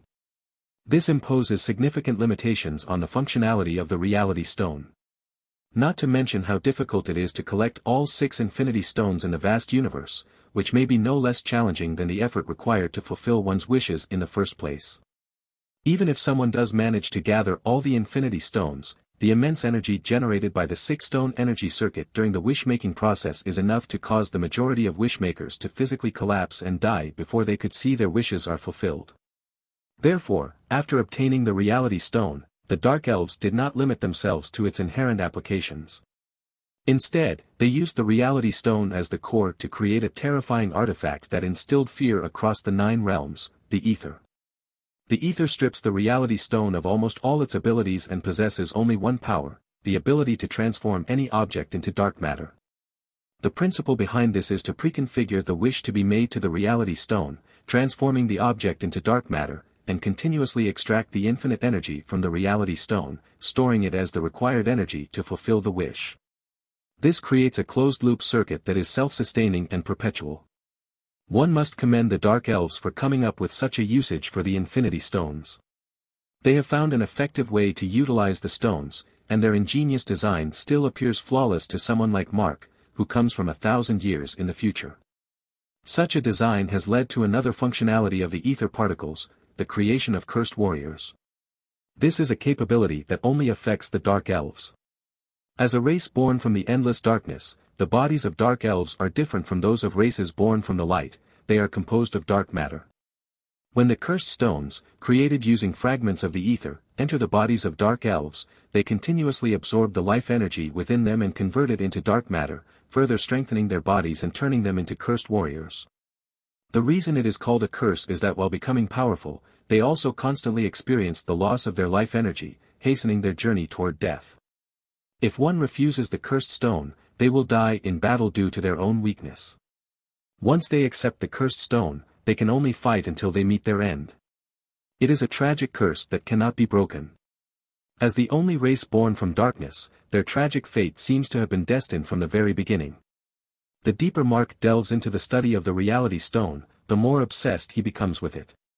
He has already come into contact with three of the infinity stones, the space stone, the mind stone, and the reality stone he is currently researching. Each stone shares a common characteristic, the seemingly infinite energy contained within them. This is something that Mark finds difficult to comprehend. In Mark's logical thinking, everything must have its source, and these energies clearly cannot arise out of nowhere. If the interior of the stones is an advanced energy generator more advanced than the arc reactor, then after experiencing such a long period from before the birth of the universe to the present, their energy should not have remained without any decay. Therefore, Mark put forward two bold speculations regarding the source of this energy. First, the Reality Stone rewrote the corresponding rules, allowing the Infinity Stones to possess infinite energy within this universe. According to the known law of energy conservation in Earth's research, if correct, the Infinity Stones should be able to continuously extract energy from the universe during the activation process and release it when fulfilling their respective functions, thus maintaining the ability of energy conservation in the universe. The modified universal rule by the Reality Stone is that the Infinity Stones, when exerting their powers, do not cause an increase in entropy. The second conjecture Mark made completely transcended the limitations of his own universe and even the dimensions. According to Odin's description of the Infinity Stones, they existed before the formation of this universe. That means the Infinity Stones themselves are not items from the universe where Mark resides, more precisely, they are not items from the dimension in which Mark exists. Because only existences in higher dimensions can freely alter the operational laws of lower dimensional worlds, and the six infinity stones, in terms of the rules of space, time, mind, soul, reality, and power, obviously possess such abilities. In other words, the energy of the infinity stones originates from a higher dimensional space, perhaps the fourth dimension, the fifth dimension, or even higher. Mark cannot determine this. However, if this conjecture is indeed true, Mark's research on the Infinity Stones could very well help him find a way to communicate with other dimensions and fulfill his envisioned spatial portals. Mark currently laments that he is in Asgard, which prevents him from connecting to the servers on Earth. Otherwise, he would definitely be able to use informational vision to obtain more information from the ether and acquire more knowledge. Restricted by the current conditions, Mark can only rely on the holographic scanning device he carries and the soul forge provided by Asgard, namely the quantum field generator, to study the ether. Compared to informational vision, this approach undoubtedly reduces efficiency, the intuitiveness of data, and its credibility by several notches. Since informational vision is definitely not an option, as it would inevitably cause him to lose consciousness and waste more time, it is better to completely shut down his vision to enhance the brain's computational power for processing and memorizing information. Baymax, at your service, Master. Help me intercept all information transmitted from the visual nerves to the visual center, and let the nanobots take over visual assistance and deliver image information. Mark's intention is to block all the various and complicated information conveyed by informational vision and let the visual assistance module replace the eye function before Heaven's eye modification. This will maximize the brain's available computing power. Understood, Master. A few seconds after Baymax's response, Mark's vision suddenly turned black, and then, after a few more seconds, it regained brightness. The visual augmentation module, after undergoing system calibration, is no different from that of a normal person. However, after completely cutting off the burden caused by informational vision, Mark can clearly feel the relief and ease in his brain after being liberated. In that case, it is now time to fully devote himself to solving the problem with all his might. After Mark's brain processing power was liberated, his research speed once again experienced a tremendous boost. Soon, he discovered why the Dark Elves could disregard spatial and distance barriers and accurately sense the location of the ether particles. Originally, he had thought that the Dark Elves had set up a signal transmission program on the ether particles, allowing Malekith to accurately perceive their whereabouts. However, if that were true, it couldn't explain the Dark Elves' rapid reaction speed. The distance between the ether's sealing location and the Dark Elves' hiding place in the Dark World was quite far. Even without considering signal attenuation, it would take a considerable amount of time for the signal to be emitted, transmitted, and received by the Dark Elves. This time frame would be insufficient for the Dark Elves to lead a large army and complete the attack on Asgard within a day of the Ether's emergence. Thus, another possibility must be considered. The ever-changing and scattered nature of the ether particles resembled Mark's micromagnetic axis robots. This awakened a memory in his mind belonging to Hiro. After Hiro's older brother died, he went through a period of depression. It was ultimately because Baymax accidentally discovered a stray micro-magnetic axis robot on him. It seemed to be attracted by some signal, constantly wanting to move in a certain direction, much like a compass. Curious, they conducted an investigation and discovered the enormous conspiracy hidden behind his brother's death. The signal that attracted the stray micro-robots was the superimposed signal formed by tens of thousands of micro-robots gathering together. As a weapon that existed in liquid form, the ether particles had been divided into countless small fragments by the Dark Elves throughout the long time after their birth. These fragments were then used to create the Curse Stones. These ether fragments, after entering the bodies of the Dark Elves and transforming them into Curse Warriors, did not disappear. Instead, they resided within their bodies, constantly absorbing the life energy of the host to maintain their functionality. And when these curse warriors died, the ether fragments would once again be attracted by the main body of the ether particles and return to merge with it. This process was very similar to the attraction of the aggregate body to micromagnetic axis robots. That's why, when the ether was accidentally unsealed by Jane Foster, the Dark Elves could quickly learn the news, gather their army, and launch a surprise attack on Asgard. Only the core of the ether particles, the reality stone, possessed such an ability, disregarding spatial and temporal barriers and summoning its separated entities. After conducting experiments using the quantum field generator, the results also confirmed the correctness of this idea. The ether particles, or rather the reality stone itself, could summon its separated entities without any time delay, regardless of the distance between them. But according to the description of Queen Frigga, even after she used the containment vessel to conceal the ether particles, the Dark Elves could still sense that she had hidden the ether within her. This could be because the distance between the two was too close, greatly enhancing the ether fragment's perception of the main body, or because the containment was too thin to completely shield the connection between the two. Before the ether emerged due to the recent Nine Stars convergence phenomenon, Odin's father, King Bor, used a large sealing device and buried it deep within the core of a planet to seal it.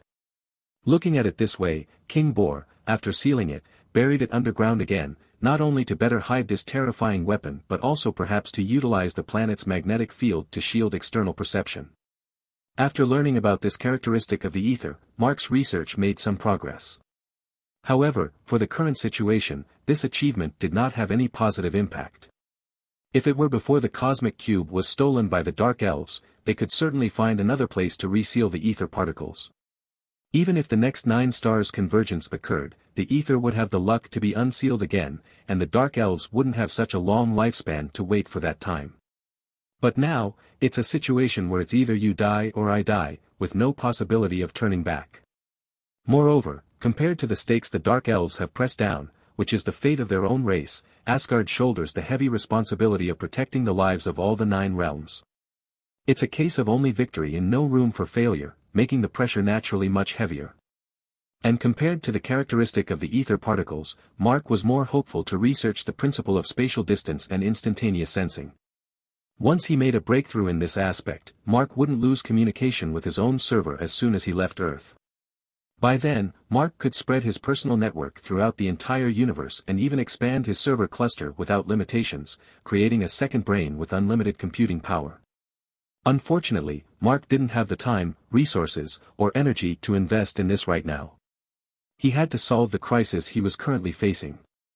So, no matter how much he itched for this idea, Mark could only suppress it for now and continue researching how to control and utilize the abilities of the ether particles. How do the ether particles utilize the power of the reality stone? It's really strange. In theory, as the only infinity stone that exists in liquid form, the simplest way to utilize its power should be to create a casing for it and contain it within. Because there is no way for any kind of markings, like runic symbols, to be left on the liquid surface of the reality stone. So, to control it. Wait a minute. The surface. Since there is nothing on the surface, could it be that it's implanted as a core within? The more Mark thought about it, the more he felt that this speculation had a high possibility. So, he quickly controlled the quantum field generator and performed an ultrafine quantum scan on the ether particles, achieving a scanning precision at the highest quark level. Quarks are the basic units that make up matter. Quarks combine to form composite particles called hadrons, and the most stable hadrons are protons and neutrons, which are the building blocks of atomic nuclei. At this level of precision scanning, ordinary molecules and atoms could be magnified to the size of a basketball for observation while ensuring the clear reproduction of every detail. With such unparalleled precision, Mark finally discovered the countless microparticle cores contained within the liquid exterior of the ether particles. He had always thought that the reason the ether particles appeared in a liquid state was due to the influence of the reality stone. But now Mark knew that the truth was completely different. The liquid structure of the ether particles was the reality stone itself. The Dark Elves controlled and utilized the reality stone by injecting these ultraminiature particle cores into it. These particle cores were only about one-fifth the size of a quark. If Mark had relied solely on his own holographic scanning device, even if he had guessed this possibility, he wouldn't have the technology to truly confirm it. It was thanks to the quantum field generator provided by Asgard that Mark was able to conduct such high-precision scanning and modeling. It's important to note that even with the cheat of Pym particles, Mark couldn't shrink objects down to the size of quarks. The principle behind Pym particles was to change the atomic spacing of an object to alter its size, so its limit was at the atomic level and couldn't reach the level of fundamental units like quarks.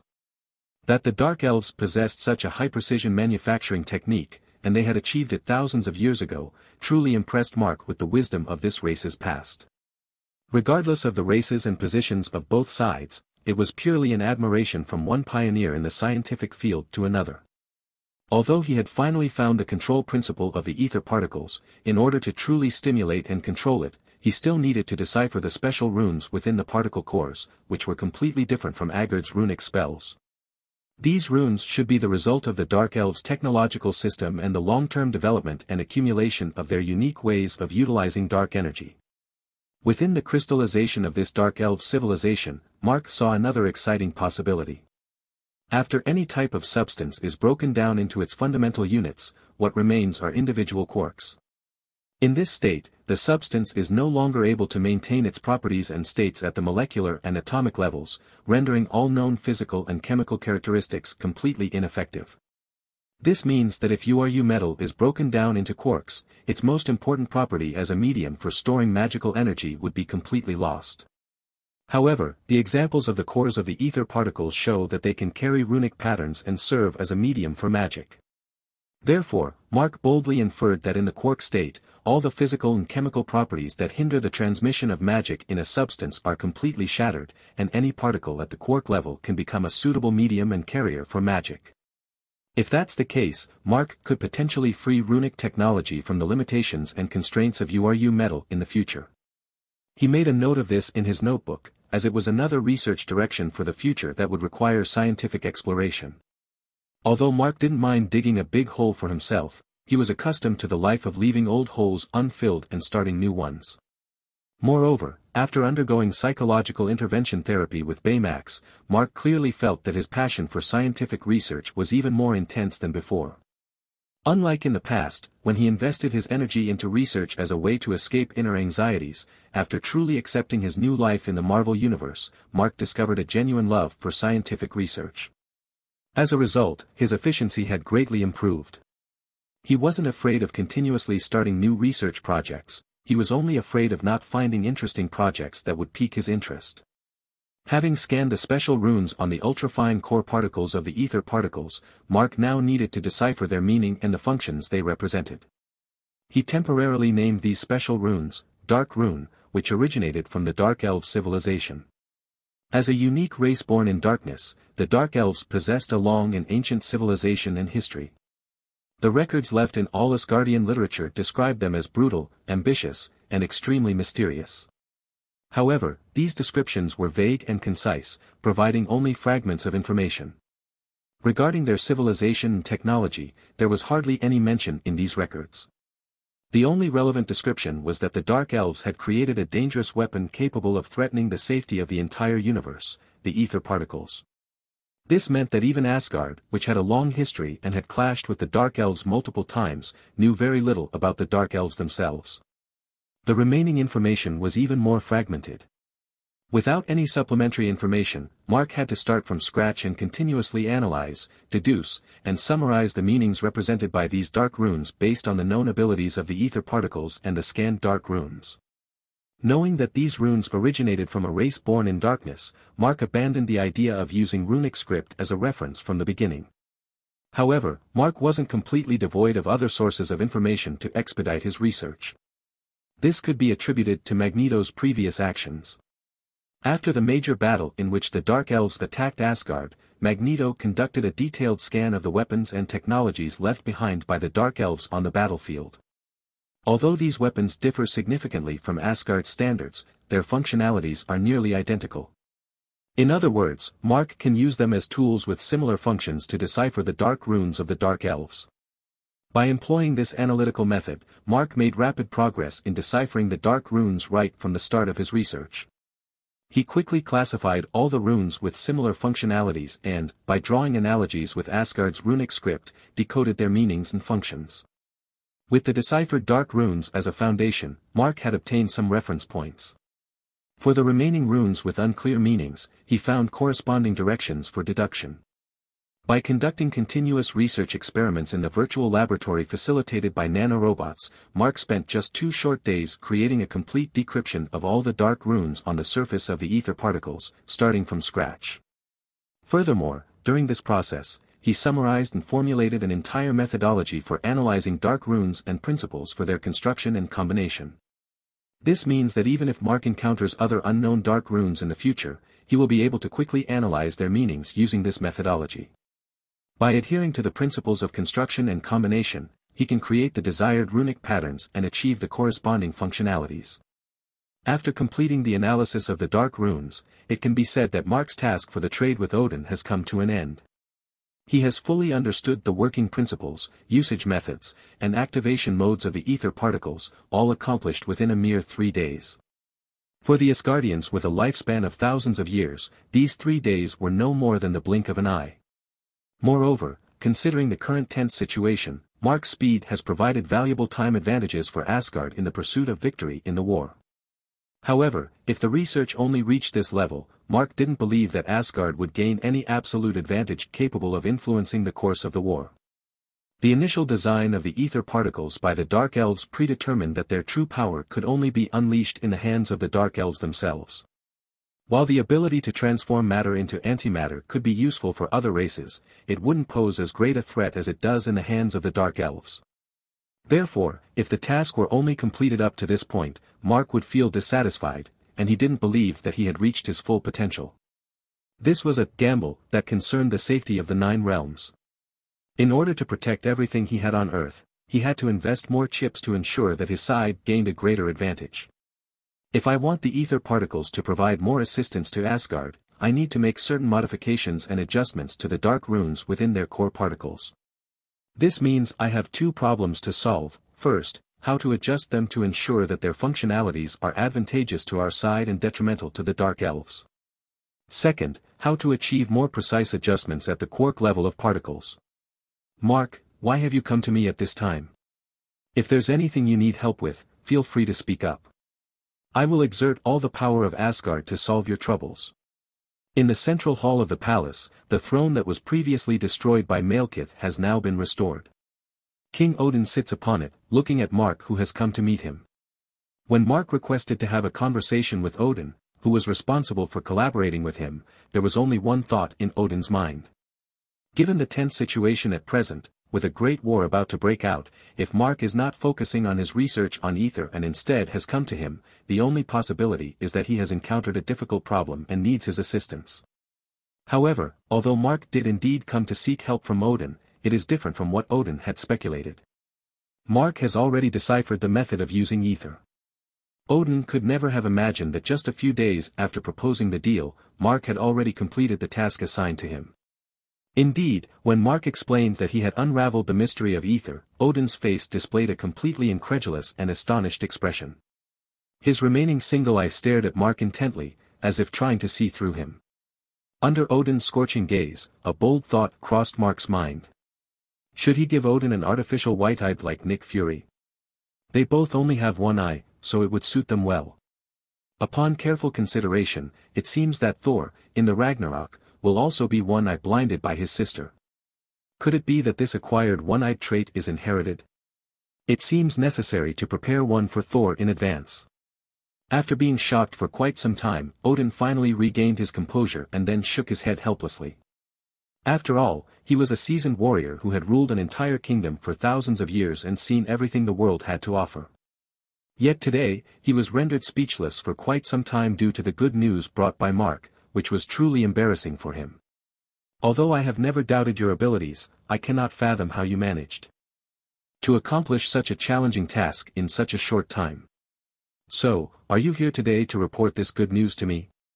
In response to Odin's inquiry, Mark nodded at first and then shook his head. I did indeed complete the task, but it can't really be considered good news because if we only reach this point, it won't have any positive effect on our victory in this war. The ether can only unleash their immense power in the hands of the Dark Elves. So even if I deciphered the method of using them, Asgard wouldn't be able to harness the power of ether to defeat the enemy. Inadvertently, it might even backfire and become an aid to the Dark Elves. Mark detailed his discoveries in his research to Odin, explaining the ability of ether to transform matter into dark matter. While this may be a superpower for the Dark Elves, in Asgard, it is merely a convenient free dark matter generator. It seems impossible to gain an advantage in the war by relying on it. But Mark's task is to turn the impossible into possible. After reporting on his work, Mark directly presented the problem he needed Odin's help to solve. I have completed the combination of dark runes that reverse the function of ether. By simply changing the arrangement of the runes, they can achieve a functional reversal, transforming all dark matter generated by darkness into ordinary matter. In this way, ether will become the bane of the dark elves, whose bodies are entirely composed of dark matter. However, there is still one problem to be solved, which is the technical means to modify the surface runes of the core particles within the ether. I cannot, in a short time and in an unfamiliar place, create a high-precision processing device capable of achieving quark-level accuracy using tools whose methods of use I am unaware of. Therefore, I need to seek your assistance to see if there is a way to solve the difficulty I am currently facing. Otherwise, I will have to return to my Earth laboratory and develop this technology, but it will be too time-consuming relative to the current situation. To achieve quark-level precision processing, even we in Asgard cannot accomplish that. Upon hearing Mark's request, Odin responded bluntly. Upon hearing Odin's reply, Mark felt somewhat disappointed. Although he had completed the task and the deal had been established, even if he couldn't modify the functionality of ether particles, it didn't necessarily mean failure in confronting the Dark Elves. However, when one has found a path to success but cannot traverse it, it indeed brings a sense of unwillingness. However, Odin continued, but you don't need to be disappointed. Although Asgard cannot achieve it, it doesn't mean I cannot solve your problem.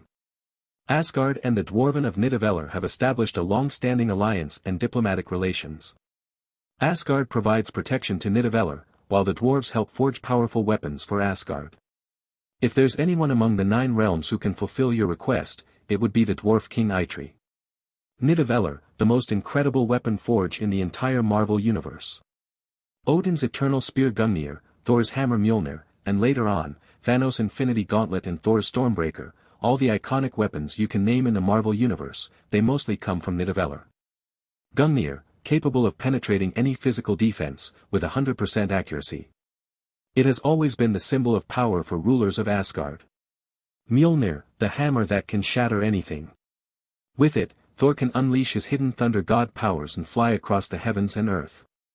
The Infinity Gauntlet, a super weapon capable of perfectly harnessing the terrifying power of the six Infinity Stones. Through it, a part of the intense side effects caused by using the stones was dispersed, allowing Thanos to retire peacefully to a pastoral setting after his infamous snap. And not to mention the Stormbreaker, the last weapon forged by the dwarf king Eitri, embodying both the revenge of the dwarves and Thor. The Stormbreaker not only possesses all the functions of Mjolnir but also has the ability to teleport through space, fully unleashing the thunder power within Thor. Have you not seen how, after obtaining the Stormbreaker, Thor not only broke through the energy barrier created by the six Infinity Stones but also made the once arrogant Thanos taste the bitterness of being injured? Nidavellir, as the renowned Holy Land of artifact production, can be said to produce nothing but masterpieces in the entire Nine Realms and even beyond the Nine Realms of the universe. Anyone who has heard their name knows that Nidavellir's products are of the highest quality. The one and only material in the entire universe capable of storing magic, the metal known as URU, which serves as a medium for magical power, also comes from Nidavellir. And the dwarves of Nidavellir are the only ones in the universe capable of forging with URU metal. However, the dwarves' unique forging skills have always been coveted by the powerful forces of the universe. Unable to use the weapons they create themselves, they have had to rely on the protection of mighty Asgard and exchange their craftsmanship for Asgard's protection. But if there comes a time when Asgard itself cannot be protected, where will Nidavellir go? The massacre brought by Thanos may be one of the countless possible futures they face. However, for now, Thanos is wary of Odin's deterrence and has not visited Nidavellir to have the Infinity Gauntlet forged. The skilled hands of the dwarf King Eitri are still alive and well. As Odin said, if there is only one person in the entire universe who can fulfill Mark's request, it undoubtedly belongs to the dwarf king Eitri. Upon learning of Mark's request, Odin immediately arranged for contact to be made with the dwarf king Eitri. After learning about the dangers facing the Nine Realms, Eitri confirmed that he could indeed perform high-precision operations at the quark level and readily agreed to provide Mark with any help within his capabilities. With the approval of the dwarf king Eitri, Odin wasted no time in arranging Mark's journey to Nidavellir. Mark will bring the ether with him on this trip. To ensure the absolute safety of the ether, Odin will undoubtedly assign guards to accompany him, to prevent any covert attacks from the Dark Elves.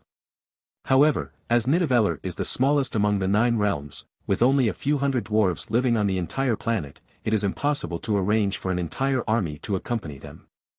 Such an action would not only raise concerns and suspicions from Dwarf King Eitri but also overcrowd the planet, preventing the dwarves from carrying out their forging work, let alone fulfilling Mark's request.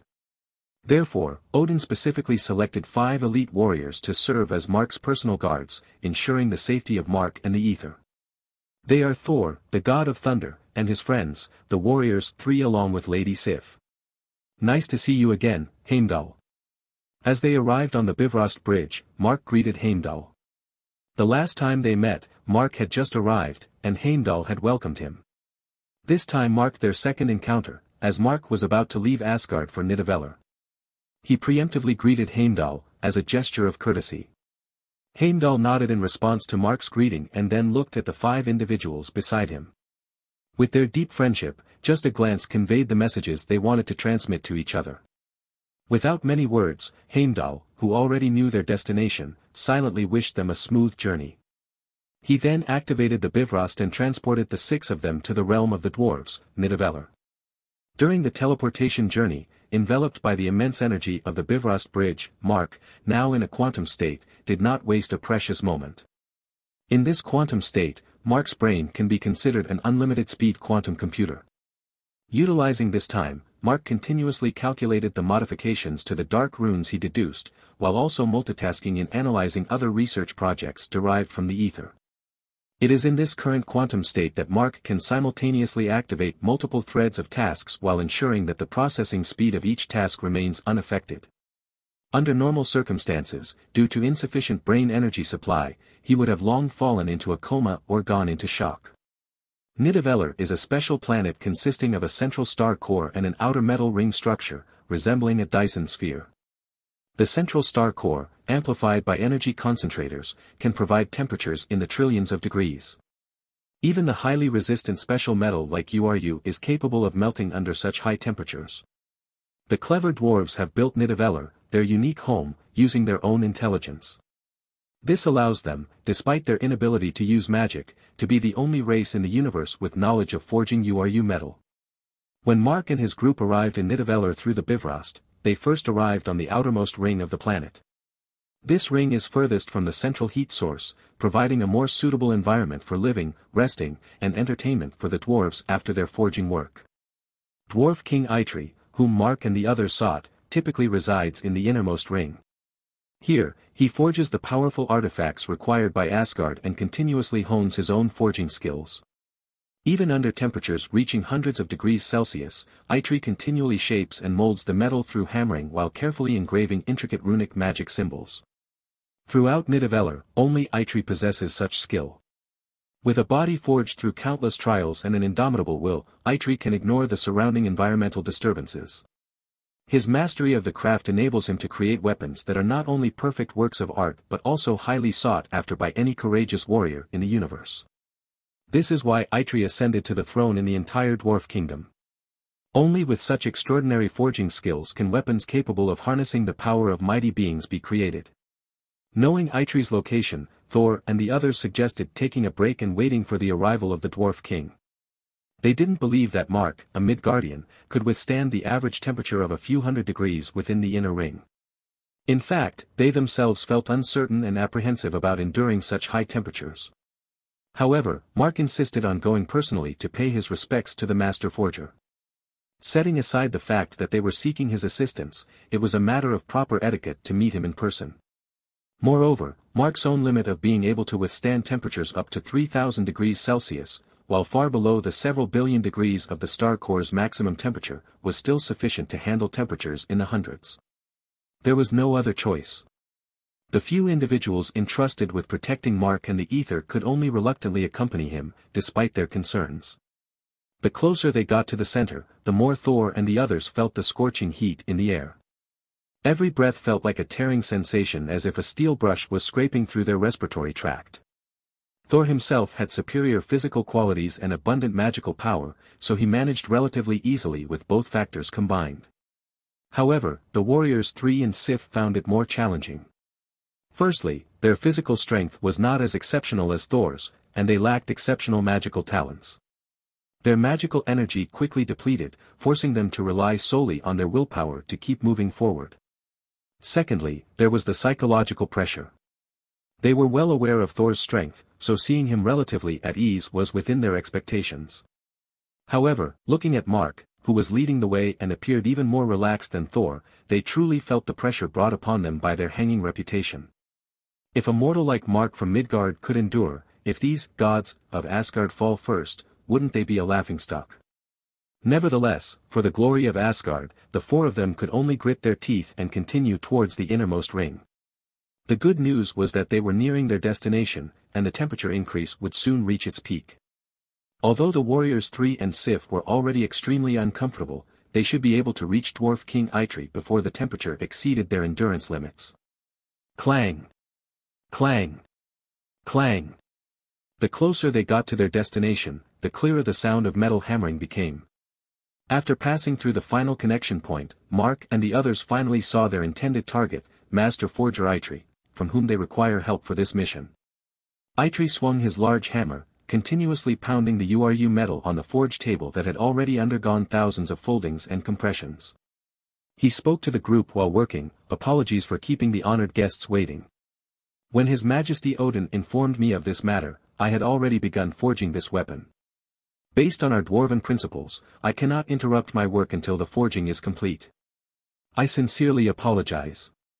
As they looked at the bearded craftsman standing there, who was over five meters tall and showed no resemblance to the word dwarf, Mark and the others felt like a group of ten-year-old children standing beside him. However, Mark did not display any arrogance due to the polite nature of the craftsman. He responded with great respect, saying, We are the ones causing the disturbance.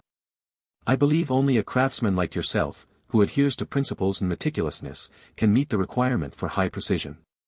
Upon hearing Mark's words, a smile involuntarily appeared on the face of Dwarf King Eitri.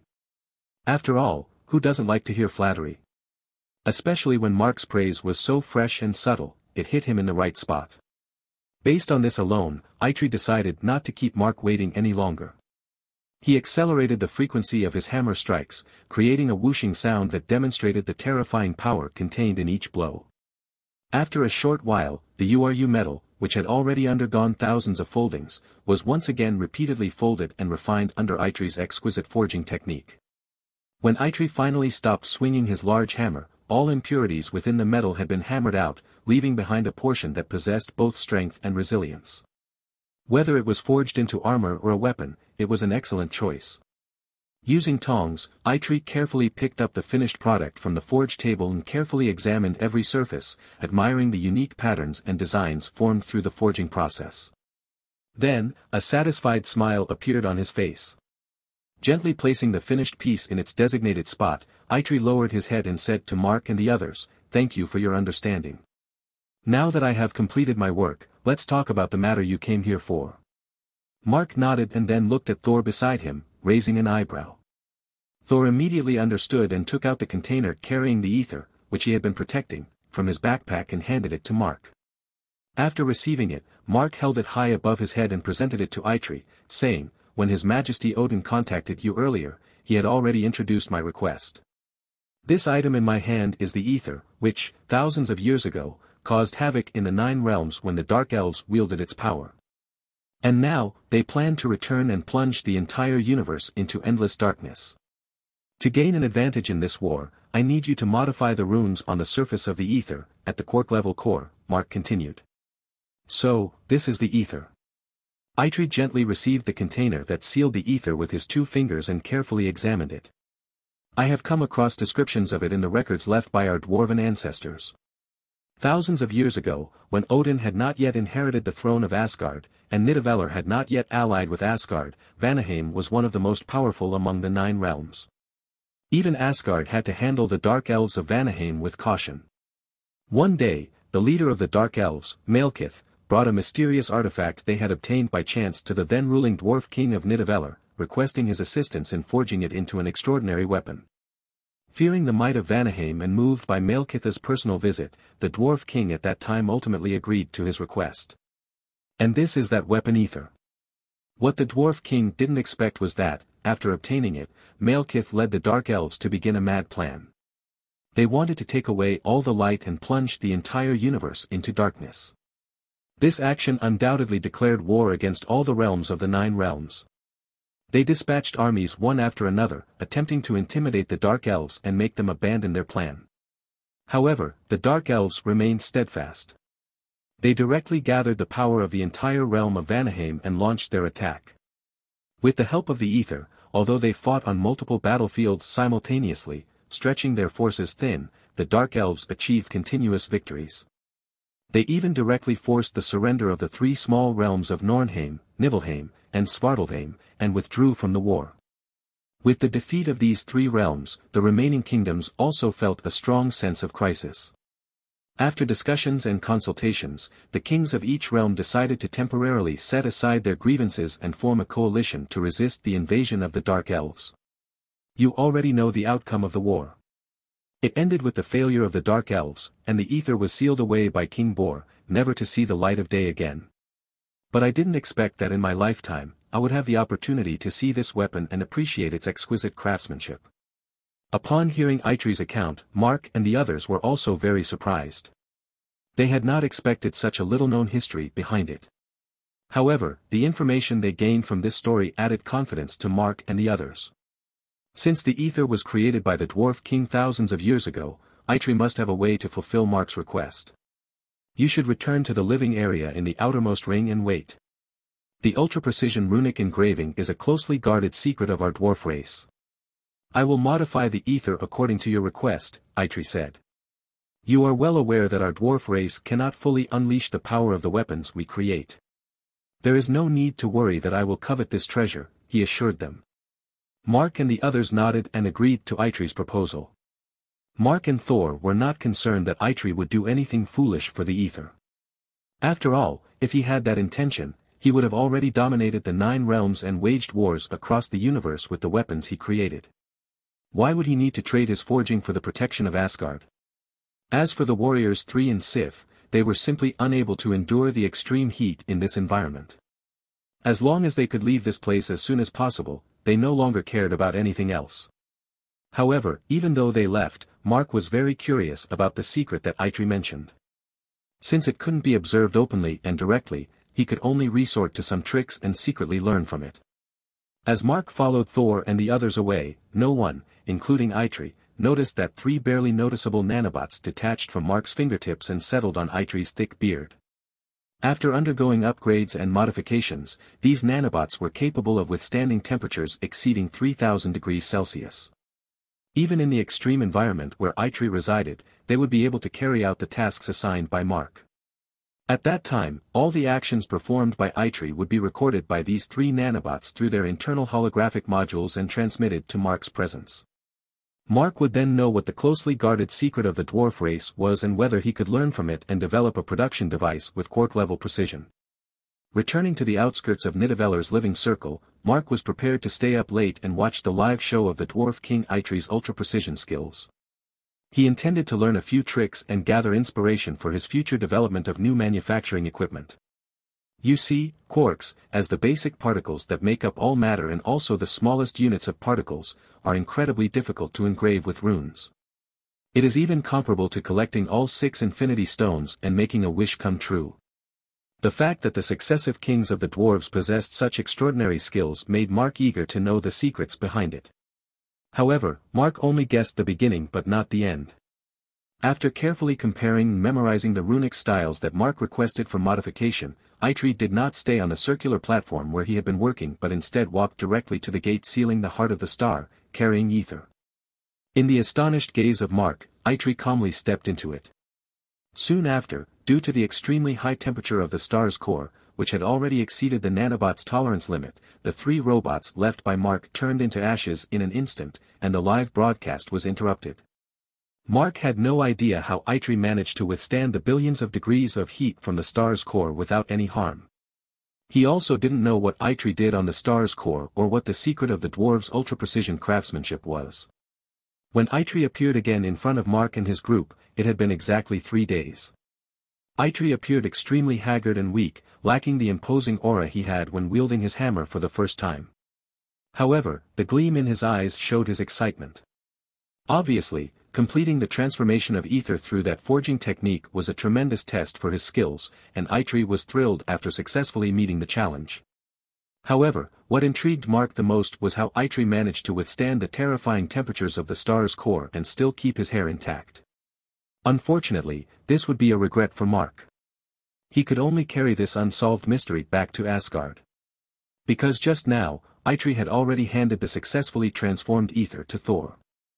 Their only mission for this trip had been completed, which meant they had to leave and prepare for the impending war. After Eitri's work, the function of the ether had changed from transforming matter into dark matter to transforming dark matter into normal matter. This meant that the Dark Elves, composed of dark matter, had no way to resist Asgard with the transformed ether. After their bodies were corroded, their consciousness would dissipate, and they would become lifeless bodies. Even if the Dark Elves were able to take back the ether, they would be unable to activate them due to their reversed function. As long as the dwarves on Nidavellir were protected, the Dark Elves would be powerless.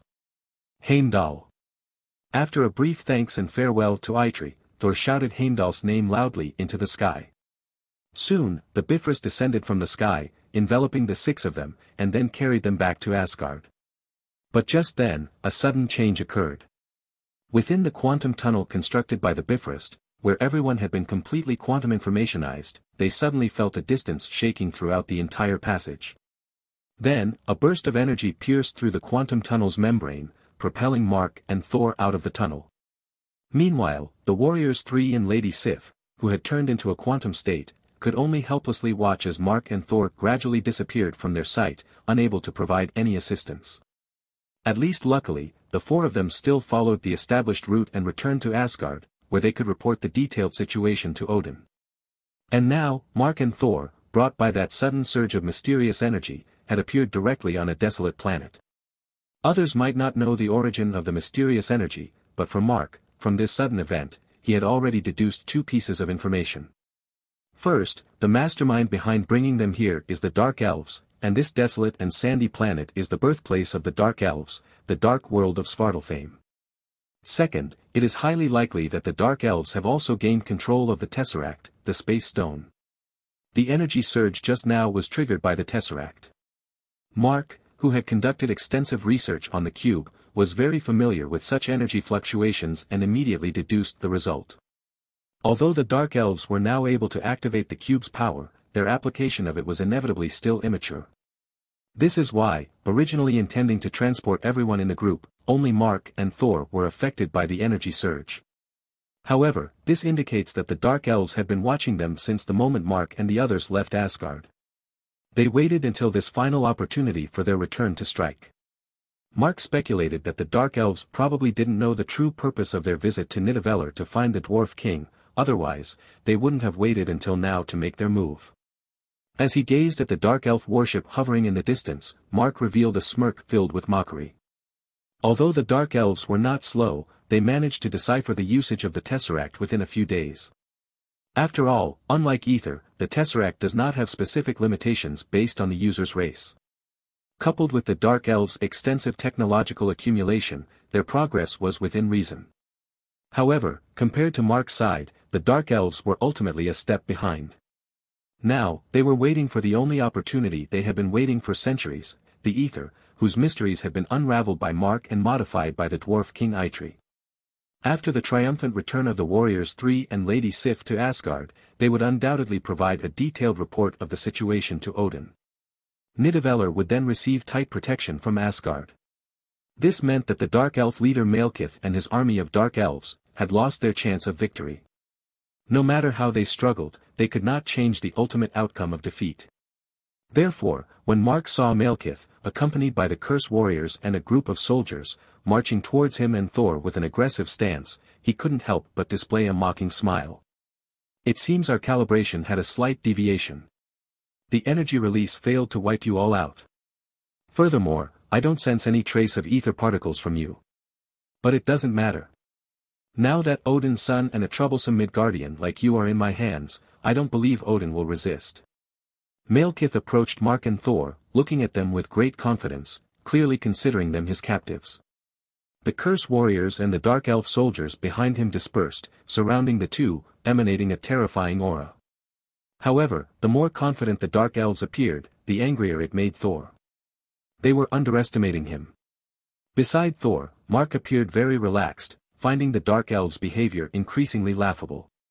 Not only had he disrupted their chance for a comeback, but Malekith and the Curse Warriors were also defeated by him before. Now, they thought they were invincible just because they had greater numbers, which was nothing short of arrogance. But before Mark could utter a few mocking words and undermine their morale, Thor couldn't hold back any longer and directly attacked. In his mind, he thought, you act all high and mighty, but I want to see if you, the leader of the Dark Elves, are truly worthy of your name. He leaped high, using the full power of his legs, and raised Mjolnir, the hammer of Thor, aiming to strike Malekith's head with a mighty blow. Boom! The impact of the hammer, combined with the accompanying lightning power, would severely injure Malekith if it struck his head, possibly disfiguring him. However, Thor's attack failed to land on Malekith. Just as his hammer was about to hit its target, a tall figure suddenly appeared, standing in front of Malekith, and with his right hand firmly gripping Thor's wrist, he not only prevented Thor's attack but also put him in a passive position. The one who blocked Thor's attack was his most loyal subordinate, the Curse Warrior. With one hand, the Curse Warrior lifted Thor's hammer-wielding right hand into the air, while his other hand clenched into a fist, striking heavily on Thor's abdomen with a powerful gust of wind and thunder. Bang! Thor, enduring the punch from the Curse Warrior, displayed a pained expression on his face. The strength of the Curse Warrior, who could restrain him and prevent him from breaking free, was at least four or five times his own. It was no wonder that Thor felt the pain from being hit like this. However, as someone who had withstood the punches of the Hulk, Thor quickly recovered. Seeing that the Curse Warrior was about to strike again, Thor immediately lifted his leg and curled his body, entangling himself around the Curse Warrior's right hand. Then, with a skillful twist of his body, he cleverly freed himself from the restraint. Returning to the ground, now aware of the opponent's strength, Thor no longer acted recklessly. He quickly stepped back and rejoined Mark's side. The situation is getting a bit troublesome. I feel the same way. But it's not us who are in trouble, it's them, Mark said, raising an eyebrow as he spoke. What do you mean? Thor asked, puzzled. They want the ether, right? Let's give it to them. Let's see if that big guy has what it takes to handle. This generous gift, Mark replied. Upon hearing Mark's words, Thor suddenly understood, and a mischievous smile appeared on his face as he took out the container sealed with ether. Indeed, as soon as Malekith saw Thor's action, he took the bait immediately. Ether.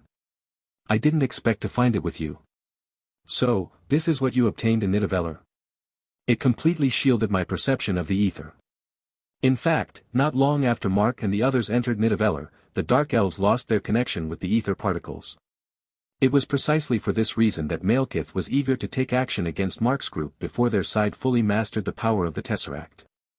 That's right, what's sealed inside is the ether you've been yearning for. If you promise to release us, I will hand it over to you, Thor directly presented his terms. Ha ha ha. Upon hearing Thor's words, Malekith laughed out loud. Now your lives are in my hands. What right do you have to negotiate with me? As long as I capture you now, the ether will be within my grasp. Warriors, attack. At Malekith's command, the Curse warriors rushed forward, followed closely by the Dark Elf soldiers, all converging on Mark and Thor, narrowing the encirclement. As the Curse warriors approached, Thor's face blossomed with a radiant smile. Since you want it so badly, then have it, then, Thor opened the seal of the ether particles and directly threw it toward the position of the Curse warriors. Snap!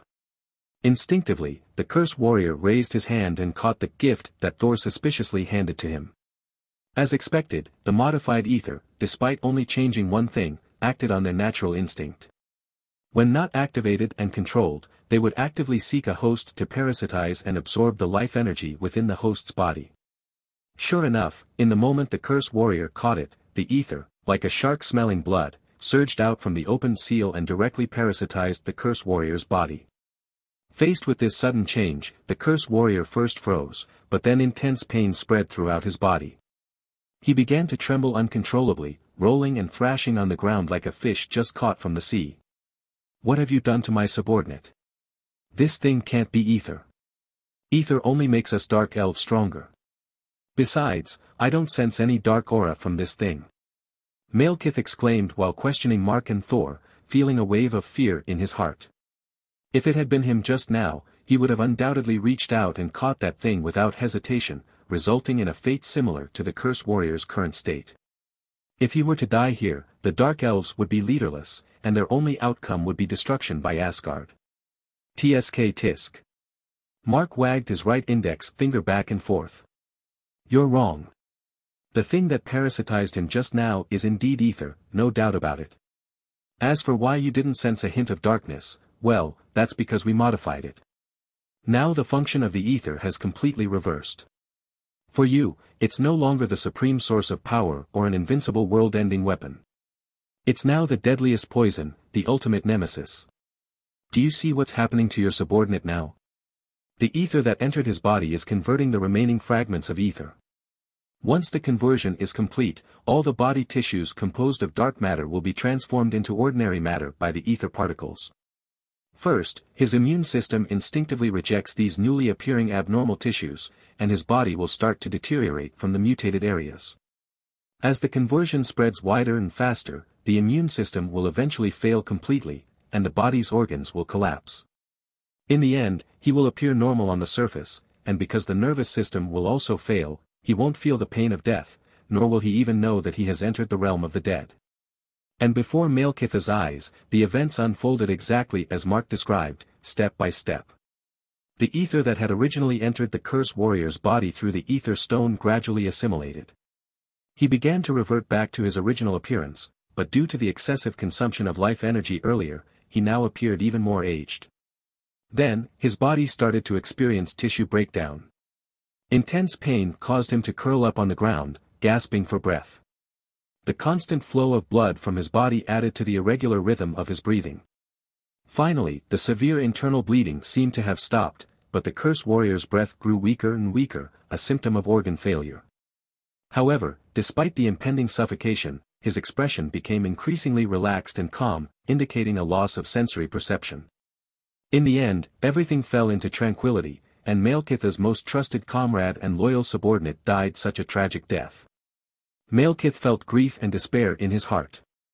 His brother, who had been with him for thousands of years, had died, and the ether had become a poison that the Dark Elves could not touch. Their only hope for a comeback was shattered. All the psychological support that had sustained Malekith's hidden existence for thousands of years collapsed in an instant, and he felt an unprecedented sense of darkness that he had never experienced even in the Dark World. But as a cunning strategist, after a brief struggle, Malekith adjusted his mindset. As long as he was still alive, there would always be a glimmer of hope. The sensing of the ether stopped when the other party entered Nidavellir.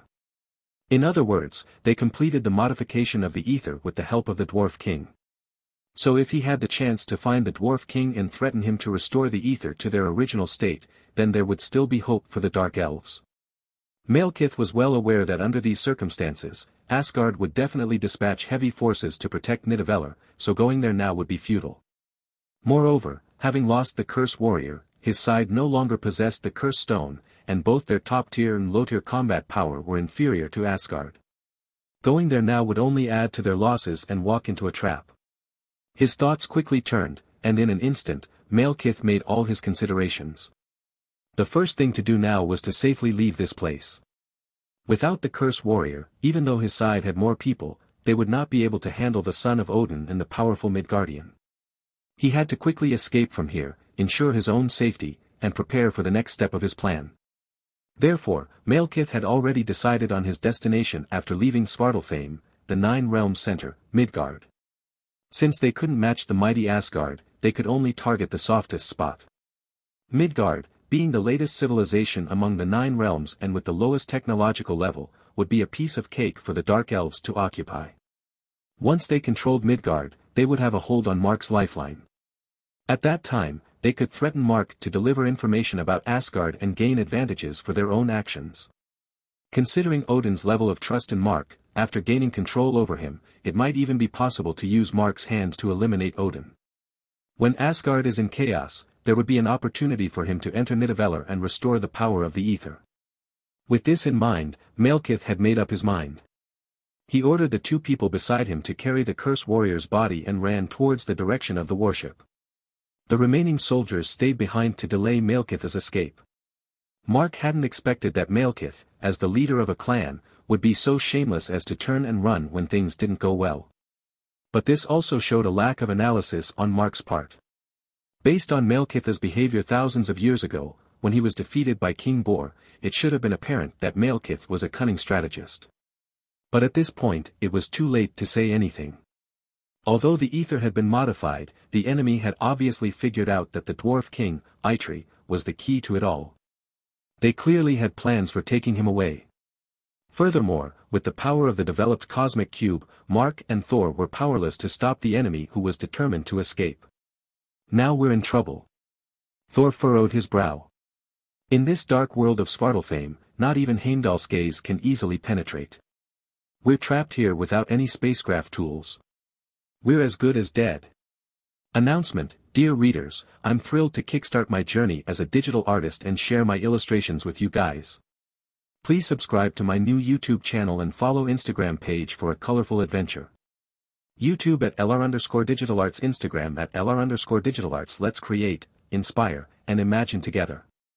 Your support means the world. Cheers, Light Reaper, don't worry, Mark reassured Thor, this is a once-in-thousands of years phenomenon called the Nine Stars Alignment. During this time, the Nine Realms will align in a straight line, causing spatial boundaries to overlap and become chaotic. In other words, as long as we can find the chaotic anomaly point here, we can leave. Then we can call Heimdall and have him bring us back to Asgard through the Bifrost Bridge. Isn't that a solution? Upon hearing Mark's words, Thor's brow slightly eased, but he still expressed some concerns, saying, but Svartalfheim is so vast. If we rely on luck alone to find the anomaly point, it's possible that by the time the nine stars alignment is over, we may not be able to locate it. Indeed, as Thor pointed out, Svartalfheim's size is immense, and even if there are multiple anomaly points, finding them would be like finding a needle in a haystack, relying entirely on luck. However, since Mark had already come up with this idea, how could he leave his fate to chance? He remembered from the original storyline that after Thor and Jane entered a cave, the sudden ringing of a phone determined the location of the spatial anomaly point. It was because the satellite signal from Earth passed through the spatial anomaly point to Svartalfheim that Jane's phone call was connected.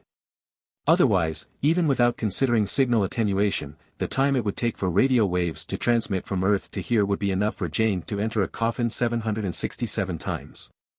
Although it could be said that Thor and the others had incredible luck, miraculously solving this problem by virtue of their protagonist's aura, Mark already knew the process of their escape. He just needed to replicate it, and the process was not difficult. You can rest assured. I promise to easily lead you to the anomaly point. Just follow me, Mark assured Thor confidently. Baymax. Mark communicated through telepathy. At your service, Master. Maximize the power of the signal collection device, search for any wireless signals using Earth's communication protocols, determine their sources, and mark their locations on a map for me. Understood, Master. Searching in progress. Search complete. Confirmed a signal source, currently determining the coordinates. Location determined. Data has been uploaded to you. Please check it. Well done, Baymax. Mark exclaimed excitedly, not using telepathy this time but shouting out loud with an enthusiastic fist pump. This left Thor standing there confused and at a loss for words. Cough. Cough. Mark coughed awkwardly, realizing his sudden outburst. He then explained to Thor, don't get me wrong. I got excited because I found the spatial anomaly point, you found it already. Upon hearing Mark's words, Thor also looked at him in astonishment, afraid that he might be joking. But Mark didn't disappoint Thor and nodded affirmatively, saying, we found it, and it's not far from here. I'll point you in the right direction, and you can take us there with Mjolnir. We have to be prepared before Malekith takes any action. Good. Thor immediately responded. Under Mark's guidance, the two quickly arrived at the spatial anomaly point in Svartalfheim. The anomaly point was located inside a cave, and upon entering, they saw obvious earth-made items like a Coca-Cola can and a keychain on the ground, confirming that this was the cave where Jane and Thor were supposed to enter according to the original storyline. It also indicated that this was the spatial anomaly point leading to Earth. Buzzing through the spatial anomaly point, the two indeed returned to Earth's surface. This is where I departed from when I brought Jane back to Asgard. Thor said, looking at the familiar surroundings. At the beginning of the nine stars alignment, the positions of the spatial anomaly points may change due to the rotation of the planets. But once the anomaly points form, their relative positions become fixed, so it's not strange for us to return here. But what I want to know is what they're planning to do here, Mark interrupted with a perplexing question. Huh? Hearing Mark's abrupt question, Thor looked at him confusedly and followed his gaze upward. Then, Thor was also stunned. What appeared in his line of sight was the enormous worship of the Dark Elves. It was unexpected that shortly after their separation in Svartalfheim, the two groups would meet again on Earth. I know what Malekith is planning. The Nine Stars alignment is about to occur, and the Dark Elves are determined to achieve their ambitions that have persisted for thousands of years. Besides needing the ether, they must release it at the right time and place. The time is during the nine stars alignment when the nine realms align in a straight line, forming a group like a magnifying glass. As the released ether passes through each realm, its power will exponentially increase, ultimately reaching a level that endangers the entire universe. And it seems like this location is on Earth. Due to the time we spent obtaining the ether, combined with the fact that even if they managed to force Eitri to serve them and restore the functionality of the ether, it would still take some time. If the Dark Elves don't want to hide and wait for thousands of years again, they must complete all preparations before the final day arrives. Controlling Earth not only ensures their control over the location but also allows them to use it as leverage to make me help them resolve the trouble with the ether. That's why they've descended to Earth. Humph. They won't succeed, Mark. You can rest assured. I'll have Heimdall contact my father, and we'll send our army to annihilate them. Thor declared. Thor couldn't bear to see Jane Foster's homeland being invaded by the Dark Elves, let alone his fellow Avengers living on Earth, and Mark was Jane's savior as well as their mother's. However, Mark shook his head and stopped Thor from summoning reinforcements. Asgard not only needs to defend its own realm but also needs to allocate forces to protect Nidavellir. Our forces are already stretched thin. But no matter where reinforcements are sent from now, we would fall into Malekith's trap. With the advantage brought by the Tesseract, he could make a swift advance. If Nidavellir's forces are weakened, it would fulfill Malekith's desires. If Asgard's forces are diminished, it doesn't matter. Once Asgard is eliminated, they will become the rulers of the Nine Realms, and their plan will proceed unhindered. Even if they have to wait for thousands of years for the next nine stars alignment, they can accept that. So now, we can't seek help from Asgard. Even if we ask for assistance, I believe that your father, in his wisdom, wouldn't send reinforcements for the sake of the greater good.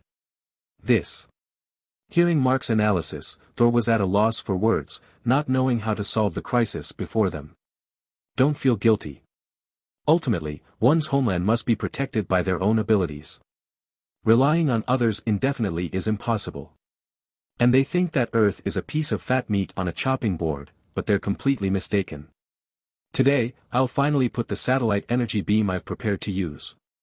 Baymax, help me establish a connection with the orbital weapons satellite. Get all satellites currently operational in orbit that can target Greenwich into launch preparation mode and aim the cannons at the Dark Elf warship on the ground. Understood, Master. With a command from Mark, the four satellites orbiting the Earth in distant outer space all received the order simultaneously. However, two of the satellites were too far from Greenwich, where the Dark Elves had descended, and were unable to perform targeting operations. They ceased the preparation for energy beam emission. However, the other two satellites had already completed their targeting locks. The gun barrels tracked the movement of the Dark Elf warship, constantly making slight adjustments to the angles. Meanwhile, within the cannon barrel, the antimatter particles had been accelerated to a stable sublight speed state through uninterrupted energy transmission in the particle ejection device. They were ready to deliver precise strikes against the Dark Elf fleet descending upon Earth, awaiting Mark's final confirmation command. Master, among the orbital weapons satellites in operation, two are capable of launching strikes against the target. They have completed the launch preparations and can initiate an attack at any time. Less than 20 seconds after Mark issued the command, the orbital weapons satellites that he had deployed in space at a considerable cost had completed all preparations. Since that's the case, let's leave them with a memorable lesson. Start with a test shot from one satellite while the other remains in a ready state, temporarily on standby. Then, Thor witnessed a scene that would forever haunt him and also instill fear of Mark within him. A yellow beam of light, like the spear of God's judgment, tore through the thick cloud layer in the sky, precisely piercing the dark elf warship descending upon Earth. Boom! The tremendous roar continued for over ten seconds. The dazzling light forced Thor to temporarily close his eyes. When the beam disappeared, and Thor opened his eyes again, what he saw was a deep black hole, devoid of bottom. The warship that was once there had vanished without a trace. The destructive power of such an attack was almost comparable to the Bifrost. Even Thor himself felt a shiver in his heart, wondering if he would be able to withstand such an attack if caught off guard. And he believed that if Mark were provided with an abundant energy source and high-intensity materials capable of withstanding prolonged output of high-energy particle beams, he could definitely bring it to the level of the Bifrost's world-ending destruction. Baymax, during the process of the orbital weapons output attack just now, did you detect any spatial fluctuations? Mark was concerned that the Dark Elves might have escaped through the cosmic cube before the attack landed, rendering his previous strike futile. Master, based on all the data information I have analyzed, there were no signs of spatial fluctuations. I believe the enemy has been completely eliminated. Very well, then let the other satellite cancel its standby status. We don't need to launch the remaining shot.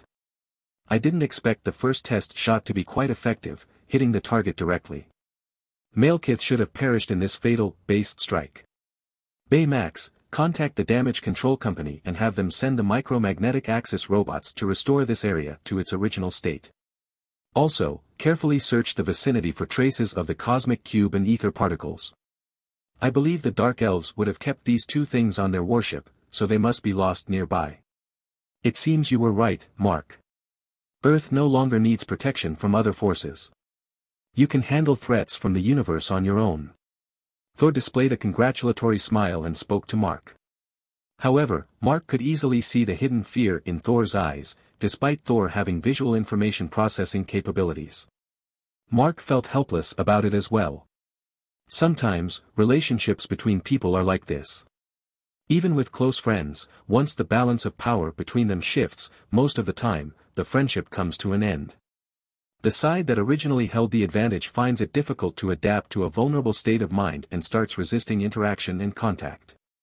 Although Mark's current abilities and Earth's technological level were far from reaching Asgard's level, the fact that Earth no longer needed Thor's protection was indeed a cause for Thor's melancholy. However, Mark couldn't do much to help with Thor's mindset. It was up to Thor to adjust and overcome it. As a friend and comrade, Mark felt it necessary to say, indeed, Earth is now capable of facing threats from the universe with its own strength. This was established when the Avengers officially formed. Indeed, after hearing these words from Mark, a contented smile appeared on Thor's face. The slight fear he felt towards Mark was temporarily buried deep within, as if it had never existed. But who could say that this didn't sow a seed of fear in Thor's heart, which would sprout someday if given enough nourishment? And at that time, when this feeling called fear had grown into a towering tree, it would completely devour Thor's rationality and create irreparable cracks in his friendship with Mark. Meanwhile, on the other side of the earth, as the sun had just risen, chaos reigned in the command center of S-H-I-E-L-D. All agents and researchers were in a frenzy, and the reason behind their agitation was none other than the super particle beam Mark had just launched from the orbital weapons. The concentration of the power equivalent to a small nuclear explosion into a particle beam capable of precise air-to-ground strikes from space was like holding the sword of Damocles over the heads of various governments. This enormous threat was naturally the trouble that S.H.I.E.L.D. needed to resolve. Have you found the source? Fury asked urgently as he rushed to the command center from his office, addressing his right-hand man, Agent Hill. We have found it, and I don't think you'll be surprised once you see it. Saying that, Hill displayed a holographic projection in front of Fury. If it's him, then it's not surprising at all. Fury nodded in agreement after seeing the contents of the projection. However, that doesn't mean I'm comfortable with the feeling of having a gun pointed at my head at any time. Tell me the details. Our military satellites captured footage in Greenwich, showing an unknown alien army suddenly descending upon Earth. Shortly after their appearance, Mark and Thor also appeared there, not through the Bifrost of Asgard but seemingly materializing out of thin air, similar to the spatial portal opened by the Cosmic Cube during the Battle of New York. According to the recent research conducted by Dr. Selvig, whom we have been closely monitoring, there have been phenomena of spatial disruptions in the area. This is related to the rare alignment of the nine realms that occurs once every few thousand years, which affects the stability of space between them. Therefore, we speculate that Mark and Thor appeared in Greenwich through a spatial anomaly. The particle beam that triggered an extremely high-energy alarm response in our agency was the devastating strike launched against the unknown alien warship after their arrival. According to the satellite data, the impact left a crater with a diameter exceeding 120 meters and a depth of nearly 70 meters. Crystalline materials resembling those near a volcano were found in the vicinity. Thermal imaging thermography showed that the highest temperature at the center of the beam reached an astonishing 120,000 degrees Celsius. What's even more astonishing is that such immense energy was perfectly contained within the entire beam range without dissipating outward. Finally, based on the optical data of this beam and computer analysis, we obtained its emission data. Combining it with the latest real-time satellite orbit map, we found the only satellite that met all the criteria at the time. It was one of the four satellites Mark launched into space under the guise of private communication satellites two years ago. After obtaining this result, we quickly checked the real-time status of the other three satellites. The results showed that the other three satellites also exhibited varying degrees of anomalies.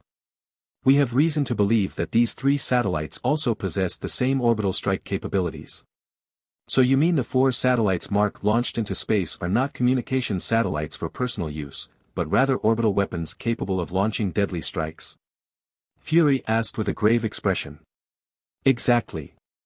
These four satellites indeed serve the purpose of Mark's private communication satellites, but at the same time, they are powerful carriers of orbital weapons, Hill replied meticulously to Fury's question. Contact Mark and have him relinquish control of the four satellites. We are willing to provide him with the necessary compensation. If he refuses, don't hesitate to shoot down all four satellites. We cannot allow such a significant threat to linger over our heads at all times. Also, notify Alexander Pierce that I agree with his proposal. If we really have to aim guns at everyone's heads, it should be handled by S.H.I.E.L.D. Yes, Director. The scene returns to Greenwich. Just moments ago, Thor, after conducting a thorough search, returned with the cosmic cube and ether particles, which were now back in his possession, to Asgard. He needed to report the events to Odin and reallocate the destination of the ether particles because ancient prophecies in Asgard had issued warnings. Under no circumstances should the six infinity stones be reunited, as it would bring unimaginable calamity. Therefore, although Odin had never thought of collecting all six infinity stones and had hidden the stones separately, like how he hid the cosmic cube on Earth before, now the ether particles also need to find a reliable destination.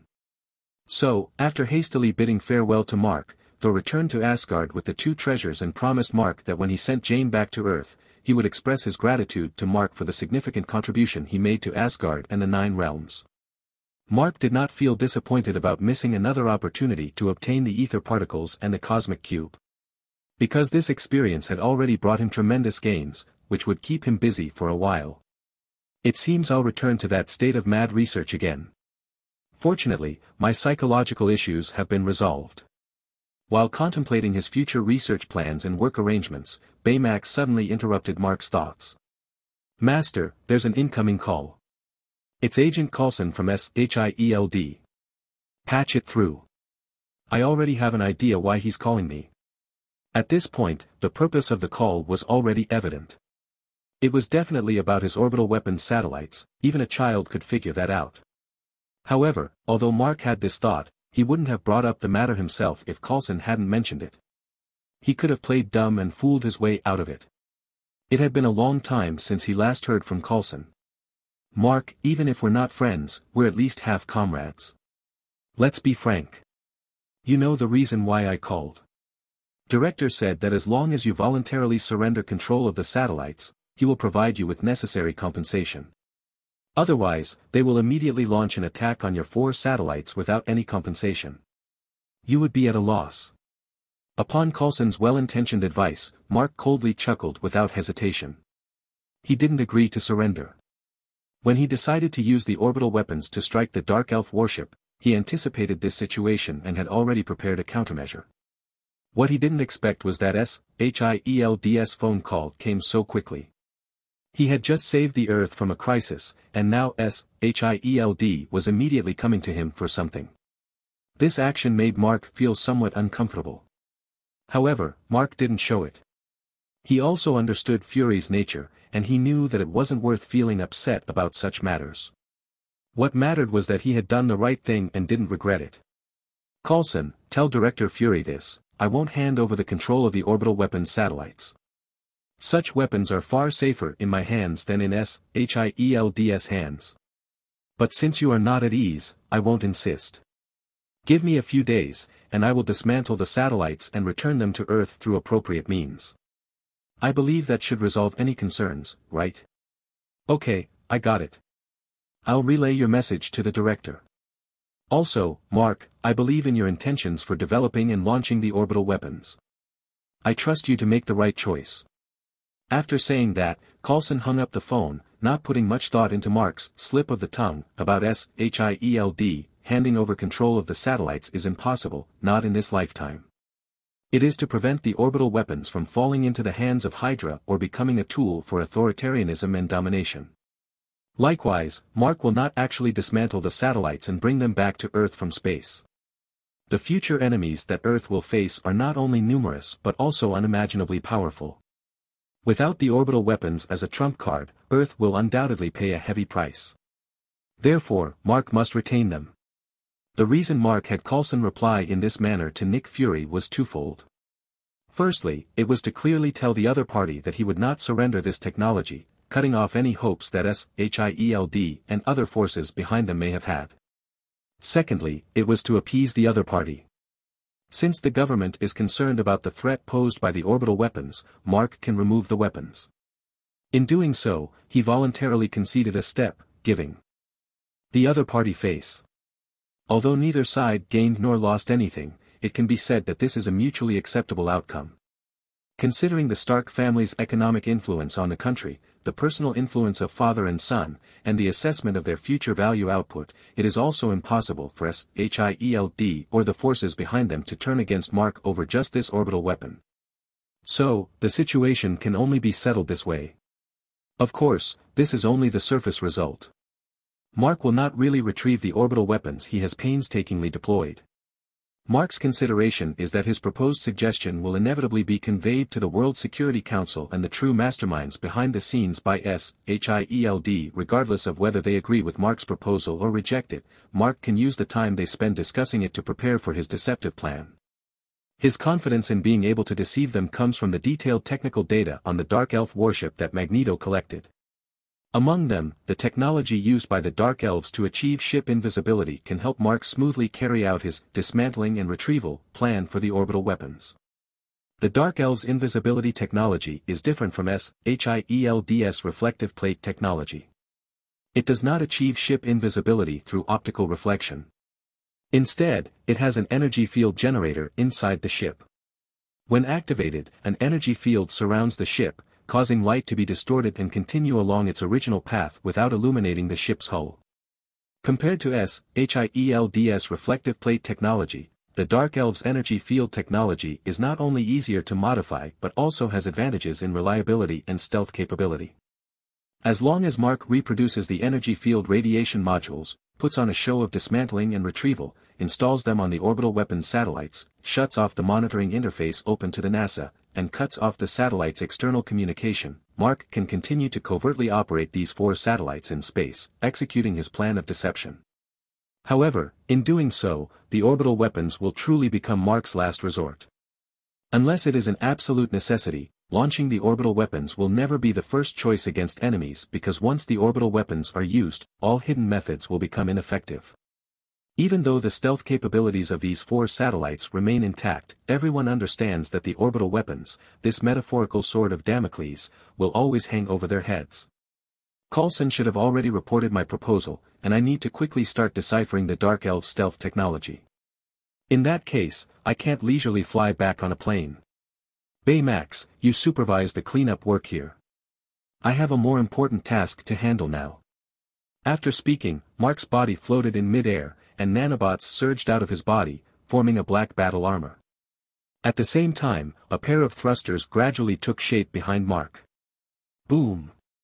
In the next moment, the thrusters accelerated abruptly, leaving behind a terrifying roar, as Mark soared into the sky and disappeared over Greenwich Square. Two days had passed in the blink of an eye. During these two days, with the assistance of the server cluster, Mark's brain was firing on all cylinders. All restrictions were lifted, and his mind entered a fully operational state. In this state, Mark completely deciphered the Dark Elf stealth technology in less than an hour. The next step was to let Baymax handle material procurement and fully automated production and assembly based on the design and production flow charts provided by Mark. However, while Mark acted swiftly, S.H.I.E.L.D. was not slow to respond either. Nick Fury, without going through Coulson, directly called Mark to express his agreement with Mark's plan. However, he requested that Mark complete the retrieval of the orbital weapon satellites within one week. Furthermore, if necessary, both NASA and the Space Force were ready to provide necessary assistance. Mark agreed to the timeframe set by the other party during the phone call but did not accept the so-called assistance. The plan itself was about deceiving others, and the so-called retrieval was just a smokescreen. If he really asked them for help, it would expose all of Mark's designs. Moreover, Mark was well aware that NASA and the Space Force were not charitable organizations and would not offer free lunches for no reason. If he asked for their assistance, they must have ulterior motives. Besides the core technology of the orbital weapons, there was nothing else worth their involvement. It couldn't be as simple as them wanting to sell Mark a favor. Coincidentally, the four stealth devices that he needed had already been assembled and passed Baymax's functional tests. They could withstand the vacuum, low temperatures, and strong radiation of outer space and maintain normal operation. Now, all that was left was to send them into space, complete the modular assembly, and realize the preset functions in the program. For this, Mark needed to deploy the space operation robots he had prepared. The so-called space operation robot, in reality, does not have a humanoid structure. In order to create a better illusion that the orbital weapons satellites have been retrieved, Mark needs to hide some ordinary satellite components in advance. This way, after wandering in space for a while, he can produce the items and present them to the prying eyes, completing his plan of deceiving others. Therefore, the overall shape of the space operation robot resembles a sunflower seed-shaped aircraft. It has a pointed head and a large rear end, which not only ensures aerodynamic efficiency and reduces air resistance during flight but also provides sufficient storage space that Mark requires. In addition, there is a storage compartment on each side of the robot. When opened, two folding octagonal mechanical arms can extend from them. The flexibility and precision of their movements are comparable to the top microsculptors among humans, allowing for precise installation of the stealth modules. Furthermore, Mark has equipped the space operation robot with his latest invention, the augmented reality system, which can create virtual images to deceive cameras and human eyes. Even if there are forces using satellites or telescopes to secretly monitor the entire plan, Mark's plan can still be executed smoothly. With everything ready, Mark applied for special launch permission in advance. With the assistance of S.H.I.E.L.D., he received a green light all the way and obtained permission for his space operation robot to ascend in the City of Angels. And, for a rare occasion, Mark broke his tradition of naming it with a negative connotation and named this robot, Angel, to commemorate its special ascent in the City of Angels. Since, Angel, used the same superconducting magnetic levitation system as Mark's suit, it did not need to carry heavy fuel like traditional rockets or spacecraft. The takeoff process lacked the earth-shattering effects. Even the noise generated during the ascent was quieter than the sound of a Formula One car starting. With just two ion thrusters powered by the arc reactor, the Angel smoothly reached the first orbital velocity and successfully maneuvered into the next level orbit of the orbital weapons satellite. Before entering the same orbit as the satellite, they needed to close the distance between them. Attempting to accelerate and catch up while on the same orbit was not only difficult to maintain their own trajectory but also risked collision accidents. If Mark's orbital weapons satellite collided with the operation robot, the resulting financial loss would be a minor concern compared to the real danger of space debris. The fragments produced from such impacts, whether large or small, would travel at high speeds on their respective orbits. However, since they lack propulsion devices, they could change orbits at any time.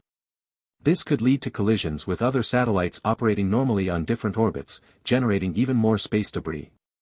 As space debris increases, the difficulty and risks of launching satellites or probes for humanity will greatly increase, slowing down the progress of human civilization towards space. Therefore, as a precaution, even though Mark is confident in his invention, he adopted the safest approach. Although this slightly slowed down the progress, things proceeded smoothly, and each operation was precisely executed without revealing any flaws. After activating the stealth devices, the achieved effects met Mark's previous expectations, and no malfunctions occurred. Since the four satellites were in geostationary orbit, after several orbital changes and pursuits, they completed the retrieval mission and successfully returned within a day. However, the landing site for the return journey could not be set in the City of Angels. According to the suggestions of the National Aeronautics and Space Administration, NASA, and the Space Force, carrying the dismantled satellite components would result in an extremely heavy payload. To avoid the potential hazards of a crash, the landing site should be chosen in an area with sparse population and vast land. Eventually, the chosen location was Old Bridge Town in New Mexico, which was where Thor first arrived on Earth and encountered Jane. However, due to the battle between the destroyer and the howitzer, the town was reduced to rubble by an antimatter annihilation bomb. Although Mark promised to compensate the local residents and rebuild Old Bridge Town, most of them chose to move to more prosperous cities after receiving Mark's substantial compensation. As a result, the town remained in a dilapidated state over the past two years. Although the suggestions from NASA and the Space Force may seem reasonable, based on the chosen location and Mark's understanding of them, things would not be so straightforward. Old Bridge Town is remote, and even driving to the nearest airport would take a day, let alone the fact that the town has declined in recent years, and the surrounding roads have received no maintenance or management, further increasing travel time. This long transportation route presents ample opportunities for the numerous factions eager to obtain the orbital weapons. Firstly, the area is sparsely populated, and as long as they make some disguises, they can choose a suitable location along the route to attack and seize the cargo without leaving any evidence. Mark would be helpless against them without any proof afterward. Secondly, the journey is long, so even if they fail in their first attempt, they can launch a second operation. The transportation team won't find any shelter along the way, and Mark's support won't arrive in time. Although Mark knows exactly what they are up to, he doesn't expose their intentions. Let them plot all they want, as the most they can obtain in the end is some ordinary components with no real value. Besides, it will also provide Mark with an opportunity to present a splendid performance, so why not? However, for this performance to be truly spectacular, having only NASA and the Space Force is not enough. There needs to be an equally greedy and powerful competitor to ignite the dramatic conflict. And that role undoubtedly belongs to Hydra. So, Mark directly called Nick Fury and asked him to help transport the recovered satellite components back to his company. In a situation where Hydra has infiltrated the entire SHIELD, Mark's action is clearly offering them assistance. This way, all the roles in this grand play have been assembled, and a battle for the orbital weapons components is about to unfold.